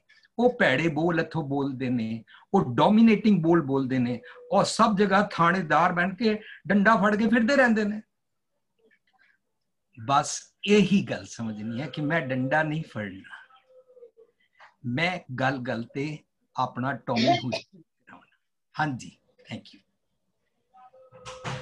ਜੀ ਧੰਨਵਾਦ ਵੀ ਜੀ ਪੂਆ ਜੀ ਆਪ ਜੀ ਇਸ ਬਾਬਤ ਵਿਚਾਰ ਦਿਓਗੇ ਹਾਂਜੀ ਭੁਪਿੰਦਰ ਵੀ ਜੀ ਉਹਨਾਂ ਨੇ ਤੇ ਬਹੁਤ ਸੋਹਣਾ ਆਲਰੇਡੀ ਦੱਸ ਦਿੱਤਾ ਹੈ ਇਸ ਰਾਈਟ ਕਿ ਅਸੀਂ ਗੁਰਬਾਣੀ ਪੜਨ ਤੇ ਵਕਤ what is the energy that we read the ਬਾਣੀ with? ਇੱਕ ਫੇਅਰ ਦੇ ਨਾਲ ਬਾਈ ਨਿਤਨੇਮ ਕਰਨਾ ਹੈ ਸ਼ਾਮੀ ਦਾ ਪਾਠ ਕਰਨਾ ਹੈ ਸੁਖਮਨੀ ਦਾ ਪਾਠ ਕਰਨਾ ਹੈ 12 ਵਜ ਕੇ ਫਟਾਫਟ ਕਰ ਲਓ ਨਾਲ ਇਹ ਵੀ ਹੁੰਦਾ ਹੈ ਕਿ ਅਸੀਂ ਇੱਕ ਫੇਅਰ ਕਿਉਂ ਹੁੰਦਾ ਕਿਉਂਕਿ ਅਸੀਂ ਬਾਣੀ ਨੂੰ ਹਮੇਸ਼ਾ ਨਾ ਇੱਕ ਤੋਲਿਆ ਕਿਸ ਚੀਜ਼ ਵਾਸਤੇ? ਆਪਣੇ ਹੀ ਖੁਆਇਸ਼ਾਂ ਨੂੰ ਪੂਰੀਆਂ ਕਰਨ ਵਾਸਤੇ। ਮੇਰੇ ਬੱਚੇ ਦਾ ਵਿਆਹ ਹੋ ਜਾਏ ਮੈਨੂੰ ਘਰ ਮਿਲ ਜਾਏ, ਮੈਨੂੰ ਦੁੱਖ ਤੋਂ ਕੱਢ ਦੋ, ਮੈਨੂੰ ਰੋਗ ਤੋਂ ਕੱਢ ਦੋ। ਅਸੀਂ ਬਾਣੀ ਹਮੇਸ਼ਾ ਇਸੇ ਤਰੀਕੇ ਨਾਲ ਹੀ ਪੜਦੇ ਰਹੀਆਂ the base is always the fear or fear ਕਰਕੇ ਅਸੀਂ ਜਦੋਂ ਬਾਣੀ ਨੂੰ ਪੜਦੇ ਹਾਂ, ਬਾਣੀ ਇਸ ਵਾਸਤੇ ਨਹੀਂ ਸੀ। It was not to complete our and fulfil our wishes ਬਾਣੀ ਸੀ was an information given to us ਕਿ ਤੁਸੀਂ ਜੀਂਦਿਆਂ ਜੀ ਐਵੋਲੂਸ਼ਨ ਕਿੰਜ ਪਾਣਾ ਇਨਲਾਈਟਨਮੈਂਟ ਕਿੰਜ ਪਾਣਾ ਸਚਿਆਰ ਕਿੰਜ ਹੋਣਾ ਆਪਣੇ ਵਾਈਸਸ ਤੋਂ ਮੁਕਤ ਕਿੰਜ ਹੋਣਾ ਦਿਸ ਵਾਸ the information given in the Guru Granth Sahib ਬਾਣੀ ਦੇ ਰਾਈ ਸਾਨੂੰ ਇਨਫੋਰਮੇਸ਼ਨ ਮਿਲੀ ਸੀ। ਬਟ ਅਸੀਂ ਕੀ ਕੀਤਾ ਸੀ, ਖਾਲੀ ਰੁਮਾਲਿਆਂ ਤੇ ਚੜਾ ਦਿੱਤਾ ਔਰ ਡਰ ਡਰ ਕੇ ਪਾਠ ਕੀਤਾ ਤਾਂ ਕਿ ਅਸੀਂ ਲੋਕ ਆਪਣੇ ਖੁਆਇਸ਼ਾਂ ਨੂੰ ਪੂਰੇ ਕਰ ਸਕੀਏ। For example if you buy a machine you will see in the machine, you'll get a prospectus there's a book written. ਉਸ ਬੁੱਕ ਦੇ ਅੰਦਰ ਉਹਨਾਂ ਨੇ ਪੂਰੀ ਇਨਫੋਰਮੇਸ਼ਨ ਦਿੱਤੀ ਹੁੰਦੀ ਕਿ ਇਸ ਮਸ਼ੀਨ ਨੂੰ ਕਿੰਜ ਚਲਾਉਣਾ ਹੈ ਔਰ ਇਹਦਾ ਫਾਇਦਾ ਕਿੰਜ ਉਠਾਉਣਾ ਹੈ ਇਹਦਾ ਸੁੱਖ ਕਿੰਜ ਤੁਸੀਂ ਮਾਣਨਾ ਹੈ ਇਸ ਮਸ਼ੀਨ ਦਾ ਅਗਰ ਮੈਂ ਖਾਲੀ ਪੜ ਕੇ ਔਰ ਮੈਂ ਉਹ ਕਿਤਾਬ ਨੂੰ ਰੱਖਦਾ ਔਰ ਮਸ਼ੀਨ ਤੱਕ ਮੈਂ ਯੂਜ਼ ਵੀ ਨਾ ਕਰਾਂ ਤੇ ਮਨ ਤਾਂ ਉਹਦਾ ਕੋਈ ਫਾਇਦਾ ਹੀ ਨਹੀਂ ਹੈ ਔਰ ਅਗਰ ਮੈਂ ਪੜ ਵੀ ਲੈਂਦੀ ਆ ਔਰ ਮਸ਼ੀਨ ਤੱਕ ਮੈਂ ਪਹੁੰਚ ਵੀ ਜਾਂਦੀ ਆ ਹੋ ਸਕਦਾ ਮੈਨੂੰ ਕੋਈ ਗਲਤੀ ਲੱਗ ਜਾਏ ਇਸਤੇਮਾਲ ਕਰਨ ਵਿੱਚ I will go back to my book ਫਿਰ ਮੈਂ ਰੀਡ ਕਰਾਂਗੀ, ਫਿਰ ਮੈਂ ਅੰਡਰਸਟੈਂਡ ਕਰਾਂਗੀ, ਫਿਰ ਮੈਂ ਪੂਰੀ ਤਰ੍ਹਾਂ ਠੀਕ ਤਰੀਕੇ ਨਾਲ ਮਸ਼ੀਨ ਯੂਜ਼ ਕਰਾਂਗੀ। ਇਸੇ ਤਰੀਕੇ ਨਾਲ ਸਾਨੂੰ ਗੁਰੂ ਗ੍ਰੰਥ ਸਾਹਿਬ ਦੇ ਜੋ ਵੀ ਇਨਫੋਰਮੇਸ਼ਨਸ ਮਿਲਦੀਆਂ ਹਨ, ਉਸ ਇੱਕ ਤੱਕ ਪਹੁੰਚਣ ਵਾਸਤੇ ਹੈ। ਉਹ ਅੰਤਰ ਦੀ ਇੱਕ ਕਹਿੰਦੇ ਨਾ ਪੂਰੀ ਤਰ੍ਹਾਂ ਦੇਸ ਜਰਨੀ ਉਹ ਪੂਰੀ ਜਰਨੀ ਦੀ ਇਨਫੋਰਮੇਸ਼ਨ ਸਾਨੂੰ ਮਿਲਦੀ ਹੈਗੀ ਹੈ। ਜਦੋਂ ਅਸੀਂ ਉਹ ਇਨਫੋਰਮੇਸ਼ਨਸ ਲੈਂਦੇ ਹਾਂ ਤੇ ਅਸੀਂ ਉਸ ਮਾਰਗ ਤੇ ਚੱਲਣ ਇਨਫੋਰਮੇਸ਼ਨ ਲੈਣੀਆਂ ਉਸ ਨੂੰ ਵਿਚਾਰਨਾ ਉਸ ਨੂੰ ਸਮਝਣਾ and then we have to implement ਤਦ ਹੀ ਅਸੀਂ ਉਸ ਇੱਕ ਤੱਕ ਪਹੁੰਚ ਸਕਦੇ ਹਾਂ ਤਦ ਹੀ ਅਸੀਂ ਸਚਿਆਰ ਹੋ ਸਕਦੇ then only we can reach the truthful living the mission we can reach ਸਾਡੀ ਇਹ ਮਿਸ਼ਨ ਨਹੀਂ ਹੈ ਕਿ ਅਸੀਂ ਆਪਣੀਆਂ ਖੁਆਇਸ਼ਾਂ ਨੂੰ ਪੂਰੀਏ ਕਰੀਏ ਔਰ ਉਸ ਵਾਸਤੇ ਅਸੀਂ ਡਰ ਡਰ ਕੇ ਬਾਣੀ ਪੜ੍ਹਦੇ ਹਾਂ the actual meaning of the Guru Granth Sahib, the actual meaning is that we have got all the information to make a beautiful life, to handle every situations in life. ਔਰ ਜਿੰਦਿਆਂ ਜੀ ਆਪਣੇ ਵਾਇਸਸ ਤੋਂ ਮੁਕਤ ਹੋਣਾ ਹੈ। ਬਟ ਅਸੀਂ ਬਾਣੀ ਡਰ ਡਰ ਕੇ ਪੜ੍ਹਦੇ ਹਾਂ। ਅਸੀਂ ਉਸ ਨੂੰ ਵਿਚਾਰਦੇ ਨਹੀਂ ਹਾਂ। ਅਸੀਂ ਖਾਲੀ ਹੀ ਸੈਕਿੰਡ ਖੰਡ ਦੇ ਵਿੱਚ, ਗਿਆਨ ਖੰਡ ਦੇ ਵਿੱਚ ਹੀ ਫਸ ਗਏ ਹਾਂ, ਜਿੱਥੇ ਕਾਈ ਜੰਮ ਗਈ ਹੰਕਾਰ ਹਉਮੈ ਸਭ ਕੇ ਔਰ ਅਸੀਂ ਆਪਣੀ ਡਿਬੇਟਿੰਗ ਵਿੱਚ ਹੀ ਰਹਿ ਗਏ ਹਾਂ। ਕਿਉਂਕਿ ਮੇਰੇ ਕੋਲ ਗਿਆਨ ਜ਼ਿਆਦਾ ਹੈ, ਮੈਨੂੰ ਜ਼ਿਆਦਾ ਮੈਂ ਪੜ੍ਹ ਲਿੱਤੇ, ਮੇਰੇ ਨੋਟ ਜ਼ਿਆਦਾ ਬਣ ਗਏ। ਅਸੀਂ ਤੀਸਰੇ ਖੰਡ ਵਿੱਚ ਪਹੁੰਚੇ ਹੀ ਨਹੀਂ। ਤੀਸਰੇ ਖੰਡ ਦੇ ਵਿੱਚ ਜਾਣ ਵਾਸਤੇ ਹੀ ਸਤਿਗੁਰੂ ਦਾ ਗਿਆਨ ਦਾ ਇਨਫੋਰਮੇਸ਼ਨ ਲੈ ਕੇ ਚੱਲਣਾ ਸੀ। ਉਸ ਮਸ਼ੀਨ ਤੱਕ ਪਹੁੰਚਣਾ ਸੀ। ਉਹਦੇ ਪੂਰਾ ਫਾਇਦਾ ਉਠਾਉਣਾ ਸੀ। ਉਹਦਾ ਸੁੱਖ ਮਾਣਨਾ ਸੀ। ਅਸੀਂ ਇਨਫੋਰਮੇਸ਼ਨਸ ਪੜ੍ਹ ਤੇ ਲਿੱਤੀਆਂ, ਵਿਚਾਰ ਵੀ ਲਿੱਤੀਆਂ, ਪਰ ਅਸੀਂ ਚੱਲੇ ਨਹੀਂ ਹਾਂ ਉੱਥੇ। Because we have not implemented implement ਕਰਨ ਵਾਸਤੇ ਤੁਹਾਨੂੰ ਅੰਦਰ ਦੀ ਜਰਨੀ ਜਾਈ। This is an internal journey which we call the universal religion Gurbani ਸਾਨੂੰ ਯੂਨੀਵਰਸਲ ਰਿਲੀਜਨ ਦੀ ਗੱਲ ਕਰਦੀ ਹੈ ਕਿ ਇਸ ਕਰਕੇ ਕੋਈ ਵੀ ਮਜ਼ਹਬ ਦਾ ਬੰਦਾ ਪੜ ਸਕਦਾ ਹੈ, ਕਿਉਂਕਿ ਹਰ ਬੰਦੇ ਦੇ ਅੰਦਰ ਉਹੀ ਖੂਨ, ਉਹੀ ਹੱਡੀਆਂ, ਉਹੀ ਔਰਗਨ ਉਹੀ ਮਨ, ਉਹੀ ਇੱਕ ਹੈਗਾ ਇਸ ਵਾਸਤੇ ਅੰਦਰ ਜਾਣ ਵਾਸਤੇ ਸਾਨੂੰ ਪੂਰੀ ਇਨਫੋਰਮੇਸ਼ਨ ਗੁਰਬਾਣੀ ਤੋਂ ਮਿਲੀ ਹੈਗੀ ਹੈ। ਪਰ ਅਸੀਂ ਆਪਣੇ ਹੀ ਖੁਆਇਸ਼ਾਂ, ਆਪਣੇ ਹੀ ਵਿਸ਼ੇਸ ਪੂਰੇ ਕਰਨ ਔਰ ਡਰ ਡਰ ਕੇ ਅਸੀਂ ਕਰਦੇ ਰਹੇ ਹਾਂ। ਇਸ ਕਰਕੇ ਬਾਣੀ ਪੜੋ ਬਾਣੀ ਨੂੰ ਸਮਝੋ ਔਰ ਫਿਰ ਉਸ ਮਾਰਗ ਤੇ ਚੱਲੋ। do not use it for your own wishes ਅਸੀਂ ਗੁਰਦੁਆਰੇ ਵੀ ਜਾਂਦੇ ਆ ਪਾਠ ਵੀ ਕਰਦੇ ਆ ਅਸੀਂ 40 ਦਿਨ ਵਾਸਤੇ ਪਾਠ ਕਰਨਾ ਅਸੀਂ ਗਿਣਤੀਆਂ ਮਿੰਤੀਆਂ ਮਾਲਿਆਂ ਦੇ ਵੀ ਅਸੀਂ ਇਤਨੇ ਜ਼ਿਆਦਾ with dragon sorry to say this is all ਕਰਮ ਕਾਂਡ ਬਾਣੀ ਨੇ ਸਾਨੂੰ ਇਹ ਚੀਜ਼ ਨਹੀਂ ਮੰਗੀ ਤੀਰਥ ਨਾਵਨ ਜਾਉ ਤੀਰਥ ਨਾਮ ਹੈ ਤੀਰਥ ਸ਼ਬਦ ਵਿਚਾਰ ਅੰਤਰ ਗਿਆਨ ਹੈ ਇਹ ਅੰਦਰ ਦੀ ਖੇਡ ਹੈਗੀ that is why ਗੁੱਸਾ ਆ ਜਾਂਦਾ ਹੈ ਹਲੀ ਅਸੀਂ ਗੁੱਸੇ ਨੂੰ ਪਕੜ ਕੇ ਬੈਠੇ ਪਰ ਗੁੱਸੇ ਦਾ ਪਿਓ ਕੌਣ ਹੈਗਾ ਹਉਮੈ ਹਉਮੈ ਗੁੱਸਾ ਕਿਉਂ ਆਇਆ ਕਿਸੇ ਨੇ ਮਨ ਕੁਝ ਕਹਿ ਦਿੱਤਾ we are on the body conscious we are not on the soul conscious at all or ਅਸੀਂ ਕਿੱਥੇ ਪਹੁੰਚਣਾ ਸੀ ਮਨ ਤੂੰ ਜੋਤ ਸਰੂਪ ਹੈ ਆਪਣਾ ਮੂਲ ਪਛਾਣ ਇਹ ਬਾਣੀ ਕਹਿੰਦੀ ਹੈ ਬਾਣੀ ਬਾਹਰ ਬਾਹਰ ਕਹਿ ਰਹੀ ਹੈ ਪਰ ਅਸੀਂ ਉੱਤੇ ਤੱਕ ਪਹੁੰਚਦੇ ਨਹੀਂ ਅਸੀਂ ਸਰੀਰ ਤੱਕ ਹੀ ਰਹਿ ਗਏ ਇਸ ਕਰਕੇ ਸਾਡੇ ਅੰਦਰ ਬਾਰ-ਬਾਰ ਹਉਮੈ ਦੀ ਮੈਲ ਚੜਦੀ ਔਰ ਹਉਮੈ ਦੇ ਵਿੱਚੋਂ ਦੇ ਸਾਰਾ ਸੰਤਾਨ ਦੇ ਰਹੋ ਤੇ ਪੂਰਾ ਖਾਨਦਾਨ ਕਾਮ, ਕ੍ਰੋਧ, ਲੋਭ, ਮੋਹ, ਹੰਕਾਰ ਜੈਲਸੀ ਸਾਰੀਆਂ ਚੀਜ਼ਾਂ ਪ੍ਰਗਟ ਹੁੰਦੀਆਂ। ਪਕੜੋ ਤਾਂ ਆਪਣੇ ਹਉਮੈ ਨੂੰ ਪਕੜੋ। ਇੱਕ ਗੁੱਸਾ ਆਇਆ, ਹਉਮੈ। ਬਿਟਨੈਸ ਆਈ, ਹਉਮੈ। ਜੈਲਸੀ ਆਈ, ਹਉਮੈ। ਪਿਓ ਤੇ ਹਉਮੈ ਹੀ ਹੈ। ਹਉਮੈ ਦੀ ਰੋਗ ਹੈ। ਇਸ ਕਰਕੇ ਬਾਣੀ ਅੰਤਰ ਗਿਆਨ ਦੀ ਗੱਲ ਹੈ ਅੰਤਰ ਦ ਜਰਨੀ ਦੀ ਗੱਲ ਹੈ it is a universal religion ਜਦ ਤੱਕ ਉਸ ਦੀ ਇਨਫੋਰਮੇਸ਼ਨ ਨੂੰ ਤਾਰੋਗੇ ਨਹੀਂ ਅਸੀਂ ਮਰਿਆਦਾ ਵਿੱਚ ਹੀ ਰਹਿ ਗਏ ਰੁਮਾਲੇ ਚੜਾਉਂਦੇ ਰਹਿ ਗਏ ਹਾਂ ਪੂਜਾ ਪਾਠੀ ਕਰਦੇ ਰਹਿ ਗਏ ਹਾਂ ਨਾਲ ਨਾਲ ਸਵਾਰਦੇ ਗਿਆ ਫੁੱਲਾਂ ਨਾਲ ਲਗਾ ਦਿੱਤਾ ਸਭ ਕੁਝ ਕਰ ਲਿੱਤਾ ਪਰ ਗੁਰੂ ਨੇ ਕੀ ਇਨਫੋਰਮੇਸ਼ਨ ਦਿੱਤੀ ਉਸ ਨੂੰ ਅਸੀਂ ਨਹੀਂ ਪਕੜਿਆ ਹਾਂਜੀ ਧੰਨਵਾਦ ਭੂਆ ਜੀ ਬਹੁਤ ਬਾ ਕਮਾਲ ਬਾ ਕਮਾਲ ਧੰਨਵਾਦ ਭੂਆ ਜੀ ਹਾਂਜੀ ਬਹੁਤ- ਜੀ। ਥੋੜਾ ਜਿਹਾ ਵਿਚਾਰ ਮੇਰੀ ਇੱਕ ਮਿੰਟ ਦੀ। ਹਾਂ ਵੀ ਜੀ ਵੀ ਜੀ ਪਲੀਜ਼ ਬਾਣੀ ਪੜ੍ਹ ਕੇ ਸਦਾ ਜੀਵ ਵਿੱਚ ਬਦਲਾਵ ਕਿਉਂ ਨਹੀਂ ਆਉਂਦਾ? ਬਦਲਾਵ ਇਸ ਕਰਕੇ ਨਹੀਂ ਆਉਂਦਾ ਬਾਣੀ ਅਸੀਂ ਪੜ੍ਹਦੇ ਹਾਂ ਮਨ ਤੇ ਵੀ ਲੈ ਜਾਂਦੇ ਹਾਂ। ਮਨ ਦੀ ਗੱਲ ਆ। ਉਸ ਮਨ ਤੇ ਲੈ ਤਾਂ ਜਾਂਦੇ ਆ ਪਰ ਮਨ ਜਿਹੜਾ ਮੰਨਦਾ ਨਹੀਂ। ਕੱਲਾ ਮਨ ਤੱਕ ਪਹੁੰਚਾ ਦੇਣ ਦੇ ਨਾਲ ਜੀਵਨ 'ਚ ਬਦਲਾਅ ਨਹੀਂ ਹੋਣਾ ਮਨ ਬਾਅਦ 'ਚ ਕਰਮ।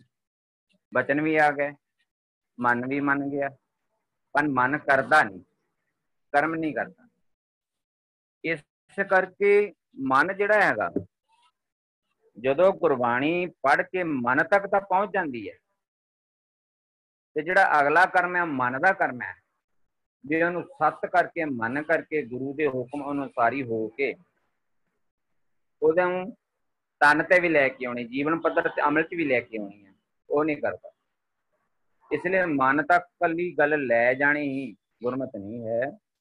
ਗੁਰਬਾਣੀ ਇਹ ਕਹਿੰਦੀ ਹੈ ਵੀ ਭਾਈ ਮਨ ਬਚ, ਬਚਨ ਕਰਕੇ ਮਨ ਨੂੰ ਸਮਝਾ ਲਿਆ। ਗੁਰਬਾਣੀ ਅਸਰ ਕਰਦੀ ਹੈ ਮਨ ਤੇ।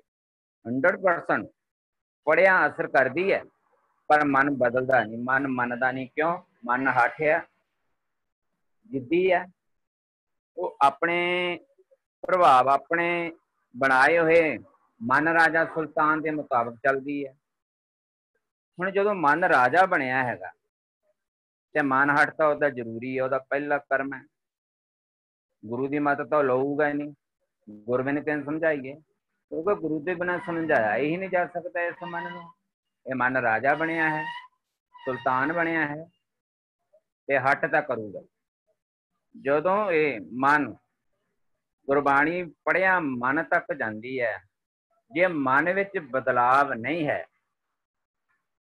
ਮੰਨ ਗਿਆ ਮਨ, ਅਸੀਂ ਵੀ ਮੰਨਦੇ ਆ ਮੈਂ ਵੀ ਮੰਨਦਾ ਰੋਜ਼, ਕਈ ਗੱਲਾਂ ਸ਼ਬਦ ਮੰਨ ਲੈਂਦੇ ਆ ਪਰ ਫਿਰ ਵਿਸਰ ਜਾਂਦਾ ਮਾਇਆ ਵਿੱਚ। ਕਿਉਂਕਿ ਹੋਮੇ ਨਾ ਵੀ ਆਵੇ, ਮੰਨ ਲੈਨੇ ਕਿ ਹਉਮੈ ਛੱਡ ਲੈਂਦਾ, ਪਰ ਮਾਇਆ ਦੀ ਪ੍ਰਬਲ ਜਿਹੜੀ ਮਾਇਆ ਦੀ ਤਾਕਤ ਹੈ, ਉਹ ਜੀਵ ਨੂੰ ਇਸ ਗੁਣਾ ਨੂੰ ਵਿਸਾਰਨ ਦੀ ਸਮਰੱਥਾ ਵੀ ਰੱਖਦੀ ਹੈ। ਉਹ ਜੀਵ ਨੂੰ ਗੁਣਾ ਤੋਂ ਮੋੜ ਕੇ ਮਾਇਆ ਦੇ ਪ੍ਰਭਾਵ ਵਿੱਚ ਜ਼ਿਆਦਾ ਪ੍ਰਬਲ ਕਰ ਲੈਂਦੀ ਹੈ ਤੇ ਜਿਹੜਾ ਜੀਵ ਗੁਣ ਉਹਨੂੰ ਵਿਸਰ ਜਾਂਦੇ ਹਨ, ਭੁੱਲ ਜਾਂਦੇ ਹਨ। ਯਾਦ ਕੀਤਾ ਹੋਇਆ ਪਾਠ, ਯਾਦ ਸਮਝਿਆ ਹੋਇਆ ਗੁਣ, ਉਹ ਮਾਇਆ ਦੇ ਵਿੱਚ ਜਦੋਂ ਸੰਸਾਰਕ ਮਾਇਆ ਵਰਤਦੀ ਹੈ, ਦ੍ਰਿਸ਼ਟਮਾਨ ਮਾਇਆ ਵਰਤਦੀ ਹੈ ਜਾਂ ਦ੍ਰਿਸ਼ਟਮਾਨ ਕੋਈ ਸਾਡੇ ਨਾਲ ਇਹ ਇਨਸੀਡੈਂਟ ਹੁੰਦਾ ਹੈ ਜਾਂ ਸਾਡਾ ਦ੍ਰਿਸ਼ਟਮਾਨ ਦੇ ਵਿੱਚ ਸਾਡੇ ਕਰਮ ਇੰਦਰੀਆਂ ਦੇ ਨਾਲ ਵਿਚਾਰ ਹੁੰਦੀ ਹੈ। ਮਨ ਦੀ ਵਿਚਾਰ ਇੱਕ ਦੂਸਰੇ ਦੇ ਨਾਲ ਵਿਚਾਰ ਹੁੰਦੀ ਹੈ, ਜਿੱਥੇ ਕਲੇਸ਼ ਹੁੰਦਾ ਹੈ, ਉੱਥੇ ਵੀ ਮਾਇਆ ਵਰਤ ਜਾਂਦੀ ਹੈ। ਵਿਚਾਰ ਨਹੀਂ ਰਲਦੇ।